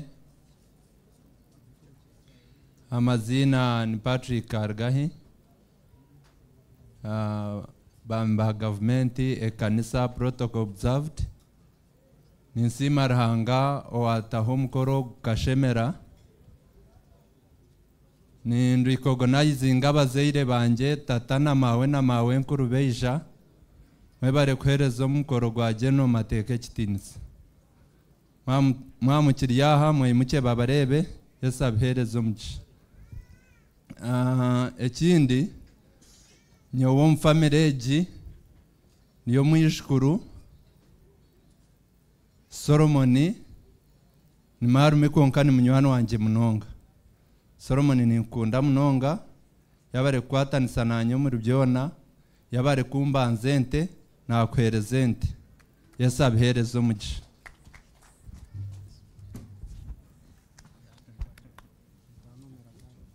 murakoze. Amazina nitwa moses kagarama. Ah, kashimira abantu mwese mwageze muri ubu bukwe mwadutahiye ubukwe. Ah, congratulations to our dad and to you solomon. Ah, natinze muri byinshi solomon. Solomon is my friend. Tumaranye igihe kinini. Solomon nakwenda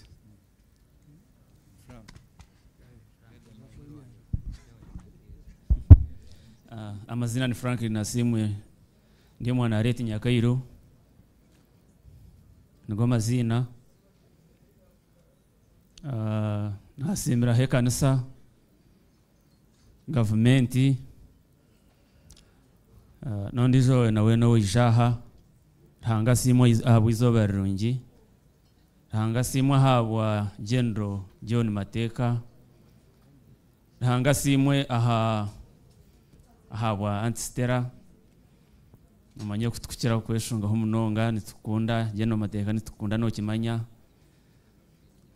nkakubanza ente our deputy chief justice butera muramu witu obasa kuba utari kumanya nomanya bakuru banje uh, hanga simwe ahabwa izoba ryanyu hanga simwe solomoni na jessica. Solomoni nakugarukaho ebindi nabihendera solomoni uh, yabari munonga okuba empika hoona yabare okuba ndiya n'abandi ntanga kuhereza umugisha yabare munonga munonga ninkusiima. Nyowe nangwa ninkusiima munonga. Habwo kuba to abande bamutukura mba nyine solomoni. Okantwara nza kureba oriyo mwishike murundi gwo kubanza ninya nabandize kum ningira kureta ekishani cyo kubanza so then omurundi gwa kabiri narishi gwa gwa munana twagaruka ino tuza uh, wanyeta ngo tuze kwa tuze kushomesebwa nakushendekereza twaza no myenda nakushandisa buri hamwe hono nyeto ntegana sa undi siya konka none undi siya kugira ngo nomanye ibitworera narihanga kweza umugisha solomoni nahabwe icyo na- nakwereza ente omukasheshe nikushanga yesu abihereza umugisha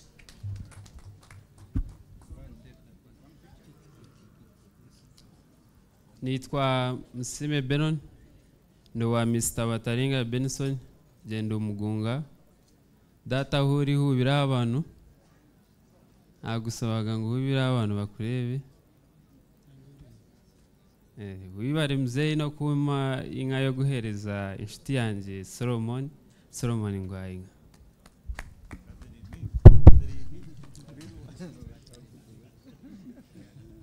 ruhanga simwa aguhamagara jeno matekaneka yawe. Amazina ni nkwinku eritu mwine nanishaba minisita ngayimuke mukama wanjye muzeyi muka abantu bakureba. Tata ni- mugume congratulations. Ni munywana wa solomon ninjangu east africa nekimanya Ninye- ninyenda solomon hine cyo wanshabire ninyenda ngo tuhindureho akanjya ngo tumwine tunywane konka iby'abakazi tubireke. Nanyenda ngo iby'abakazi tubitemo. Muzeyi nakusima yabare ku mpezente yo kweza solomon njya ngo yahikira inkwendeza ubugenyi burungi. Yabare no kunyikiriza ekyo munsasireho kake gari ka muzindaro hine kinanayibwa message ya ya general john mateka.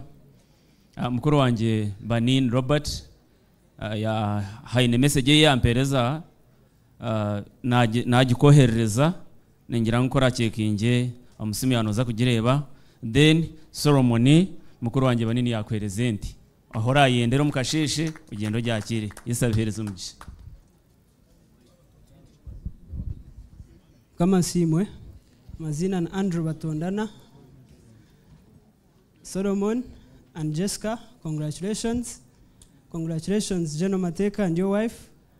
Solomon we have been with you throughout this function and i think we have uh, really done it. Congratulations. Nyewe nakwereza ente owitu naha nyenchakarerya korebu kacunda yantuma ngu nawe yakwereza ente mwebare mno. Mukama wetu asiimwe amazina ni maiko mzee heri. Nasima ranga bwa solomoni. Kandi nasima ranga habwa marimi mwebare ranga nayebare kukikora mbwenu solomoni nka munywani wanjye nka mukuru wanjye nyewe tinkuza omu rubingi nakuhereza ente ranga simwe kenesi katerimba nirwo amazina solomoni munywani wanjye nakuhereza ente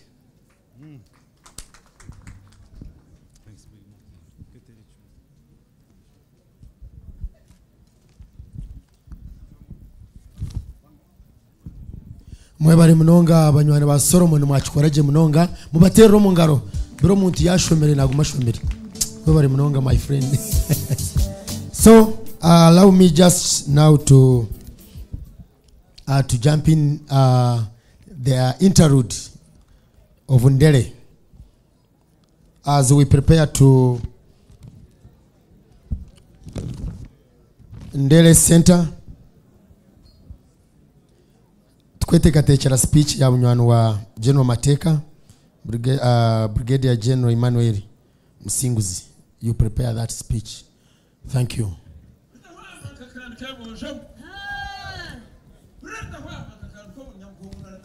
mwachilini checho vakankhora ngongako isatina ngasheshe kwambukunguya chavanyorokero mutembaranganecho rikatweshinomushairo nzipunga matsungu netiyaro kamutoroleseke tulumumure vasiyava mwazimurikari kakuhura nchiro chavanyororo chitakomutendadara kavaniyenjera narizochere chana nchinyuka ninchetegere zorufundo nkunamura nitere ingozi zikazeshera manura amatimba g'abarundi abandi bakikatinda sarakazi rwakagetorora nkora igikubura akahirita akabombo k'akamanzi katungwese nakamangere kabesha ibyo kwakogoroba bintu bageshu kamagingo muri munagera mukuru wanjye ngo reka tukitunga mu butaro bwa katogota nagonde kagugudembirwe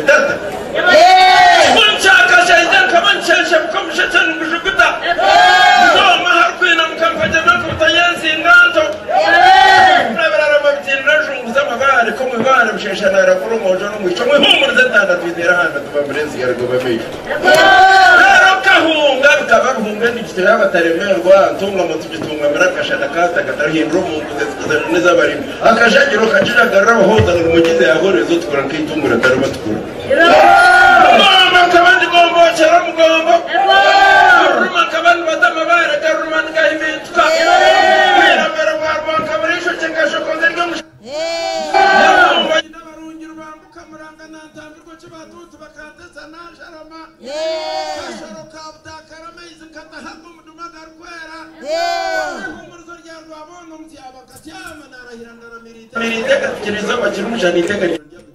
kukinga muhirwe abintu na mungu batabigambirira kamagambira mundembura kisasi nyine ka mukama karwa nkabura rutatiri nkomushonde nakoya mabuce kwenda karota ngizibira kusharira mwenereye mu kwendura.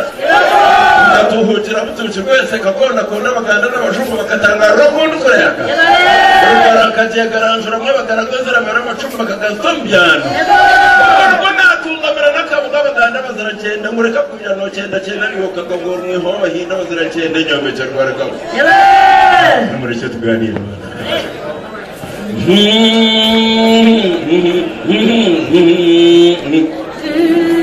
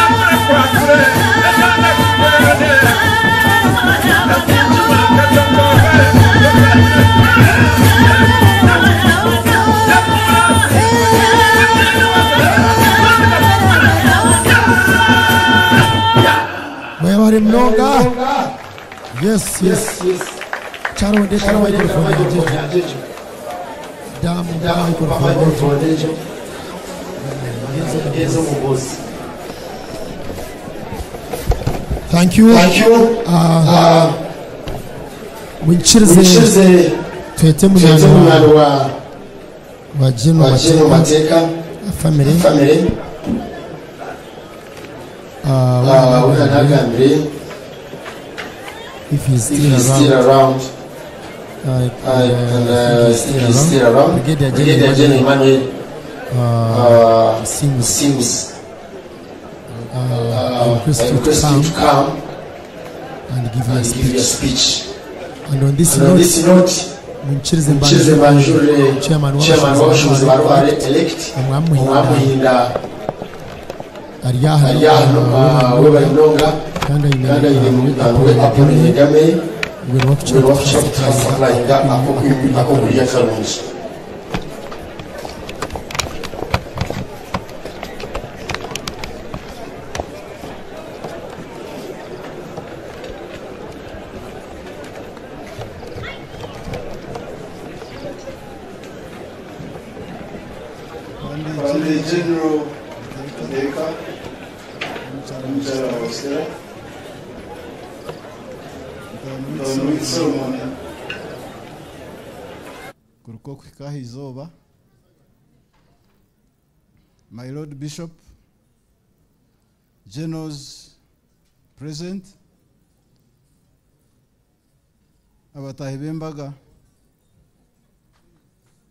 n'abaramusi mwebare kwija kusitahira embaga. Nibanyeta brigadier general retired emmanuel musinguzi. Ugu n'omukyara wanje harriet musinguzi. Afande mateka let me thank you. I know everybody here or most people here are your friends? Kunka kankusime kuntamu ekyo ekitiinisa nkagamba on behalf of your friends. Afande mateka ogu we have gone through the journey for very many years.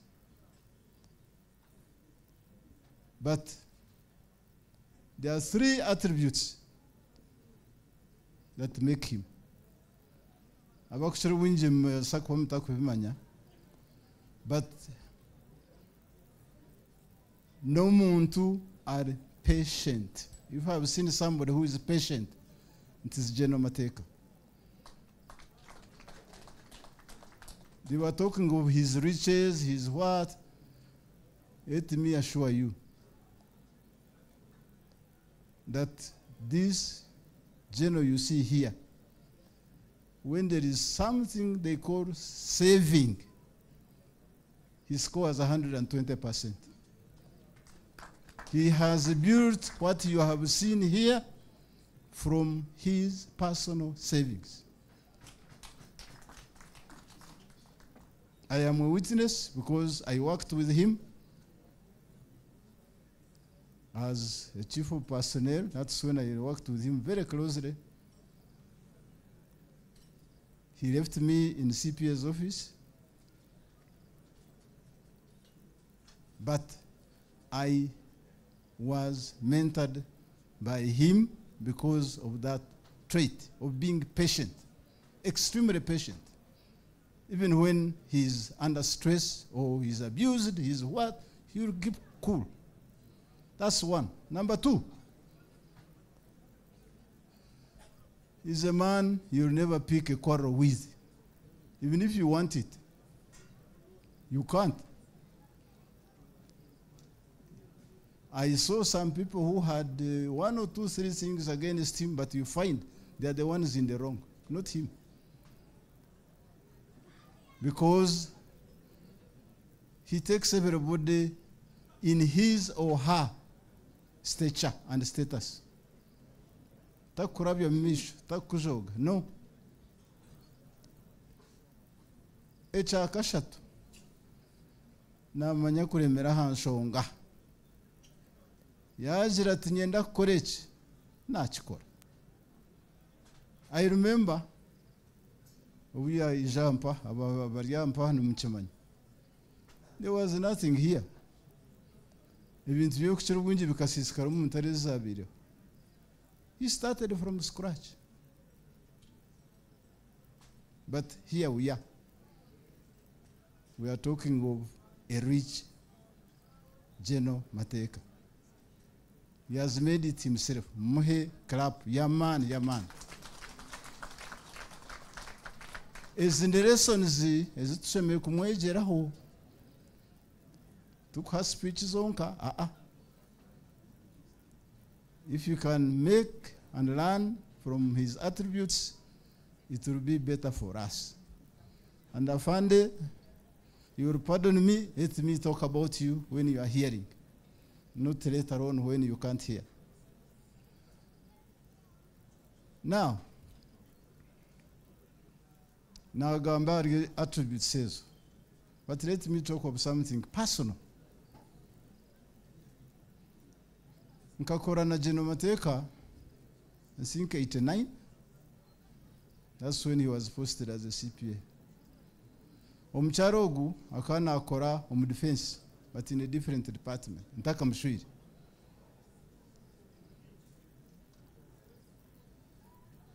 later on in one of the events which were, was here i think. No it was in kampala ya 20 akagihereza omwishiki ogu akiri omwishiki atakashwirwe nija twashwera twagira embaga twaba omwami n'omukazi omwami n'omushaija omanya omukyara n'omukazi hati omukyara ogu tiyabitwara serious. Yabirugaho later on after about 10 years or so abakwijika janet janet obu yafa that's when we came.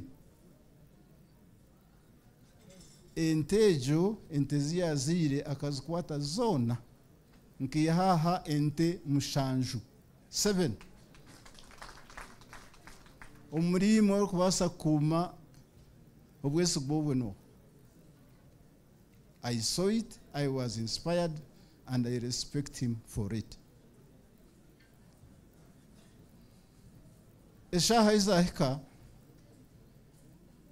abantu nibenda kugira oku bagaruka yibaruka so kamba siime on behalf of the family of general mateka kwija omu bwingi kutahira embaga. Mwebare mwebare mwebare munonga. Ekya kabiri nyenda kusiima stera in absentia. Abakyara bari aha. It is not easy kugumisiriza emyaka atano n'ebiri. It is classic. Very classic. So afande nyenda usiimire stera ogwe kwemera ebyawe utamuhire driving permit. One land title i think. Akagumaho akakugumisiriza emyaka egi yoona kusya hati obu yaba official. N'ekintu kikuru munonga. Lastly nyenda kuhendera hati afande omuntu ezi wampiire ona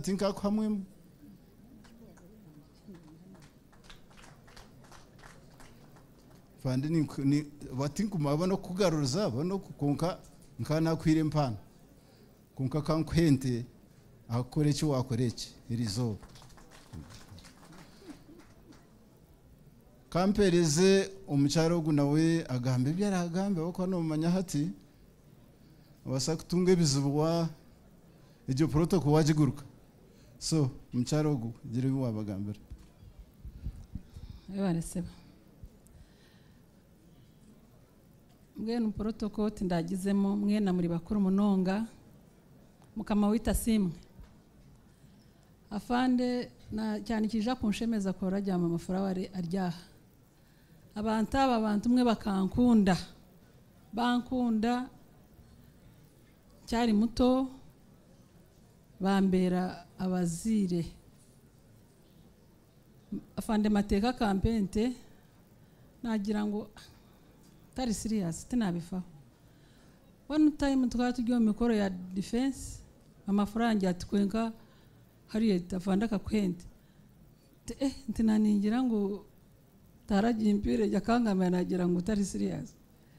Ati no atafande yakwente nawe yakwente then ntatishi njarugaha kampala nkaba ntine sente niryo mworo. Ninza kuruga kampala nze kwakira entere kuriya hawo ati we njakutwara so one time yatuma umusirikare bije banyakira twijaha ahantu ntihafukaje kampala is hot. Nabyamira umukasheshe nayeshweka nabyamage na tagata. Baza umuntu bakama tinimuka. Kubabere bahaze agira ati wareba ogu yija kusha bente yabyama. Ngene uti nyine y'indabuye amafura wayija nayiruka atiwe ato muntu kwa kwija kusha bente nayimuka kare ija tugende bakwende.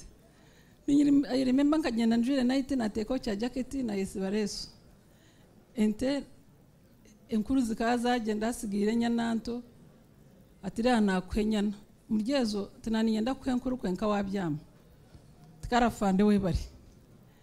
Nyana yaguma aha yazara yazara yahise amazara mwenda. Akayineho sisita we ari kurebera irenta fando ubwo ari amerika namujyana nti "Eh, ikizara banterera ngo wente yawe yazara. Ntati kora zare numi ugumo gitware geneti yatware numi ibiri twija hamazire kushwerwa no rwo musigazi wanjye nafande kakuru. Yaturambuze nte rebe gine yahariyete gine yahariyete twihahe nte mushanju. Nge no muntu nkogwe. Nomwihaye fando kampente niryo mwana nyewe tinkubasa kwente wagihebwa mushija kwenka mushabire ngo mpe solomoni umuntu ezamateka ngenu solomoni korakunde uryijamuka kwereka entezi afande yampire hamwe na mama furawa ni we nkwemente kandi korakunde sente nabwe ungambe ninkwe sente. Very good. Noyendente sawa. So na- nebyo mukama abahereza umugisha ugira ubushere burungi reka no kugumisiriza mukama abahereza umugisha fande. Fande mateka katwendeze esafari nungi yamagaraga agera hangara akwire mu nsomu mukama akwebembere amen. Ngwe- ngwe emyaka abiri yaburayo yes mbaterera omungaro z'amaani munonga. general mateka yajya ngo akine y'imyaka abiri. Bamusima munonga bwo kugumisiriza kananye ninkitera stamp. Sheme kuba nahagera na seno aboga wote ino bugumisirizo bo ngo bwa toko basa kutu. Tima timu yako.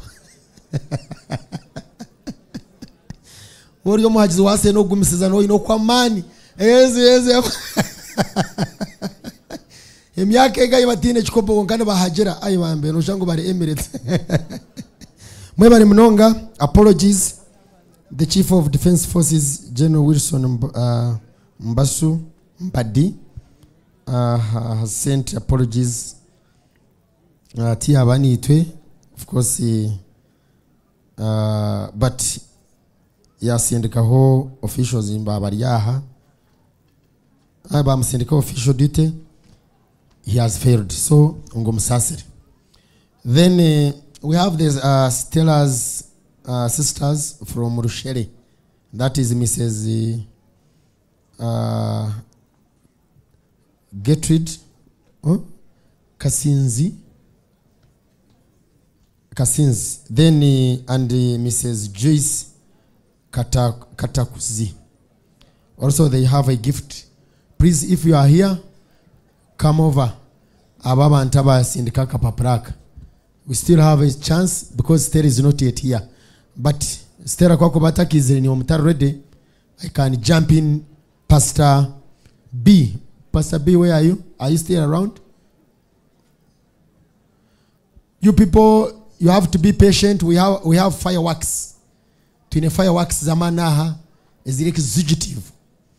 So abakwenda kutaha numbasa kutaha kare konka batakarebaga fireworks zerwa That's why we are delaying this cake. Tusa kuzishara then tutere fireworks zamani. Pastor, are you here? No, no, no. Okay, let's have band. Then tugire speech ya y'abazira y'abazira ba Stella akwishywa band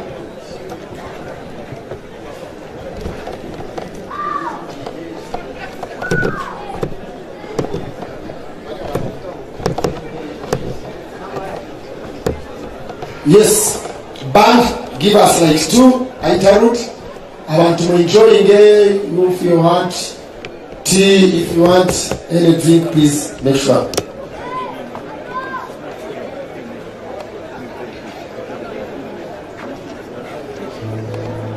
Yeah. As band is preparing, I want to introduce uh, members.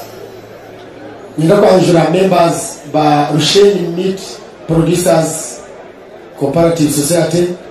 Members ba Rusheni Meat Producers Cooperative Society bari aha. We have a drug shop at Rubai Twine tukayemba ziyente abalisa bari aha.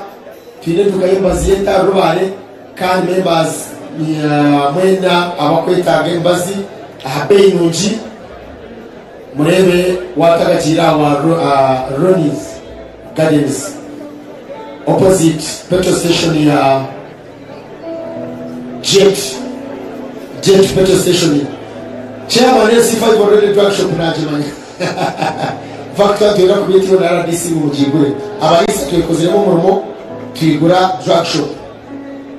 Kandi turete mbazi akabeyi kake kushanga ndu omu- omulisa natamu kake kandi aze kandi abo sente kuyamba tulina bakukwasa kuka sente ogulombazi zekozi. Ninga tukakabanja a ate sitamatongo gitu turete embabazi é standard. So project egyo gyomuga vice chairman wa balisi bala sitera nokugaruka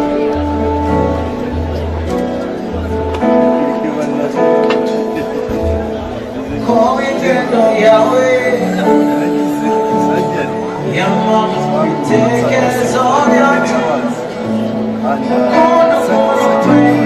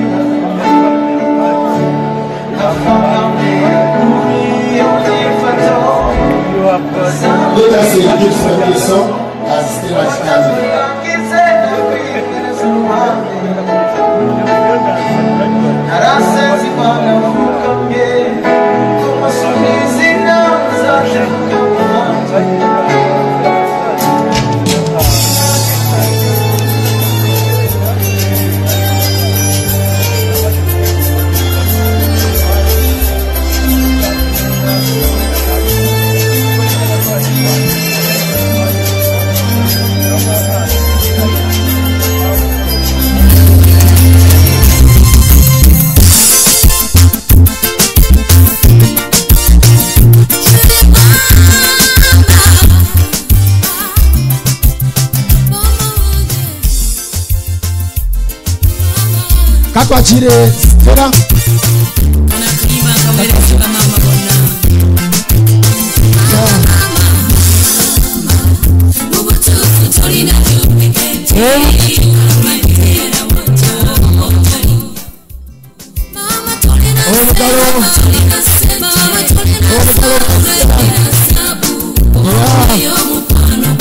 Mama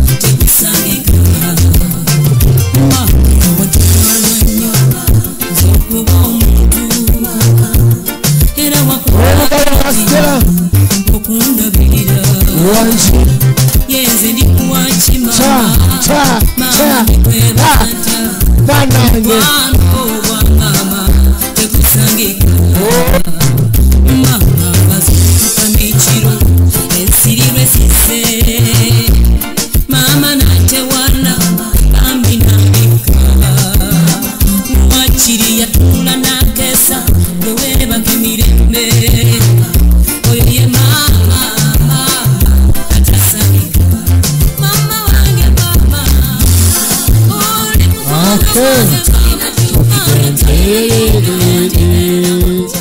yamwakira genero abalavu abalavu omwijukuru yatahira maho ko bagira bato omwijukuru yamangu niwo bakweta kumbe bantu beta sweetheart. Ayi bambe. Changing amandaga okay. Ah, uh, katugire mu band. Sore band. but you can proceed. Then, but, uh, sisters, wait. Naba Shaba, sisters, wait. We finish the band, then you come in. Sorry. Band, let's go.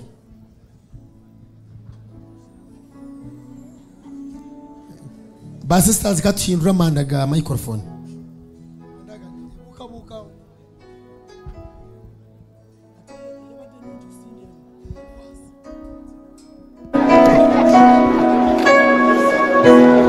stuck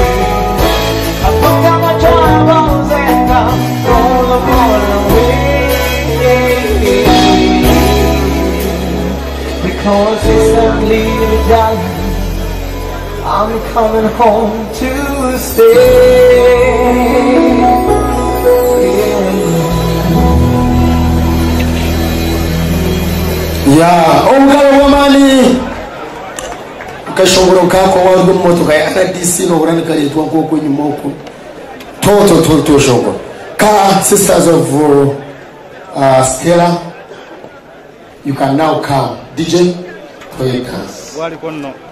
Give them transport to bring them here. We are ready with two speeches already.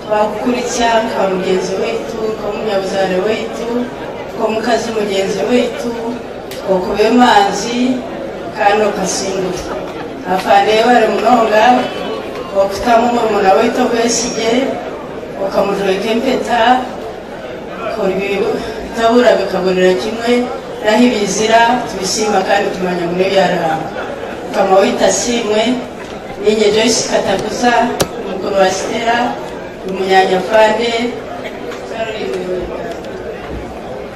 mukama wita simwe caroline katsinzi nishakuratira y'abazere banje nasime babazaka ndi umurokore na rugano thankore diocese. Ansitera na afande twabasimira urugendo manya ibiri hariho ababasize urugendo umwe bari kubasa urugendo izobera umuhahendera mukama abahereza umugisha abahereza amagara marungi kandi aguma abondekeye abagore baitu mukama wita simwe mutabarike ruhanga bebembera urugendo rw'obushwere imbabazi za ruhanga zigume zibebembeye mukama wita simwe.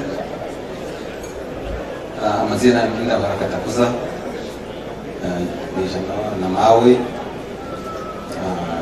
afanire obwenyi bwa obuhuru ah, n'omugore solomoni bwa obuhuru ah, kandi afanire otani baja kuyowitu obwashanga shiri okanyamamiza tutayaya mbwenu guribwa omutoka ijaka mbwenu ojoijo yakirende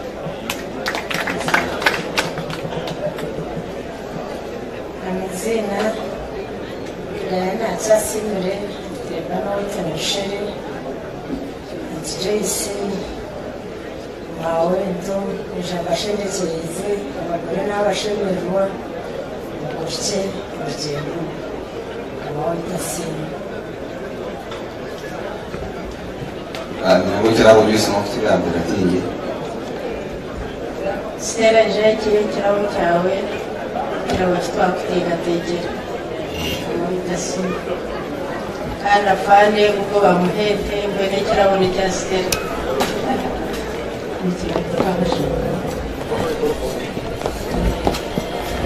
Yeah, situramu.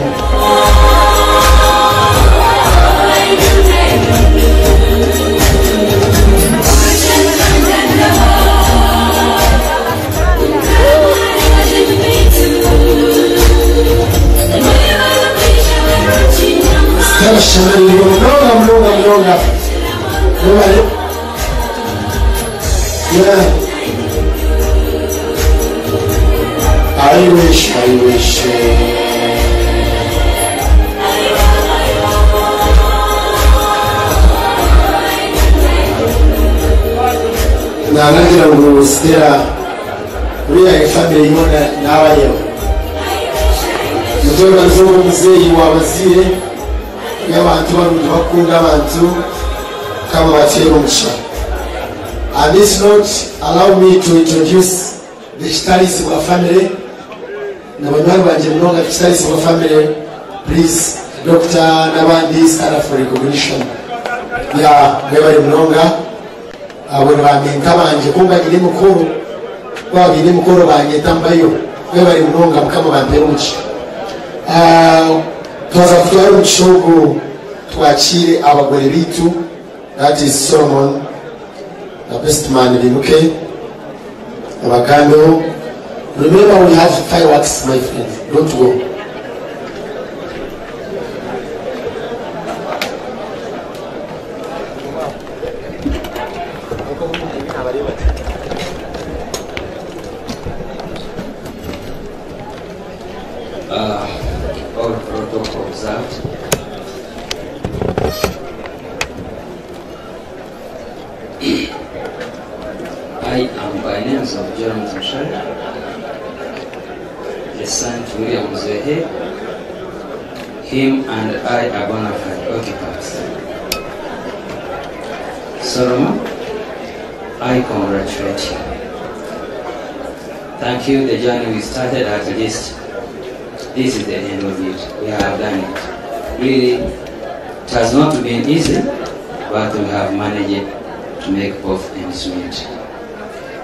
Simarhanga, uh, where is all?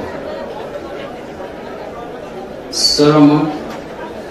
Hati abera mukuru wanjye erizoba hati yabana muramu wanjye after all yashwera mu nyanyaza hati ni abadesimani wa solomoni akushwera mu nyanyaza mwene byo kuteekateeka ebyo kugira ngo ebyabaramutindire n'obundija yokurutebeke you get me right? So first and foremost nani nyenda banze muhereze certificate yawe y'obushwere kandi ekindi ninkushaba bakugumisirize ninkushaba communication communication matters in the relationship.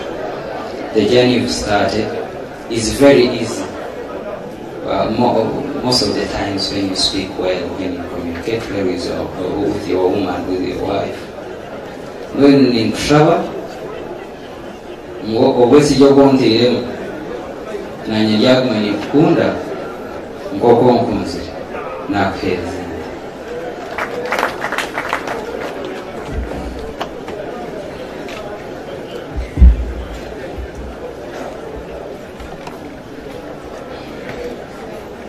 Protocol observed.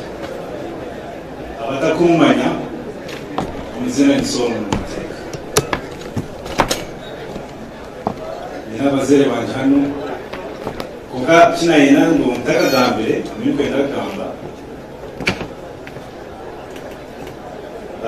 yok yok öyle hanım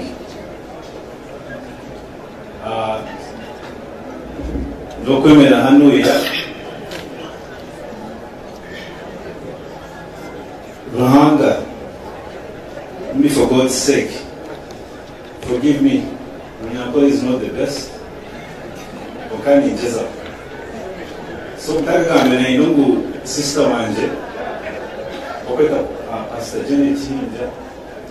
bagambira address yeye konka ni ya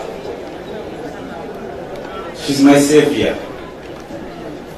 Without na janet yataribo nimataribo kana bina mazima janet nokumanya so janet nenoga ogamba okace bantu bakumanya batakumanya bakumanya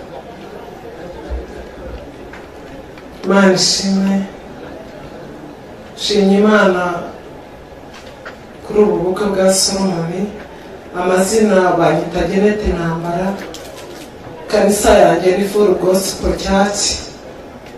Ndi mushiki wa solomoni shimye imana rero kuri ubu bukwe bwa solomoni shimye imana kugahitwa kw'ababyeyi bacu anko anti imana ibaha umugisha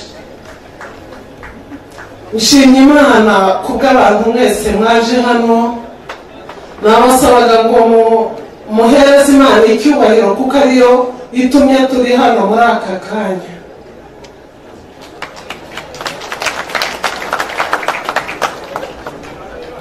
Nshimye imana ku bya byose solomoni ni inshuti yanjye ni musaza wanjye kandi ni inshuti yanjye. Hari ibyo ajya anganirira nkamwihanganisha nkamusengera nk'umushumba we solomoni imana iguha umugisha.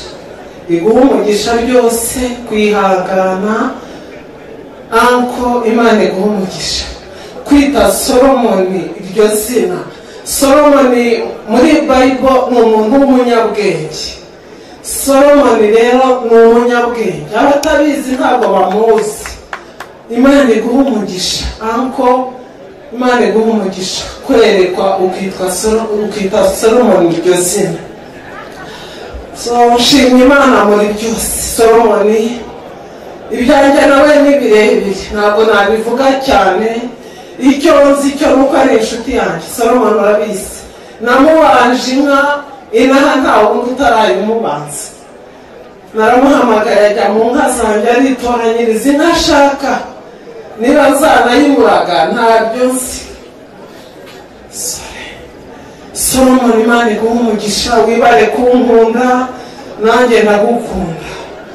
Iyo ababaye ndababara yanezerwa nkanezerwa solomoni sinzi icyo naguha. Imana yo mu ijuru ari izakundindira. Inka zo sinzi izo mfite ni izawe. Cyo muhendo imana iguha umugisha izina cyo muhendo ni ikintu kirenze. Icy'ingenzi solomoni yambwiye kuri umurokore ndamubwira ngo imana iguha umugisha uzareke cyo muhendo ajya asenga. Imana yacu ishimwe cyane. Ijambo ry'imana ndenda kubaragiza igice mu bayibo nabonye bagushyingije bayibo gutegekwa kwa kabiri makumyabiri n'umunani. Haravuga ngo niwumvira uwiteka imana yawe uzarya ibyiza byo mu gihugu. Jessica niwi- niwitondera ibyiza bya hano ukubaha anti na anko na solomoni na fami n'abandi bose. Uzarya ibyiza byo mu bagaza. Solomoni ubu se nkongera indi nka nkukorera iki? Imana iguha umugisha kamusengere.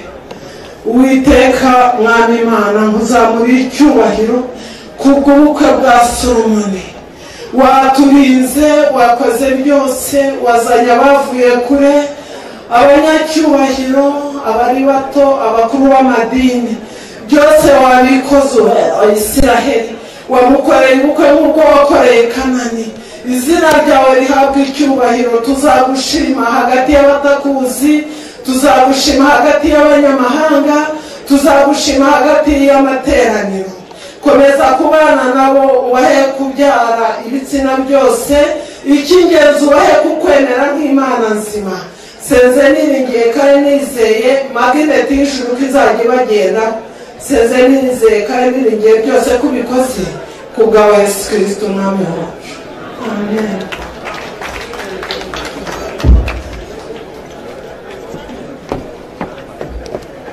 Ati um, one more thing. So arabona yenda hano yangurije hano. Yenda franklin uh, musima bataringa actually reka all my groomsmen mena nuje hano.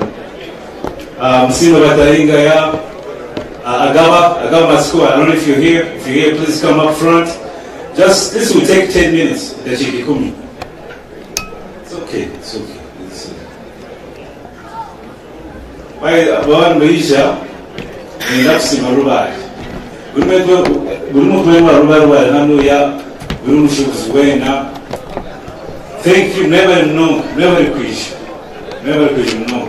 Uh, Mr. Kayonga Kayonga ya bambi ijo misho Kayonga nakorere aro roses ya I don't know Uh, Mika, Kenneth Katirimba, please, man, guys, come up, come up.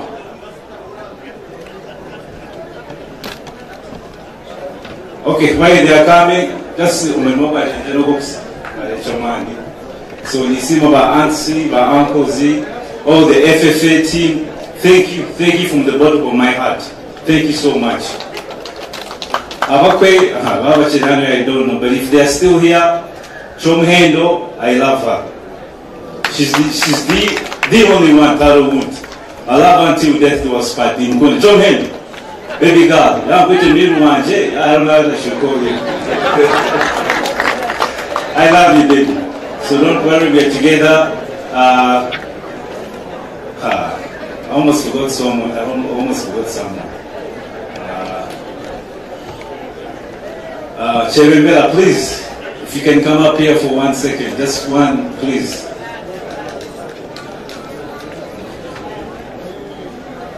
I think she this guy is here.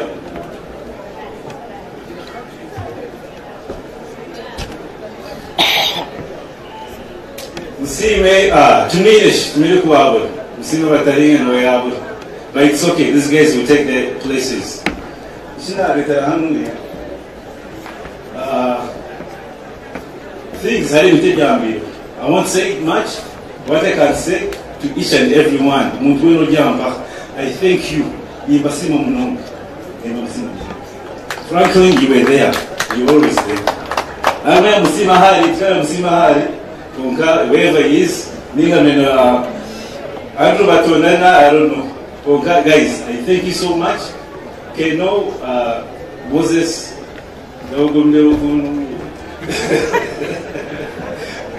I thank you. Emma, Mika, everybody, everybody, actually, there. Bwana mami, alia, mbona sio mtoto alika? Aibuka Ati. Ati wini. Ati wini mzee kuwabura. Wewe shirika kaza pele wanamkashesha. No perezento shirika. It's okay. Agaba, thank you man. Thank you so much for being there. Tinashukuru zo Patrick. Usho mukikurereka. Ah, you know, una, una, grandmom. Ali kama zijazo pia. Yaje.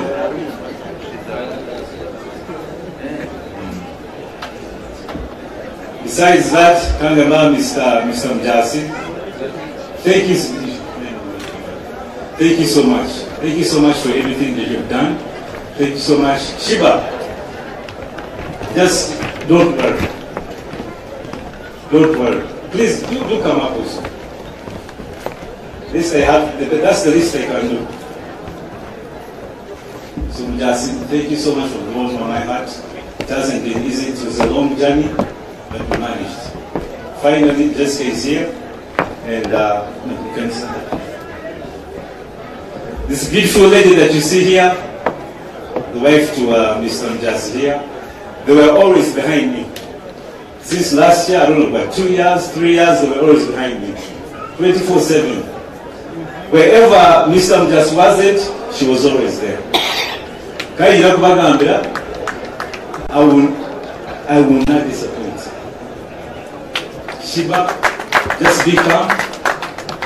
Bitwaganire niza kumureta. Ukanakweshengereza uhumure cyumweru Jessica cyumweru n'uwanje. I will not disappoint. I love her till death. So please just speak up Don't be afraid. From one family to another family. aboje benshi bareba hanuye Jessica hopefully Jessica you're listening okunywana ikabanza nayo actually it's a good thing you came here it's a good thing. It's a good thing has come. There's, there's something that I want to uh, I want to elaborate or expound on.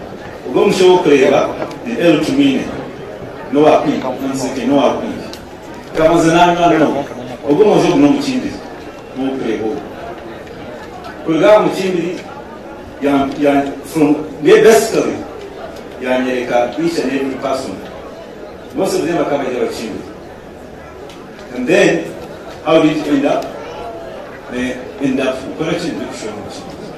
so what I'm saying is that she's home I don't move. nothing will happen to your daughter if anything happens security security is everywhere I mean Sweden. Thank you. So, you can, thank you so much. Thank you so much. And one more, one more, uh, uh, I have, uh, there's a group. I won't bring you guys up here, but you know, Kwasima, Poro Youth Alliance. Eh, Mandela, Mandela, I've seen you somewhere, I don't know if you're still here. I saw, uh, Mujub Stephen, I saw you. Uh, Buddy, you guys, thank you so much. Without you guys, this will never happen. The first event would, would have never happened without you guys. So thank you so much. Best man. It wasn't easy, but we made it. Eh? Thank you. Eh, I know you, you have a family, a big family. For three months you left it behind just because of me. So you Simon no. And I really do it. Ah, boom. I know it has been hard. We've argued, we almost had fist fights, but then seen. You've seen no. Then let's back to my parents. Uh, daddy, it wasn't easy like i've always done shayi kumi n'emwe i'll be always i'll always what be up in the morning zomuntu nza hotel it will never end so mami yehangane i've always been there so daddy ati nyongera ikindi there's nothing i can say i love you and uh, congratulations. Whatever, maybe what I can say is that we've always wanted this.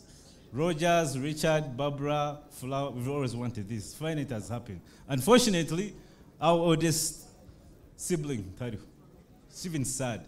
But one person, I don't know if he's still here, Tony. Tony, Tony, uh, Tony, I've seen, Tony, are you still here? Please, come, come up, come up, come up.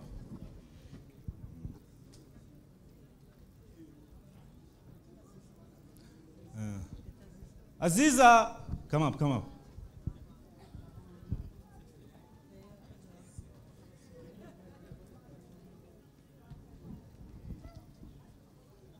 Tony, man, thank you so much. Thank you so much for coming. Thank, thank you. Tony, let me tell you something. This was a surprise. Without Barbara being here and you being here and then Aziza being here, Yes. speechless. Thank you. It's priceless. Can't believe it. This is priceless. So thank you so much. Thank you so much. Thank you. This is uh, this is the father to Aziza. Unfortunately, her mom is not here, but the good thing, all the way from Kenya, Nairobi, the father made it. so thank you, mom. Thank you so much. Thank you, thank you. So you. can go back. So mom, dad, congratulations again. 24/7 our Nzakumandi.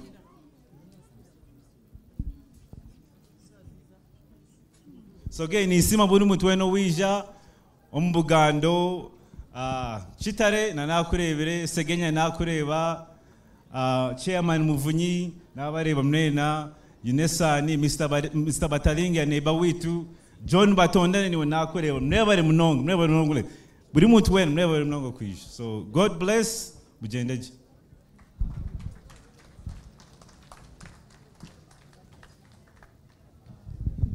Yeah, thank you very much for that wonderful speech.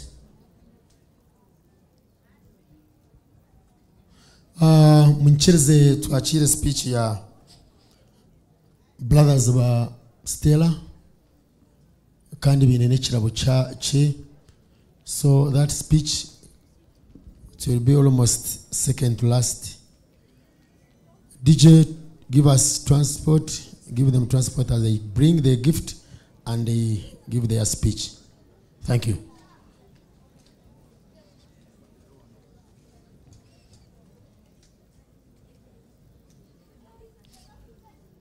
Uh, tuhaburiwe speech emwe general mateka and the person in charge of the cake please come and do the needful here because we are almost to coming the cutting of it. As they they come allow me to introduce uh, madam uh, kamayanji aspiring candidate for woman mp abwantungamo district kamayanji stand up for recognition yasibiraha konka yagire ku ogwe nakora mu parliament waragara speaker na barin kawo hi hawa ifa so thank you thank you. Asante sana. Speech jiargao then eh, tutoa speech ya general.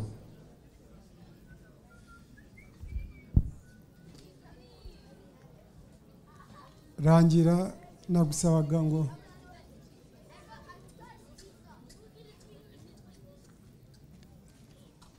ari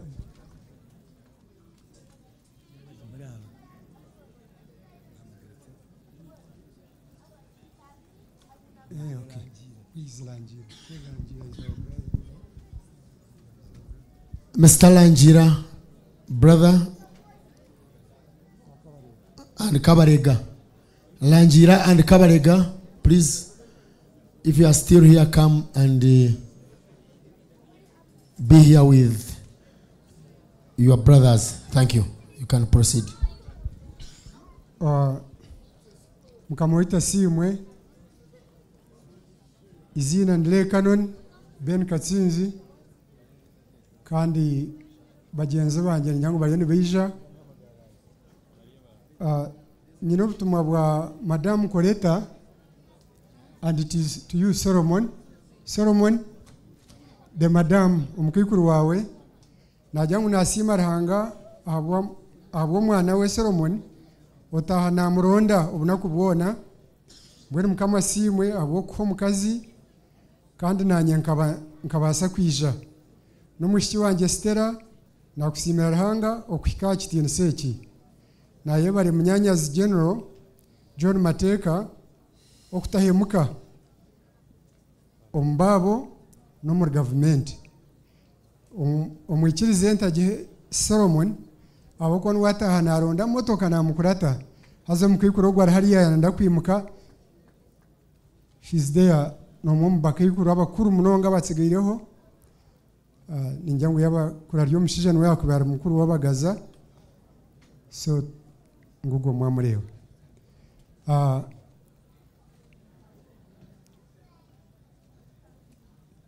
so, aizooba ry'omutaano ntusiima ruhanga munonga ombagurisi baitu lekanon john karazaru n'omukyara wawe. Kandi ori omuzaire wa w'embaju zombi na afande john na stera obaineho sheya nk'oku orikukimanya bo nk'oku bari omuntu omwe. N'obundi ruhanga nagira ngu arikuba yagaikire abantu nibaba bari omuntu omwe konka erizooba nibasiima ruhanga munonga aboojo aba ntusiima ruhanga owakubaasa stera wakuha ekitiinisa ekyobiire nooburaho omu nsi yoona ebindi byona okabitunga byona besikare ebimwe okabyerondera konka eki wakihabwa john kandi yakwisa ekitiinisa hati waza kufitinga omu bakazi aba mothers union. Nitujja kuba nitukweta muri kiruhura nooza kubuurira nooza kwegyesa abantu ebyokukora abakazi konka obaine oburwayo kuba nibagira ngu harimu akarikuburwamu nabwo ekyo ruhanga simu munonga ekitiinisa kyanyu okureeba ngu izooba eri mwakihikaho aba baine okusiima kw'omutaano so afande john nibenda kuhingira. Yes. Ekitiinisa mukama kikoreire otakukimanya bagira ngu nkebe surprise aba bantu oku orikubareeba aha buri omwe n'ente bazi kuhingiza sitera yabo wakihura ekintu ekyo basaza bawe uko tura buri muntu inka bazihingiza tuko? Yes. So emihingiro yawe ente obarabojo aba we john nakimanya ekindi ekiri enyuma eki batakwenda kugamba eki yabakoreire ekibahindwire abashaija kikabahindura ba nyinamaka kikabahindura buri kintu. Hatari ahabw'okushwera konka ahabwa rukundo ye nk'omuntu nahabwekyo nibagira ngu tiine eki bakubaasa kuzimurira john kureka ekyakusiima eki wakozirwe eki orikumanya eki wabakoreire bari aha baine ebyapa n'abantu ba n'abanyayuganda Nenda kubivuga? Ah, reka ijya kivuge gye nari nagitinye imana ishimwe. Eh, afande wibare. Mwibare cyane kugera kuri uyu munsi mukuru wo mwadukoze natwe mukaduhamagara. Tukareba ubukwe bwanyu. Ntabwo twari ubukwe bwanyu ntawe wari ubuzi. Nta nubwo bwigeze bubaho. None imana irabikoze. Imana ishimwe cyane. Asitera iyo bari kwihangana. Kwihanganira fanda aho atari ukamusigara inyuma. Nawe ni cyo akora ibi ngibi kugira ngo akunezeze. Wibare nawe ndagushimye. Fande bagushimye bose igihe abantu bagushimaga. Ariko kandi ibyo nshima biraruta iby'abariya ko bari uko watugize. Aho dutuye n'aho turi fande uyu ni we fande uyu yaduhaye itaka. Mahiro dufite icyapa cyaryo. Wibare fande. None fande icyo nahoraga nkushaka none ndakubonye.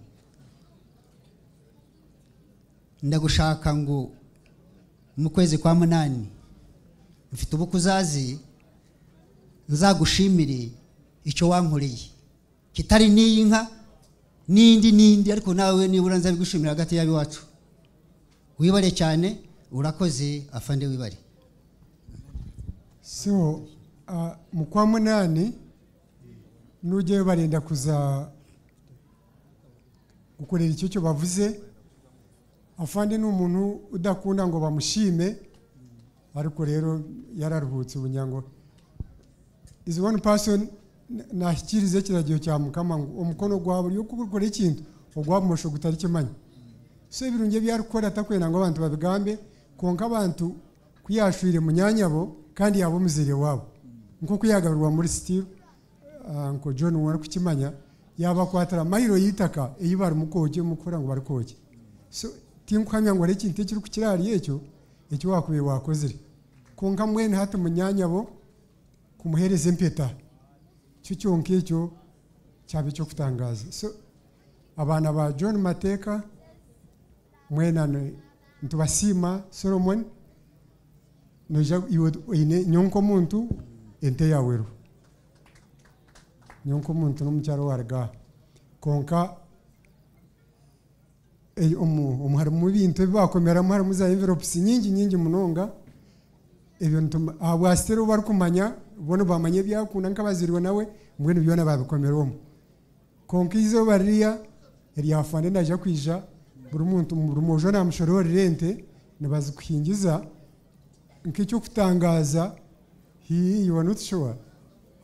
You'd rather get, get. Eh, so kandi nanjye nimwija kwija wanjye afande nkakukuza omuka yanjye buri function ebaho niwo hendera omukoro ahabwokuba okabatatitwe. Nebyo bingi nanga abahereze mushinge ngo abahereze obushwere burungi yesi abo bahereza kuba nimukibwetenga buri izebe rikongerwaho nikiba kiri ikintu cy'amana omu magara g'abantu. Abahereza okushemererwa omu myaka ei mwatsigaza kandi mingi abahereza okorera abaana banyuge kandi rihanga akoze ekyo ngo kigira ngo hariyabaho ekindi kiro kirungi. Mbwene eki erizooba kyaba ekiro kirungi? ebyaliyo nakora omu kayanyu nabazimurira bwanyu bwanyima omutakumanya nk'abantu ranga bampera omugisha.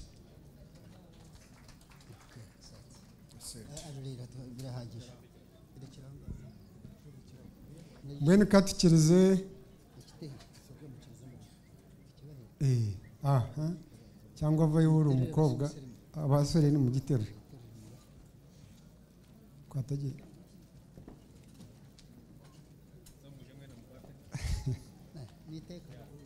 kwatagiye shana kuziraza sente nabwo ni bindushuka none bikaremera bito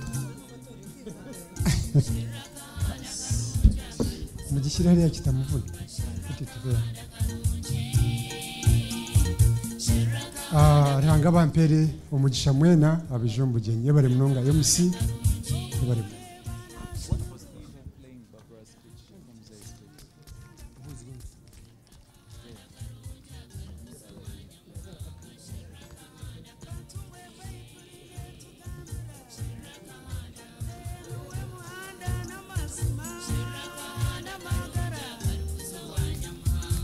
bantu mwe mutwikirize tuteyo speech ya general.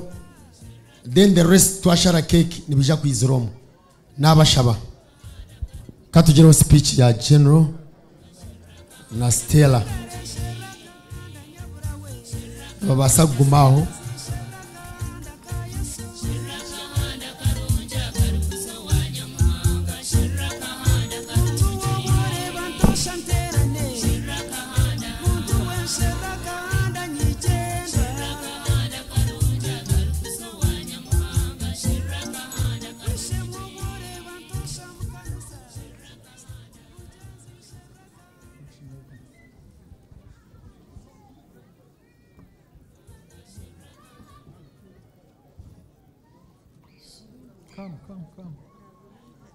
have not retired.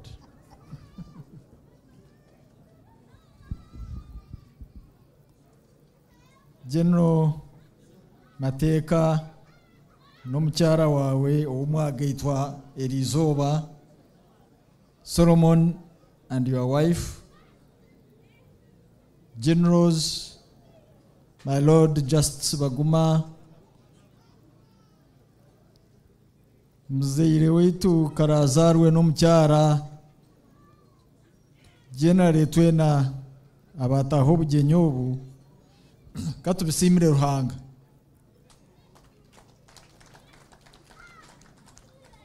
Tusiime general mateeka na famire ye for this family gathering.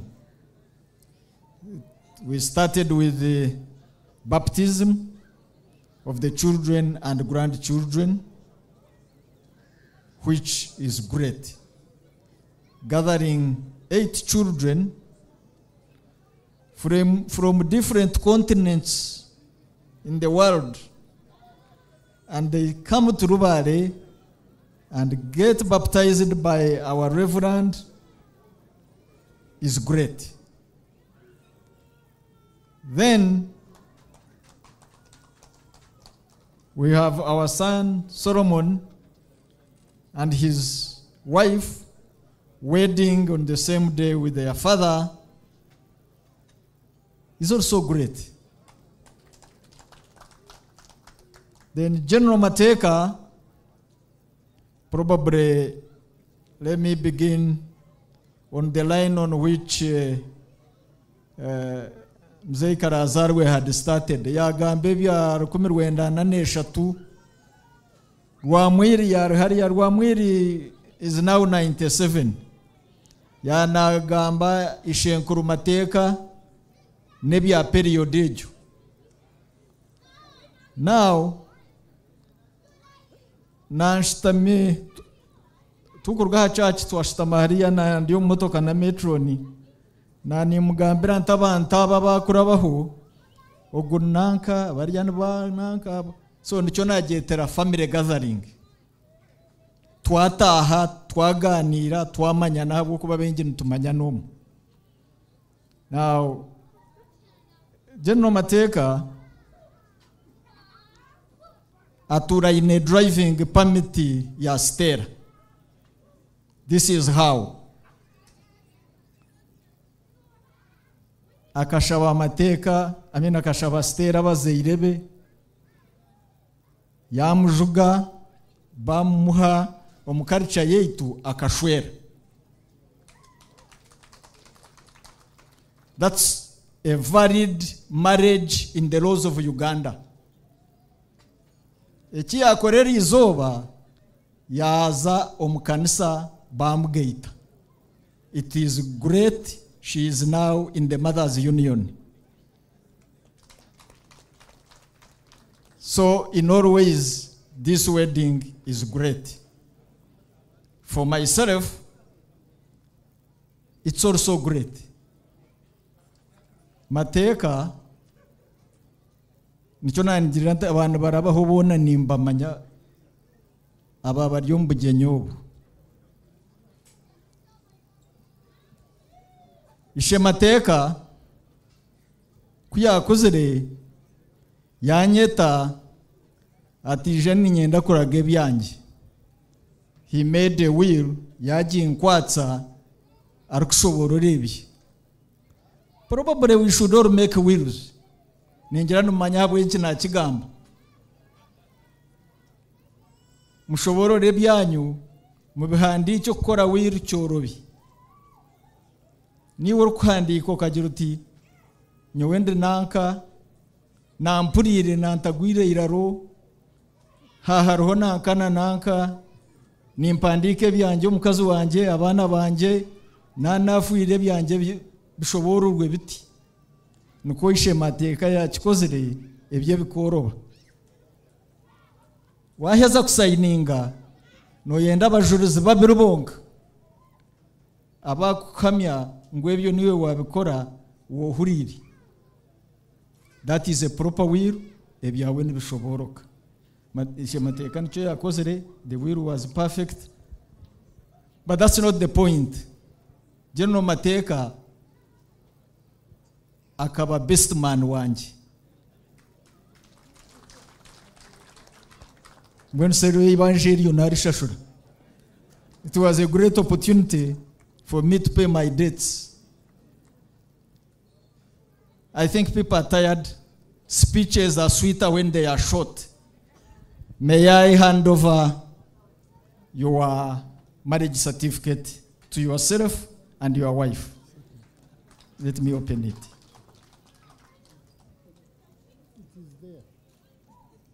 No, show it to people. I, I, I like concrete evidence.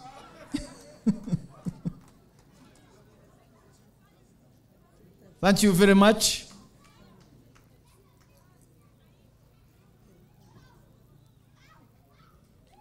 gambira abantu bawe baruhuke. Wa nintandikira hi wait.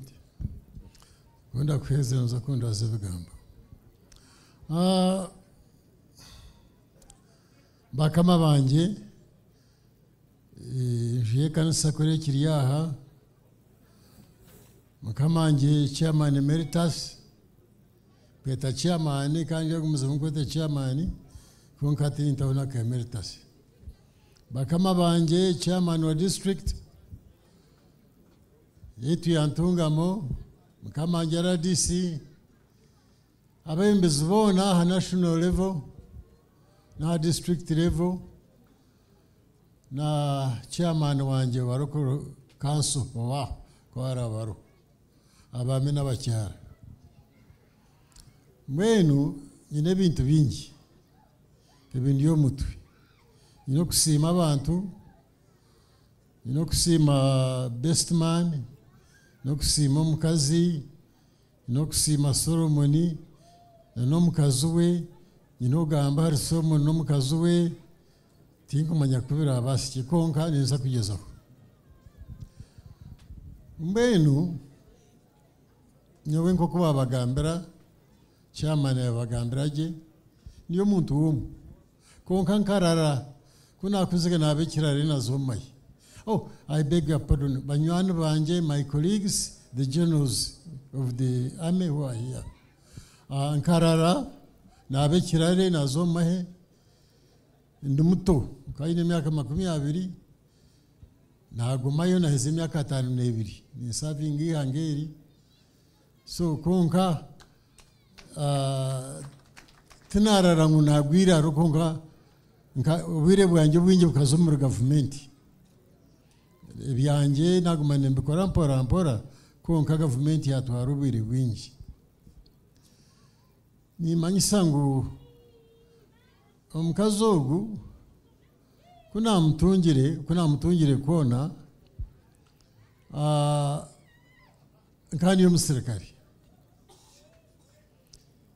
nkani y'omusirikare nabwanyuma nkantaine na bwire bwokugira ngu ninteekateeka bingi. Ekindi kantaine na sente. Bwire obwo sente z'omusirikare zikaba ziri nkye kandi iyo cyandemere no kwiba timbanya kwiba cware naheze emyaka egi yo no mu gavumenti tinkaibaga so naremwa nkigira nti nzara omwana. Kigira nti azara ondiijo hariho hariho twahisi abaana bana omu myaka ena n'ekicweka hati nashoberwa hati ki egi yavere gye manya amezi yana ikumi nza kugira nda ekindi kumanyisa nkantaine nabwire bwokuteekateeka ebyempeta. Ahubwo ebyempeta na byo byenda akasente so ebyo byona binshobera then bwanyuma kumba ninkurakuramu haija ngiga political upheavals nkomwa ngiga ki nzombeho mibingi na rwanda kakomerwayo then wahima kunarigireyo inarigireho nombehome na zo mu kishaka. Ubwo abana nabo nibakura nibashoma. Akasente akuna mbere nintunga ncyenda ngo ngire nti, aha ngo fizi hariho umwishiki wanjye w'umukuru wawe yaje ati dadi ati ngenda ngo ngurire nkaito tumazima babura ati nyine sente kwanga noshata kati sezana nyina. Ati ati dadi ati hono mu mesi kanoze buri kiro ati no tsige singe zingaye we na nyina bakaba bambazire anyway mugira nti sente tizinya tiwe na mwene mubaye mubinga nkayishe mwene musya ko kachikuru nkanta ine mukasenta kunkubasa gukora fizi nkorebi Eh, nze omukanisa ngira ki? Eh, Ebyona byenda sente byandema. Ntabasibizeyo ah, nkakyakuhumura konka kunagere kuhumura nkanatandikire kugira obusinge aha bigambo byesente nkatakiine abaana bakuru abaana bakabaheze kushoma nokugira ki?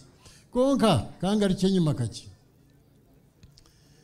Eh, gavumenti ija igira ngo bampa umurimo ngo uzo gukora mu embasi ya uganda nka defense attache nzayo nkorayo ngenda n'omukazi ogu pesa emyaka inahirize yona kuha kunahirize emyaka ebi eshatu.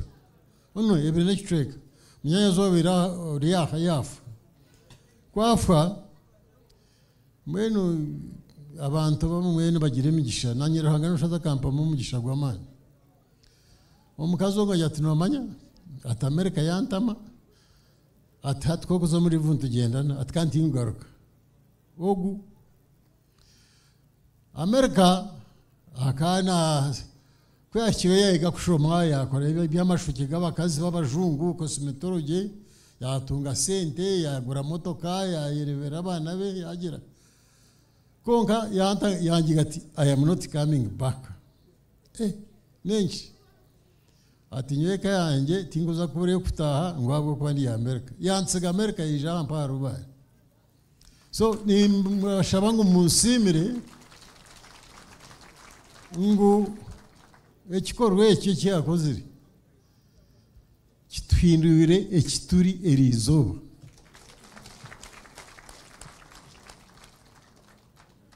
amerika omukazi naimuka agenda akora esente ze agira kiyanaaba nkebyo. Konka abo nabo baine emishoro okwihaho tibakubonabona nkabari aha konka akaija yaza omu masha yaza omu rutookye yaza nkahi yakora kyakihire kunagire kwire nashanga n'ebyara na zo omu saruni nibarabyeho nanka ah tinanye basi anyway nyenda kusiima nyabo ahabwa decision eyo twayire iyo kwikiriza kuzaha ukaba general manager wa famu yetu n'abakazi bake abakubasa kukikora kandi ekiri nkimanya ahabwokuba nanye ni banywano banje nyine ki konka we bari we bari munonga. Now ekindi Ah, abaana nabwanyuma bamwe baza oku abandi baza oku baza oku so kyampa akasinge nanye k'okushutama hamwe nkatandika kupuraninga ebyanje n'omukazi wange. Okukya ah, ijaaha obu solomoni agire kuronda omukazi nabwanyuma nkashuka ente zanjye owaishezara solomoni mikajya nti baitu nanye owakwetamu omu kishoshoge kyeki nanye nkakizamu. Ahabwokuba esente ezindi ashohoza owa solomoni nizo zimwe. Narishi nimbaasa kwongeraho kakye konka nanye nazamu. So nisiima ruhanga owampeire ekiteekateeko eki nkigambira omukazi ogu nti baitu nomanya nti ninza kuteera empeta. Ati what? Ninza kuteera empeta. Akatangara yaba it was a surprise. Nawe yikiriza so kuruga obwo kutya hati nukwoko ni cyo cyandemire se kugahitwa kuruga enyuma ahabwa ebizibu ahabwa obwijana ahabwa obukene bwingi. Konka tubukene munonga ahabwokuba wekitiinisa karazarwe namanya kuruga enyuma tinda zarirwe habi nkazarwe mu kihongore nkantari yesu konka kashangamu nk'obunyana buto Na- nanye nagumaho mpora-mpora ahurira. So ah, konka kunashyiraho ibintu byankiza emikono konka nyabo hati ikintu cya- hati nza kutandika inshuransi Ah, now solomon n'omukazi wawe congratulations. Mwebare nimurebeka gye mwebare munonga. Ah, jessica nyenda kuhamiza. Ngo ntuza abari igenda bakubwira ngo tuzakunda paka lasite tuzakunda tuzakundira kimwe ngenda kuhamiza ngo warugo wanyu wejo wanyu. By the way kambagambira iki umushyikihugu ni umukimbirakazi konka nyina n'omuharange n'omushambokazi. So n'omwana wange ahabw'okuba nyina n'omunyabuzaare wange konka muka mwana wange ahabw'okuba nawe naruga mu rugando rundi. So warwo wanyu waza wanyu. And i promise you kandi nomanya ngamba mpora. Abanyu bona nomanya nakikugambira ukitwara utyo. Now i don't know ukora akoragana na nyokozara. Abo ko nyokozara tinyowe buri muntu ayina ko ahangirwe so ubanza umushome ushome nyokozara ntabwo hanyuma urebe aho ramu- aho ra- aho ra- mbwenu aho ramu- aho ramuturikirire ukamenya ko ramukwate konka ninyesiga wamukunda nawe nazakukunda icyo i promise. Ekindi solomoni. Kunda solomoni solomoni naiwe kunda omukazi wawe. Konka solomoni yenda kuteganisa. Nyiwe nkiriho iwe cyawe yakuteganisa nyekiro muzo mu kishengero kingeho babanza otsimba amaju omushabire wa- yaheza yayanga omugambire oti nazagambira dadi. Deya ninza kuba mwenza kwija ha rubaju rwawe. Nubo- nangwa nubwo kubashoboza cya- kitari cyangu kasitogiye oti nsasira mwami yayanga yuko amutumye. so nyenda kuhamiza ngu emyaka ina heza atanu n'ebiri we nyine omu kazogo newe oheze nkaga nkaaga n'etaano from today n'obundi bantakiriho oryakigamba otizo rumwe muzeeyi akagira ngu mpeze emyaka nkaaga n'etaano omubushwere so uh, ladies and gentlemen nimbasiima nyenda kusima munonga mukama njogu. Ahahera keihanga yaba ni namba 6 konka nanye nikimpamu omuhimbo nagira best man of deputy chief justice. Kamanje i'm very very happy. Uh, nashemerwa munonga. Uh, wawagizire ngu nkakubera best man n'amazima. Muture niyo murongore engari ibiri no kujya ki? No kunabisana. Webere kwijwa ukayikiriza ngo wombere best man. Webare webare munonga ekindi ni munywani wange ogwo omushaija aine ebigambo bikye ninkanye konka ekigambo kikumuruga omu kanwa kiine amagezi. Ah, twine association yaitu but normally twenda kugira tuti atugira ati twikiriza because we respect him so webare munonga webare ku mberaho nyenda kusiima ffa ffa ni abandi bagenzire konka mbasa kuri exercise nimwemereraho kake abari aha both sides. Ah, abandi bagenzire konka mwebare. Mwebare kutkunda mwebare kungurira n'omukazi wanye mwebare kutuha sente. Tuhere sente zatuyamba mwebare mwebare munonga muture niyo murongo. Naitwe. Mutubare. Ogiga kyegagire ah count on us nyowe n'omukazi ogwo we shall be there for you. Hariho n'abanzariro omwe abanzariro omu ijukuru. Paul ah, paul n'omukazi we apofia paul aruhariya mutabonoka rwende yazara mwijukuru wanjye nawe kwetwa paul.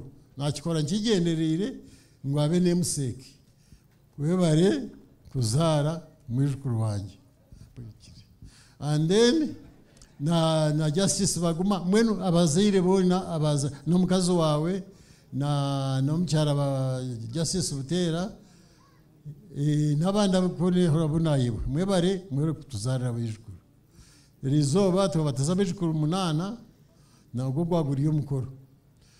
Ah, nyenda gusima ah, OWC afende kavuma kwarukiriye aha mwebare mwebare kunkwatiraho mwebare kumpekirabo mwebere kumpa kumpa n'akasente. Abakampeyire mwebare munonga. Abatarakampaire i know they are also my friends. Tukugira ngu maybe bakaba batakainaho akasente tikaro konka mwebare mwebare munonga kandi mwebare no kwija kutyaga amagingo mukiri aha aha nihari nowanyu kampala.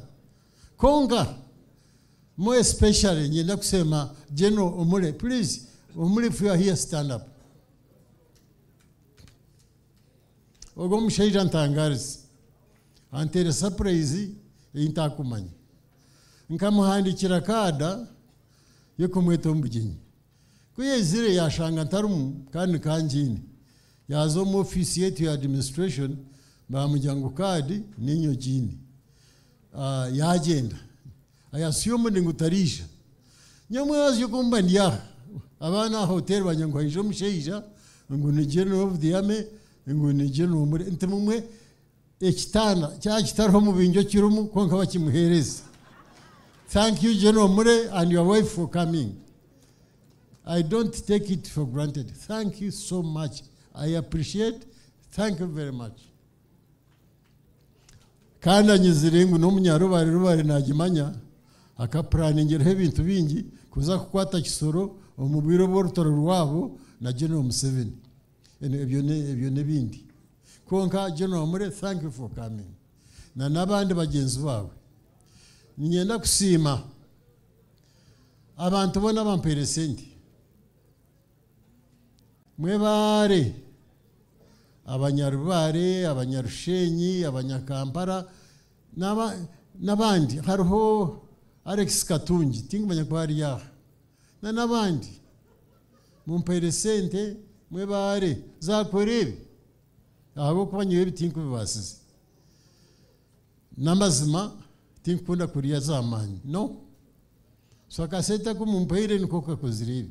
Na n'ebindi ningewe bikiriyo Ah, bantu nka bakatamba n'abandi batabana banjye richard na, na roja n'abandi. Mwebare mwebare munonga. Mukozige bingi munonga and i appreciate. Uh, nabwekyo ekyamuhero uh, ne baingi abampaire sente. Tingwa nagamba amazina g'abantu no konka barimu ekyamuheru nyenda ogu nooza kugamba ebyo orikwenda kugamba konka ninyenda kusiima. And i want to promise you okuruga eriizooba ngebi nagamba omu kanisa n'amazima. Kandi nibaza kuhikirira konka nubwo orantabure nyine nza guma nimpunama. Eh, konka naho namaijo omanye oti twonka ogw'omushaija nosha otahikire newekirize omushaba okusaasirwa yes. So uh, ogwo mukyara ka kapromisa ko namuhereza na n'empeta ei yatunga by the way twagenda ekyamushemeza n'empeta yes. Na hata wajya ngo atsome natsoma kandi abaire n'umurwere wa shwari nangwa actually ngeraza ko bagambira ngo ruhanga no at one time umeze nka atana gahwire she was a dying person. Konka ruhanga ija yamukwatsa twatunga umuntu yatumbazi yabaje she is here. Eh, ubwo muntu nawe tumusima aka- akakutambira so na nempeta na no kukira kwawe hati uh, tora nkwereze ugire icyo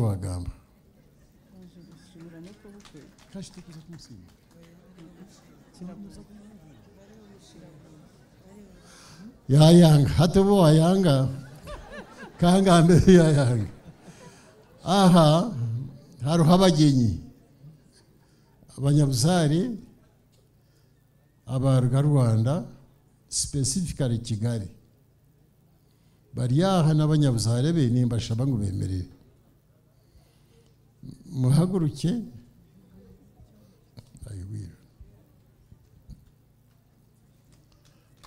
Na mugwe mwemerere kake ubwo mukayikuru nimweta anti. Ni nyine nyinentogo two ni nyine nto. N'abagurusi rwa kabogo petero wafiri ubwo muhara dogita sibyo? The name i forget dudu and then a good husband yaba nowe dudu yaba no. The, but is the husband of the doctor. Then this lady is really also a daughter to the that old woman. So we appreciate. We appreciate. Thank you so much. Mhm. Uh, bande Uh, there is another delegation from Chikari. Stand up. Aha, the cameras have captured you. Thank you for coming. Aha. Abandi, then this one also.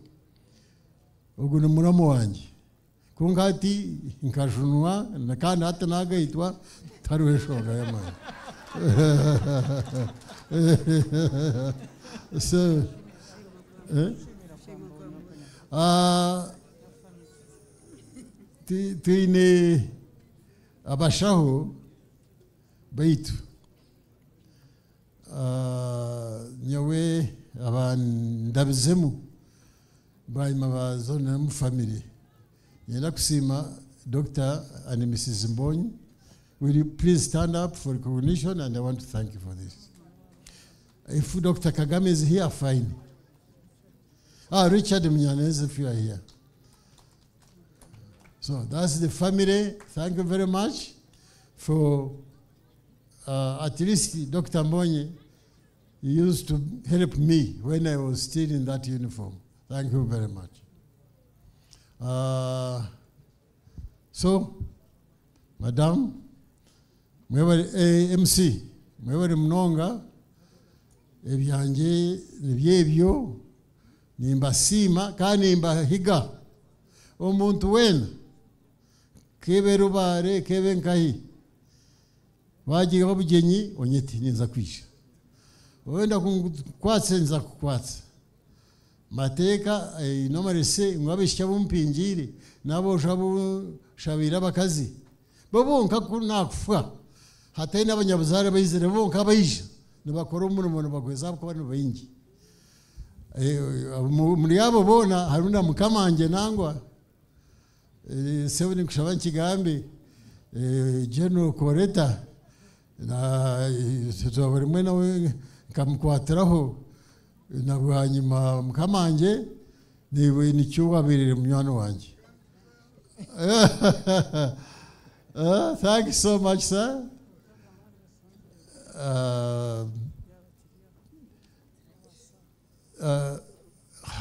agawanje kyafora group hariho abantu ah, é então, bacyafora bariyaha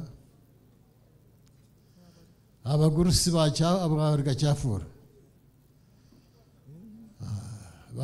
ah, mwebare mwebere muronga mwebare mwebere kwija abo ni bashanzire banjye niyo mutabanongera kwiha mu kazi n'abantu bazima munonga munonga munonga. N'abarokore abarokore ba kimwe kandi bahurire. Mwebare mwebare kwija munonga. Ah, kandi kera aho ah, mc webare konka please ndere ba- bazine. Isso. Imagina. Steven Rogers. İyi, Ah, Solomon. na naibu. Ah, iwe n'omukazi wawe yinza kuba hente mukaaga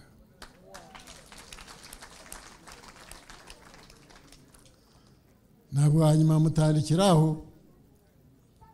ah. e, mukagazonga kuba ringarurira ukati. mbahirize na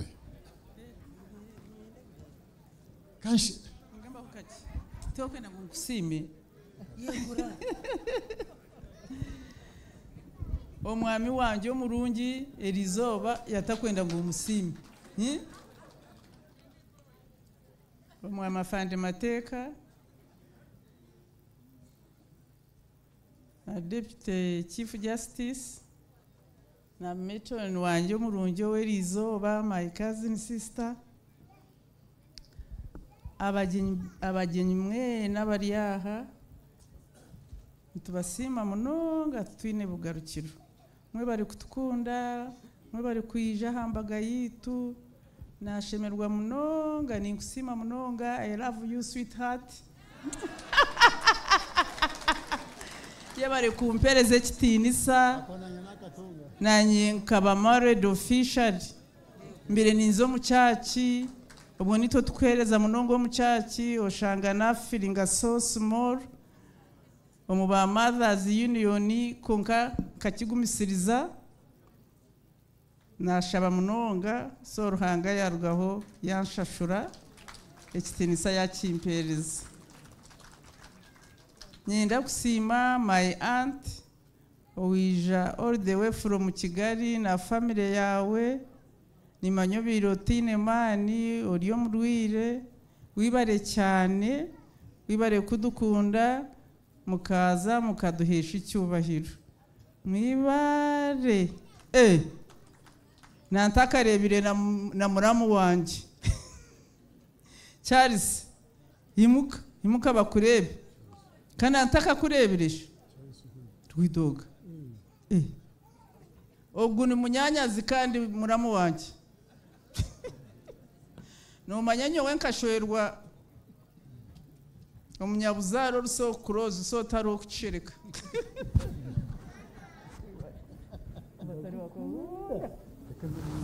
we bari so turabashimira cyane kubw'amasaha yanyu. The time you have given us the love thank you so much. Ninsima abakazi ba ff my sisters my brothers baramu mwimuke mwimuke bagaruke babarebe. Nimanya ati ntaha kampala hosting ninkira kutagizamu famu ekankwata nimwe nimukimanya mwebare mwibare kudukunda mwibare kuza mukaza mukadutahira ubukwe mukareba nanjye banyambika impeta Ah. hariho n'iyindi famire women of faith nimpamya hariho abaryaha yaba bamwe bagenzire. Women of faith my sisters eh, they are here. And my aunties some are my aunties tibabasa kwija. Mwe bare munonga kandi nabo bakampereza big gift. Mwe bare kwija. Hariho n'endijo famire eh, sisters forever. Hariho abija babariho konka nosha bataha nabo nimbasima munonga n'abanyarubare mwe bare kwija nabo bakampereza e gift. Ninsima n'abanyanyazi mwe bare mwe bare kwija. Umunyanyazi omukuru omwami gatsinzi nosha bagenda nibe bari. Hati ogu ni muramu wanjye akaba umunyarwanda. Hati waburirahe wije kare? Ni ingaruka nsima solomoni na jessica congratulations. Mwabonera. Jessica n'umwana wanjye ni mwijukuru wanjye so warugo wanyu wijo wanyu. Ninkwamiza jessica. Si umwuzukuru wa mwarimu we ruhanga wenka niwo kikozire ogwo mwana akariyo mu ishomero nashoma akahereza esini ya 6 konka hariho ebizibu ebyabire hari solomoni kubyabireho ruhanga yangambiramu nahura yangambiramu ngo ahabwe nkintakugara ko witu nkihayo mwana.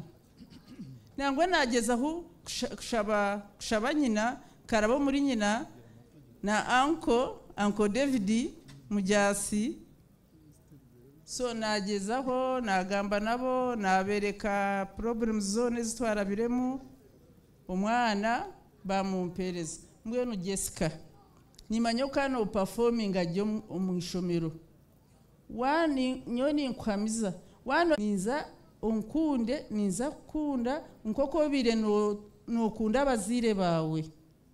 Ube niko wankunda. Kandi oreke kuntina. Oreke kuntina ekirwa ki- kikushobire. Oreke kuntina mbwenu obe so close to me nkoko bire ori so close to your mom and your parents. Solomon ekiwabire noyenda tewakitunga reba hamanya ndeba. Ninsima na solomoni. Solomoni akaruga usa nkanaremirwe ntakine mani ga famingi konka nawe byabire nakora byona n'umurimo yagutaha rubaju solomoni yija namwegesa buri kimwe cyona cya famingi mwene ebintu byona tuka- tukabirekurira solomoni. Ninsima no mwisho owitu furawa linda kirabo arahe reka nsima abana nawe akija yakwatanisa na munyanya batwera mbwenu okutunabire nimpendeka hati tuko- tuko- tuko ndi kuhendeka Ah, ngaruka nsima abana banjye nsima richard rogers baitu bo barashye barashye richard. Nsima n'abishiki banjye nsima na sara. Asasira kamugisha tinkumanye yibaza richard ninkusima munonga.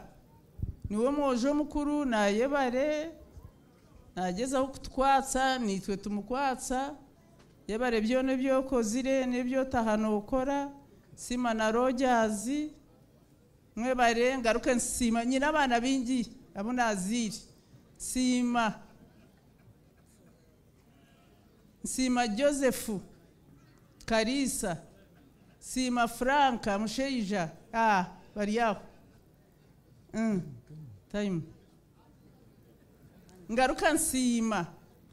Nsima injiniya nsereko. Wa famiregi nsereko kiri aha?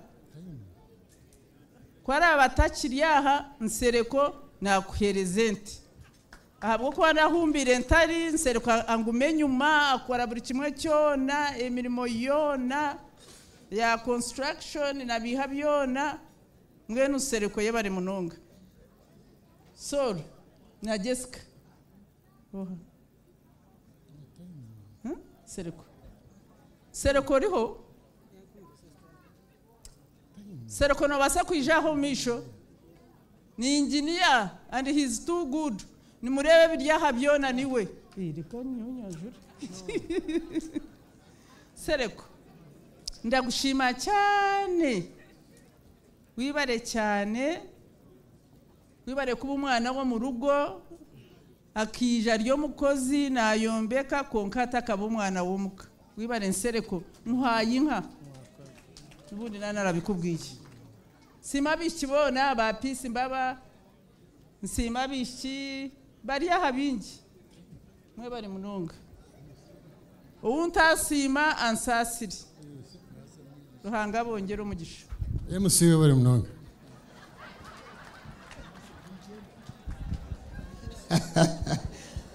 none haza rubaju utangiye kwasa. So reka okay omushaija ogu yayineho ebigambo nka bibiri?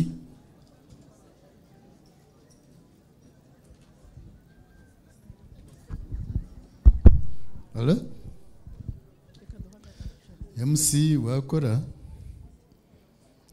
Eh, jye nitwa amazina y'ikinyarwanda mvuga ikinyarwanda kandi mazeho igihe kinini cyane sitera urambabarira mvuga ikinyarwanda ntaza Hmm? ntaza kuvuga eh? Eh?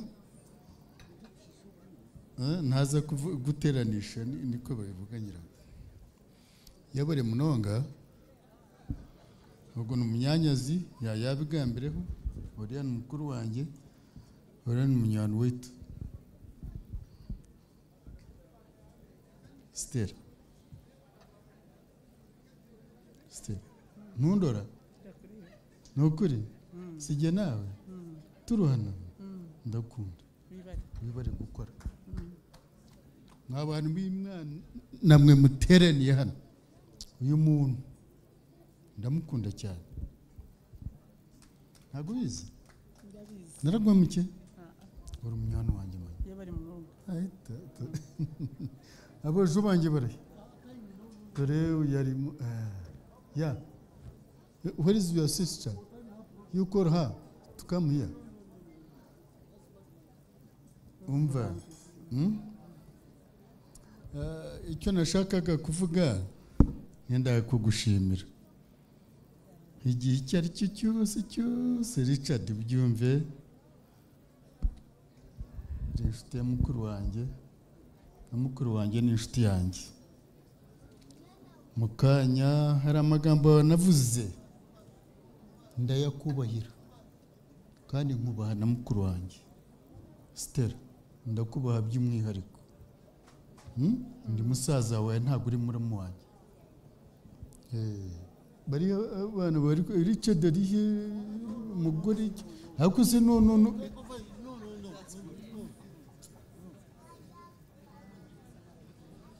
Ndasamariza abana banjye Eh. Akazi wakoze ibyiza wakoze Hmm? imbaraga wagize. Tuzifatanyije. Mwa bantu b'imana mwe dore. Nigiye n'uyu mwana w'umukobwa. Ndabeshya. Ndabeshya. Ndakubeshyera ndakubeshyera aha. Rero sitera mwihereye inka kandi nzaguhereza inkaka ntabwo nzayiha joni umwana nawe nzamwihera ku giti cye. Eh, wibare gukora. Jya nageze mu rugo rwawe ndarushima. Ararushye mbese none n'inka se ko utayishimiye bari munonga. Ah, twaza keki. Twaza kushara keki. Twena hamwe. Twatanise n'abagore. So i want to request the the lady in charge of the cake. Please you prepare. Dj tunonyeza obuyimba bulungi nnyo obutambulira ku keki so abagore bitu baza kushara keki ni ho tukuza. Cyabaje namba yayachendire mwerundane. Kandi we ginamba parents. Um, abagumaho I am grateful to witness this day. I couldn't make it uh, due to certain emergency, but uh, I am there in spirit with you, and I'm forever grateful for both of you. Thank you so much for raising us and showing us what uh, a good family looks like. My siblings and I, you have taught us how to love one another, how to be kind, how to treat each other with respect, and anyone that comes, you know, in our family. You've taught us humility, and we hope that we can pass it on to our children and we can emulate you and be a good example. With that said, I am so happy and proud to be called a Mateka. Thank you so much. I would like to congratulate Solomon and your new wife. Uh, welcome to the family. Now I have a new sister. As you have seen, we have very few girls in the family. Please, please give birth to more girls. We've been outnumbered for a long time. Yes. Now I want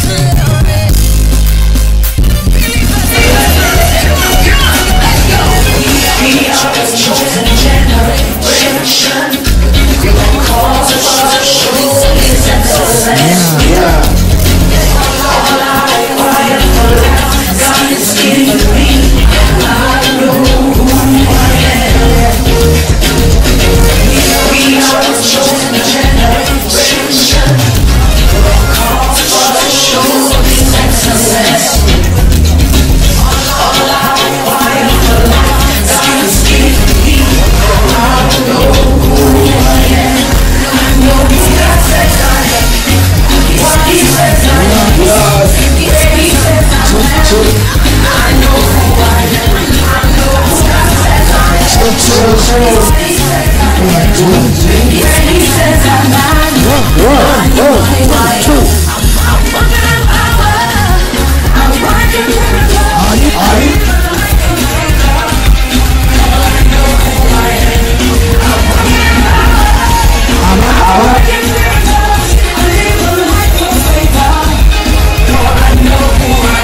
Okay.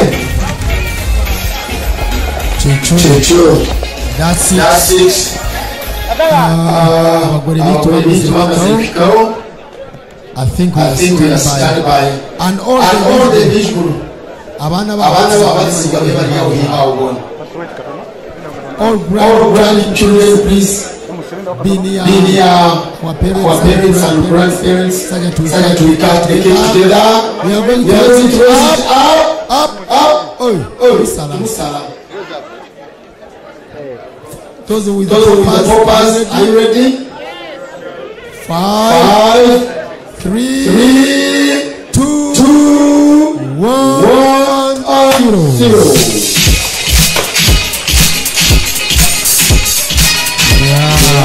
Thank you.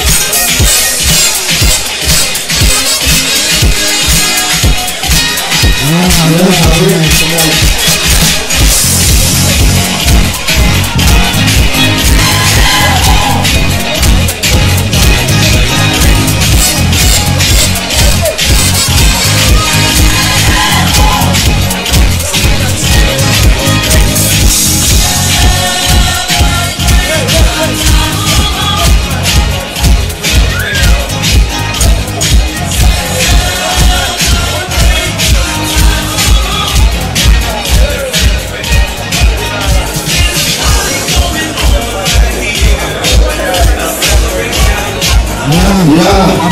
bigisha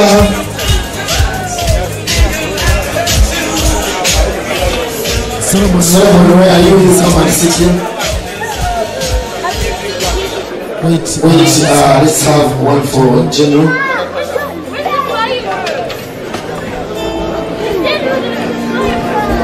uh, general you can sit here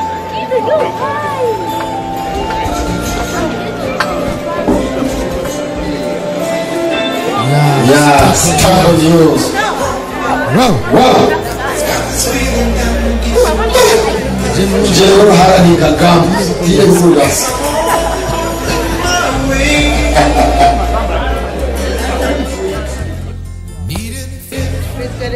Okay. And this is a message to my. The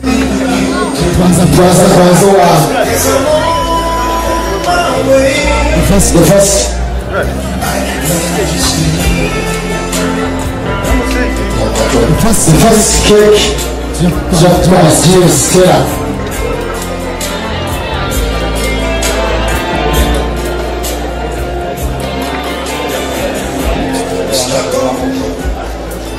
Yeah. yeah. yeah. Vídeos, vídeos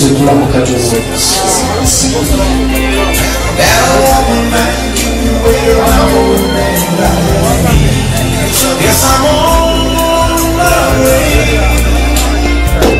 I need this understanding.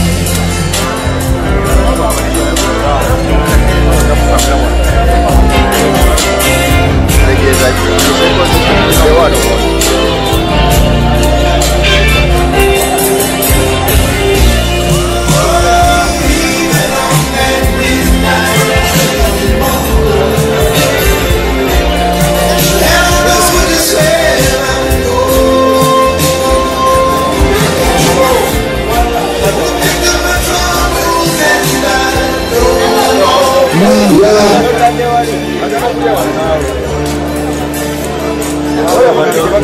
banange stella yasamisa ekisoka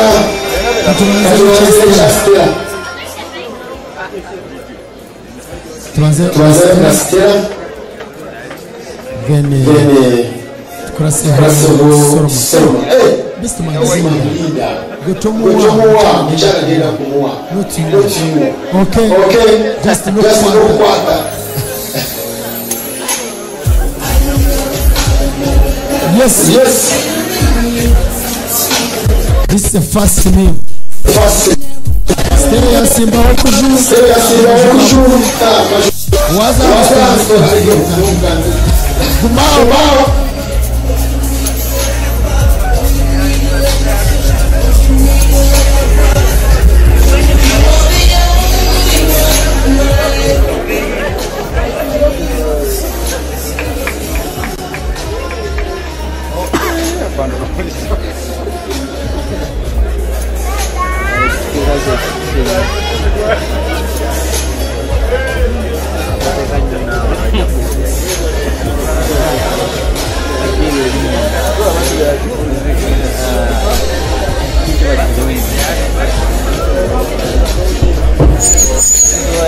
Okay.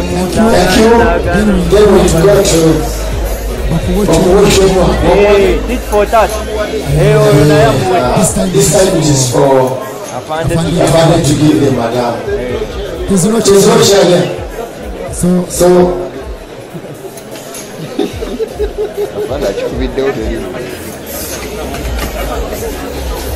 And then Alina Aruna comes in. Wow! wow. Oh. Good. Good.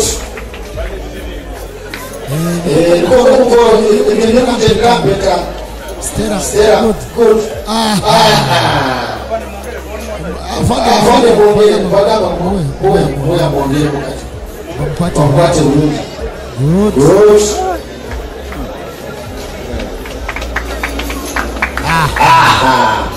thank you thank you then this, then this is the time for solomon. solomon.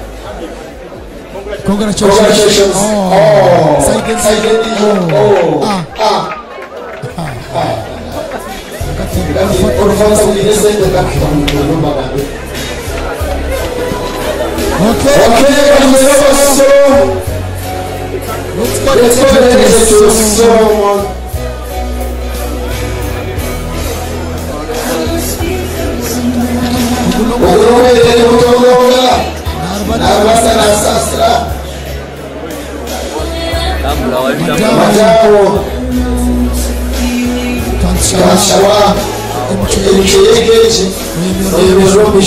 mkija wawe omusimbira mukushu agatwenda gasimbiro genda mpora mpora sitare yageze wenyine mu muhanda egenda kimusanze Yes. yes. Good. Good. Oh. oh my God. That's it. Thank you. Thank you, madam, for respecting your husband. rule is hurtful. That's why. Tutuliwa wafanya mzigo nitaokueleza. Kumbuka yale nazokuwa namsaidia mwana wafanya mzigo na simbofu. Ibata kugasimba. Go. Solomon otabwina gani majuo ku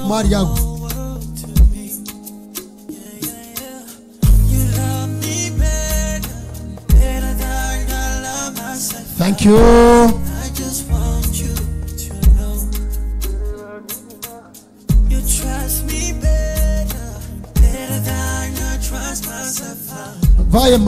Mada sebo okay thank you.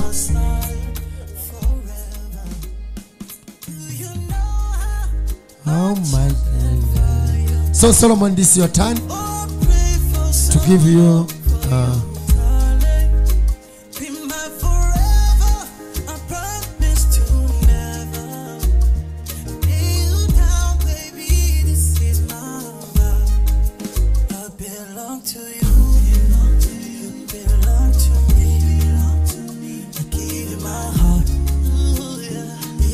Then let's have maids. Uh, maids.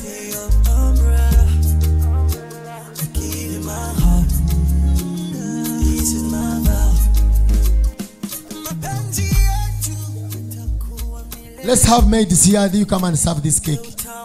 Thank you.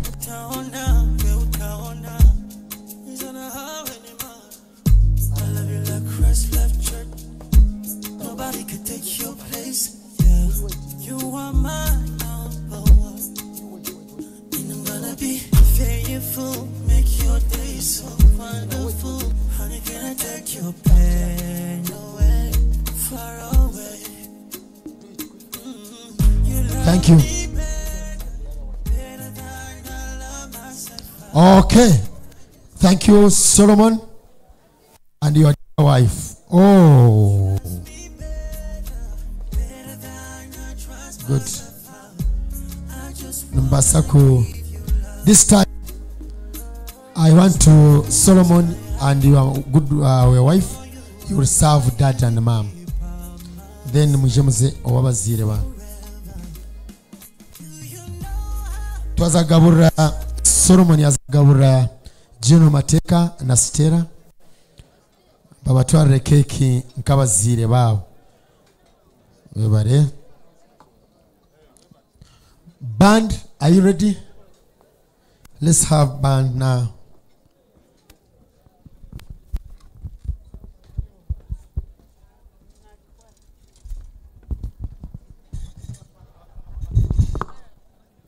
Okay. Meanwhile, as you prepare the band, to uh, is, the, is he ready? Okay, twino speech here. Twino speech here, Barbara, as band is preparing. It takes like two minutes. Thank you, band. As you prepare, let's have the speech. It's on. Solomon, meanwhile, as you take your seat, you listen to the speech of Barbara. Praise God, everyone. My name's Barbara Mateka. Praise God, everyone. And this is a message to my parents. And this is a Um, message to my Mommy and. Daddy, I am grateful Um, to Mommy witness and this Daddy, day. I am grateful I couldn't to make it this day. uh, due to certain I couldn't emergency, make it but uh, I am there in spirit with you, but, uh, and I am there in spirit with you, you. and I'm forever grateful Thank you so much for raising us and showing Thank us you so much for what, raising us uh, and showing a good us family looks uh, like. a good My family looks like. You have taught us how to I, you love have one taught us another, how to how to love be You can sit solo. how how to, to be treat each other how with to respect, and treat anyone each that other comes, with respect, you know, in and our family, anyone that comes, you've taught us you know, in our family, and we you've hope taught us that humility, we can pass it on we to our hope that children, we can and we can pass it on to our emulate children, you and be a good we can example. emulate you that and be a said, good I am example. so With that happy said, I am proud to be happy called a and Mateka. proud to be Thank you called so a much. Mateka. Thank you so much. Yeah, thank you. I would like to congratulate abaheru tubagamba bingi nkabo mu kyaro I would like to congratulate Solomon and your new Solomon wife. and your new wife. so let's have ban Uh, welcome to the family. Now I have I would a like new to congratulate Solomon As you and your seen, new we have wife. very few girls in the Uh, family. welcome to the family. Now I have a new Uh, sister. family. Now I have a As new you have sister. seen, we have very few As girls have in the seen, family. We have very few girls in the Please, family. please give- please, please give birth to more girls. We've been outnumbered for a long time. Yes. Now I, I want to also thank everyone that came that came from wherever they came from to witness this beautiful day. Thank you so much and may God bless you beyond measure. Mommy, I know you're looking beautiful in that dress. You're really looking good and I'm so happy for that. Uh, Flower, you're next. It has been raining in our family. You're next now and we thank God for it. Forever. I love you. Bye bye. Band. Band. Band.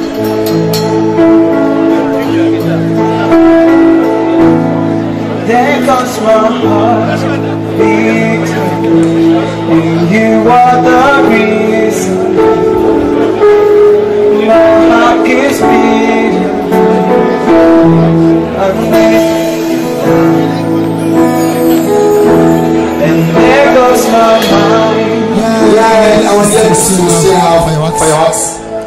Can wait. A bit. Now it's, Now it's time for cake. having fun, Having fun. dance. Dance. Let's see. Let's see. And there goes my mind racing